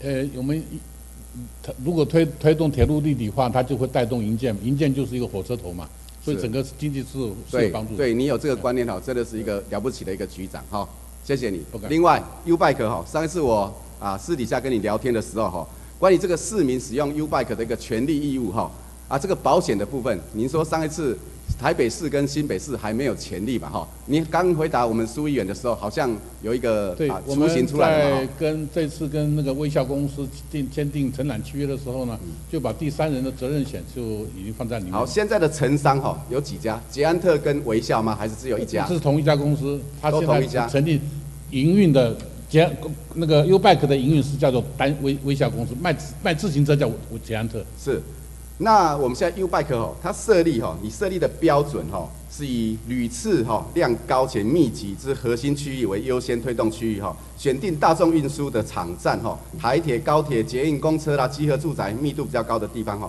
商办大楼来优先哈。啊，现在产生一个问题了哈，就桃园区为例哈，每一个理工啊，那个里有，我这个里没有哈。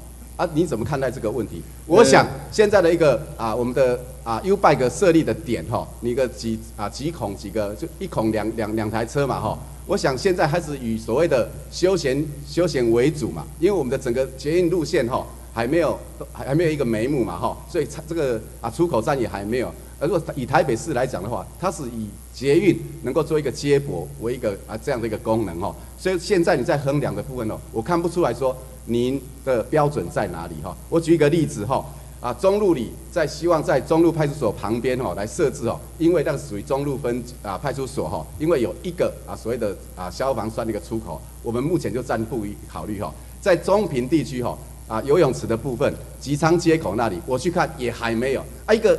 马上可以设的地方，忠孝公园跟第二市场用地的篮球场之间有一个廊道，那个也没有什么困难的问题，也还没有设立。我知道你今年是编列大概两千八百部的一个单车，哦，要要要在全市哦，但是慢慢把它建立来完成，好不好？我想我们因为现刊做，现刊以后适合做的。后面后续还有很多动作，我知道，因为你们现刊哦，那时候搞得我们的助理团队都人仰马翻了，到处去看，里长也有里长的看法跟意见。所以现刊达成协议以后，我们会尽快做。你们后面还有包括这个机电的部分、土建的部分等等啊。我们这个会立刻处理。哦，我想这个哈，既然啊各里都有想说站在为李民来服务，因为他现在是目目前已休闲的哈，包括啊刚叔也提到一个重点的哈，逆向行驶没有人管，万一我们的这个 U bike 属于公产，万一发生了什么事情，你说有第三责任险，他会理赔吗？呃，第三责任险的范围，这个在保险契约里面，他他该。赔赔那个赔偿的对象，他都会。我我想哈，在人口密集的地方哈，在公园旁边呐哈，可以设置的地方，尽量去利用哈，啊，能够跟我们的公车站牌能够结合哈，能甲地借乙地还，能临近公车站。我想，就我们在推推展这个啊，所谓啊绿色环境哈，节能减碳，会有很大的一个帮助的哈。我想这个部分啊，希希望这个局长这边再多努力哈。在另外停车不足的一个问题哈。我想你在啊大型的一个啊这个路外停车场的一个新辟哈，公二十四公园哈已经在进行了，啊现在可行性评估的有桃园区的文昌公园，中立的啊自强多目标一个停车场哦，啊另外奖励民间哈或者补助的部分哦，你一百零五年到七月才奖励了五家哈，我想啊南北桃园停车都很困难了哈，我想这个部分在积极努力哦，我上次有提过哈，也跟财政局欧局长聊了一下哈。我们民生路哈大华五街口有个四百平哈，属于财政局的用地，有一部分是属于啊区公所哈，我们这个职员那个宿舍，在不动这个职员宿舍的情况之下哈，希望你这边交通局能够支持哈，也要公务局的支持哈，尽快来开辟，对我们的观光市场哦，啊那个夜市这里哈的停车也有很大的一个改善哈，我希望这个部分哦，请您多努力哈。另外，在所谓的拥塞路段哈。拥塞路段的一个解决哈，你也改善了六处哈。我想桃园市的拥塞路段哈啊很多哈啊，中立的龙池路哈，在啊我们的都发局的啊规划之下报布哈，已经在八月份已经核定了。我特别要再指出哈，桃园市的桃园区的玉山街哈，这个是非常拥塞的路段，它还有个特殊性，就是一个危险性，紧邻这平交道哈。我希望说哈，我终于厘清了，我礼拜六那一天还在跟都发。局哈，都计科由科长哈谈了四十分钟哈，我已经离出来哈，不不能只有盯都发局哈，希望市政府哈要由副副副市长这边转达一下哈，希望明年开始哈或者来年哈，在公务预算上哈，还有你交通局这边能配合一下哈，我们最近这个会刊哈，我希望交通局也能够去参与，这样好不好？好，好，其他永光再看有没有什么意见？好，谢谢哈，那个局长，杜华利公那的 U bike 有第三责任险对？嗯，那有没有常务险？它本身如果出车祸的时候，那一台 U bike 到底他们赔不赔？保险公司？呃，财务损失的部分就要看你的肇事的原因。啊，如果是骑乘者的过失，那就由骑乘者自己要赔。因为这样一个问题哈，你那台脚踏车多少钱？大概将近两万块。将近两万块的脚踏车。那租借的人，他租借了。你刚说如果发生车祸，发生车祸，你说很很难会说没有责任呐，只是比例的一个比例上的一个而已。为什么不把它列列在保险里面呢？让承租人能够更放心的去去承租。因为通常这个第三责任险是主要是针对这个身体的部分哈做保险的哈。那财务的部分就是车损险。没有没有，一般的第三责任险是，我骑脚踏车，我骑摩托车，我跟对方出车祸，我赔对方有第三者保险公司替我赔对方。我即马问的是讲，我即台自轮车也是讲烧 A 啊弄坏去的时阵，对不对？保险公司有替我赔无？还是我家己没有，爱倒出？你自己要出。我自己要付嘛，所以有承担风险。是是是。啊，如果失窃的话呢，会不会失窃？一样。一样啊。嗯。那等于说，脚踏车借的人只能从这一点骑到那一点去放，还真的不能去溜达。这是公共的自提供的一个工具，本来就应该爱惜使用，而且要遵守交通规则。啊，你刚刚讲的第三责任险，再讲一次清楚一点好不好？内容是什么？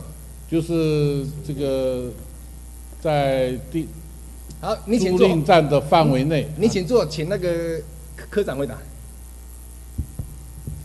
呃，就是 我们目前就是针对如果呃在场站发生肇事的话，哎，就是属于归属于厂商的责任的部分，我们这部分是会理赔的。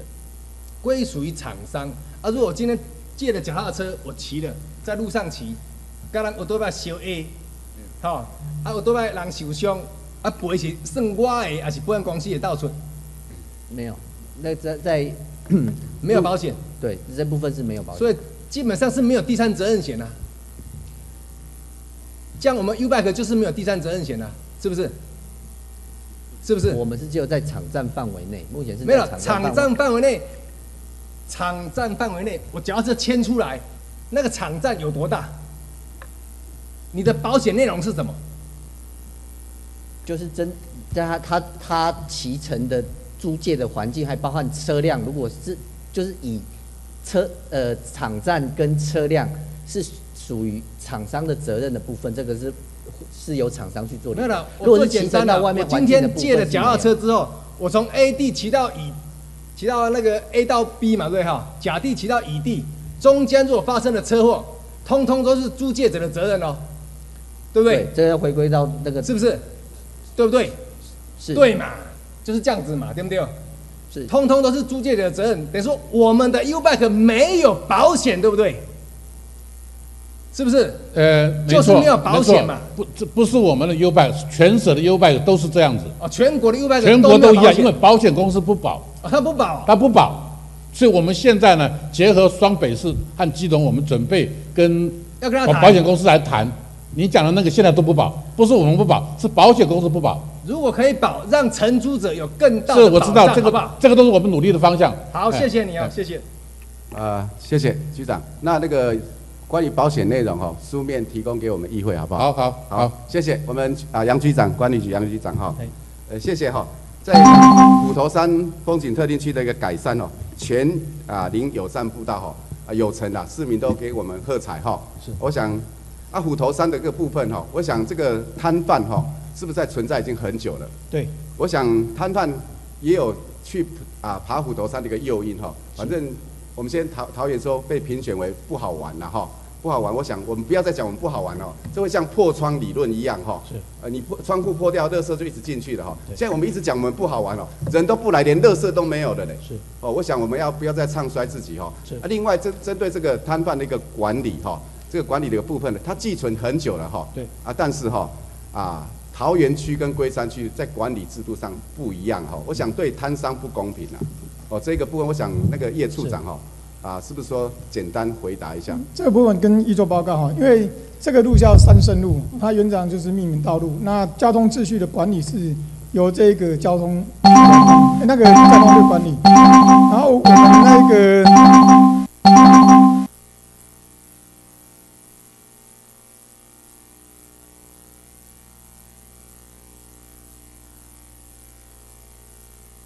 控制是加两分钟，对。现在，你等三三三圣路哈，现在他对我讲摊商对我们哈啊在散步啊哈游逛的影响大不大？就行人的部分没问题，没有什么问题哈。行人啊，车辆我想每个地方都会拥塞哦。车辆是产生的一个问题哦，长期以来在桃园区的部分哦，就要受到我们风管处的一个啊巡逻的人员哈啊那个叫什么什么什么它是？公园内，对。因为那个桃园的部分是属于公园。他们现在，我我不晓得哈，我想你们应该跟我们的摊商哈建立一个默契了嘛哈。我想既然有默契哈，我们就来执行它，不要去破坏这个默契哈。有有特定人哈，自己去拍照，就丢给清溪派出所去给人家开罚。如果他今天违反这个默契，我们同意哈，不要用这种私下的行为。这个人你再去查一下，最近这些摊商想要再跟我们风管所来做一个商谈哈，我想以后就以商谈的结果，我们来我会去出席，好，我们来做一个了解。这个事情总是要厘清哈，经济啊无他往后哈，啊这些长期存在，其来有自。我们不鼓励他违反交通，但是我们可以做有效的管理、默契的一个建立。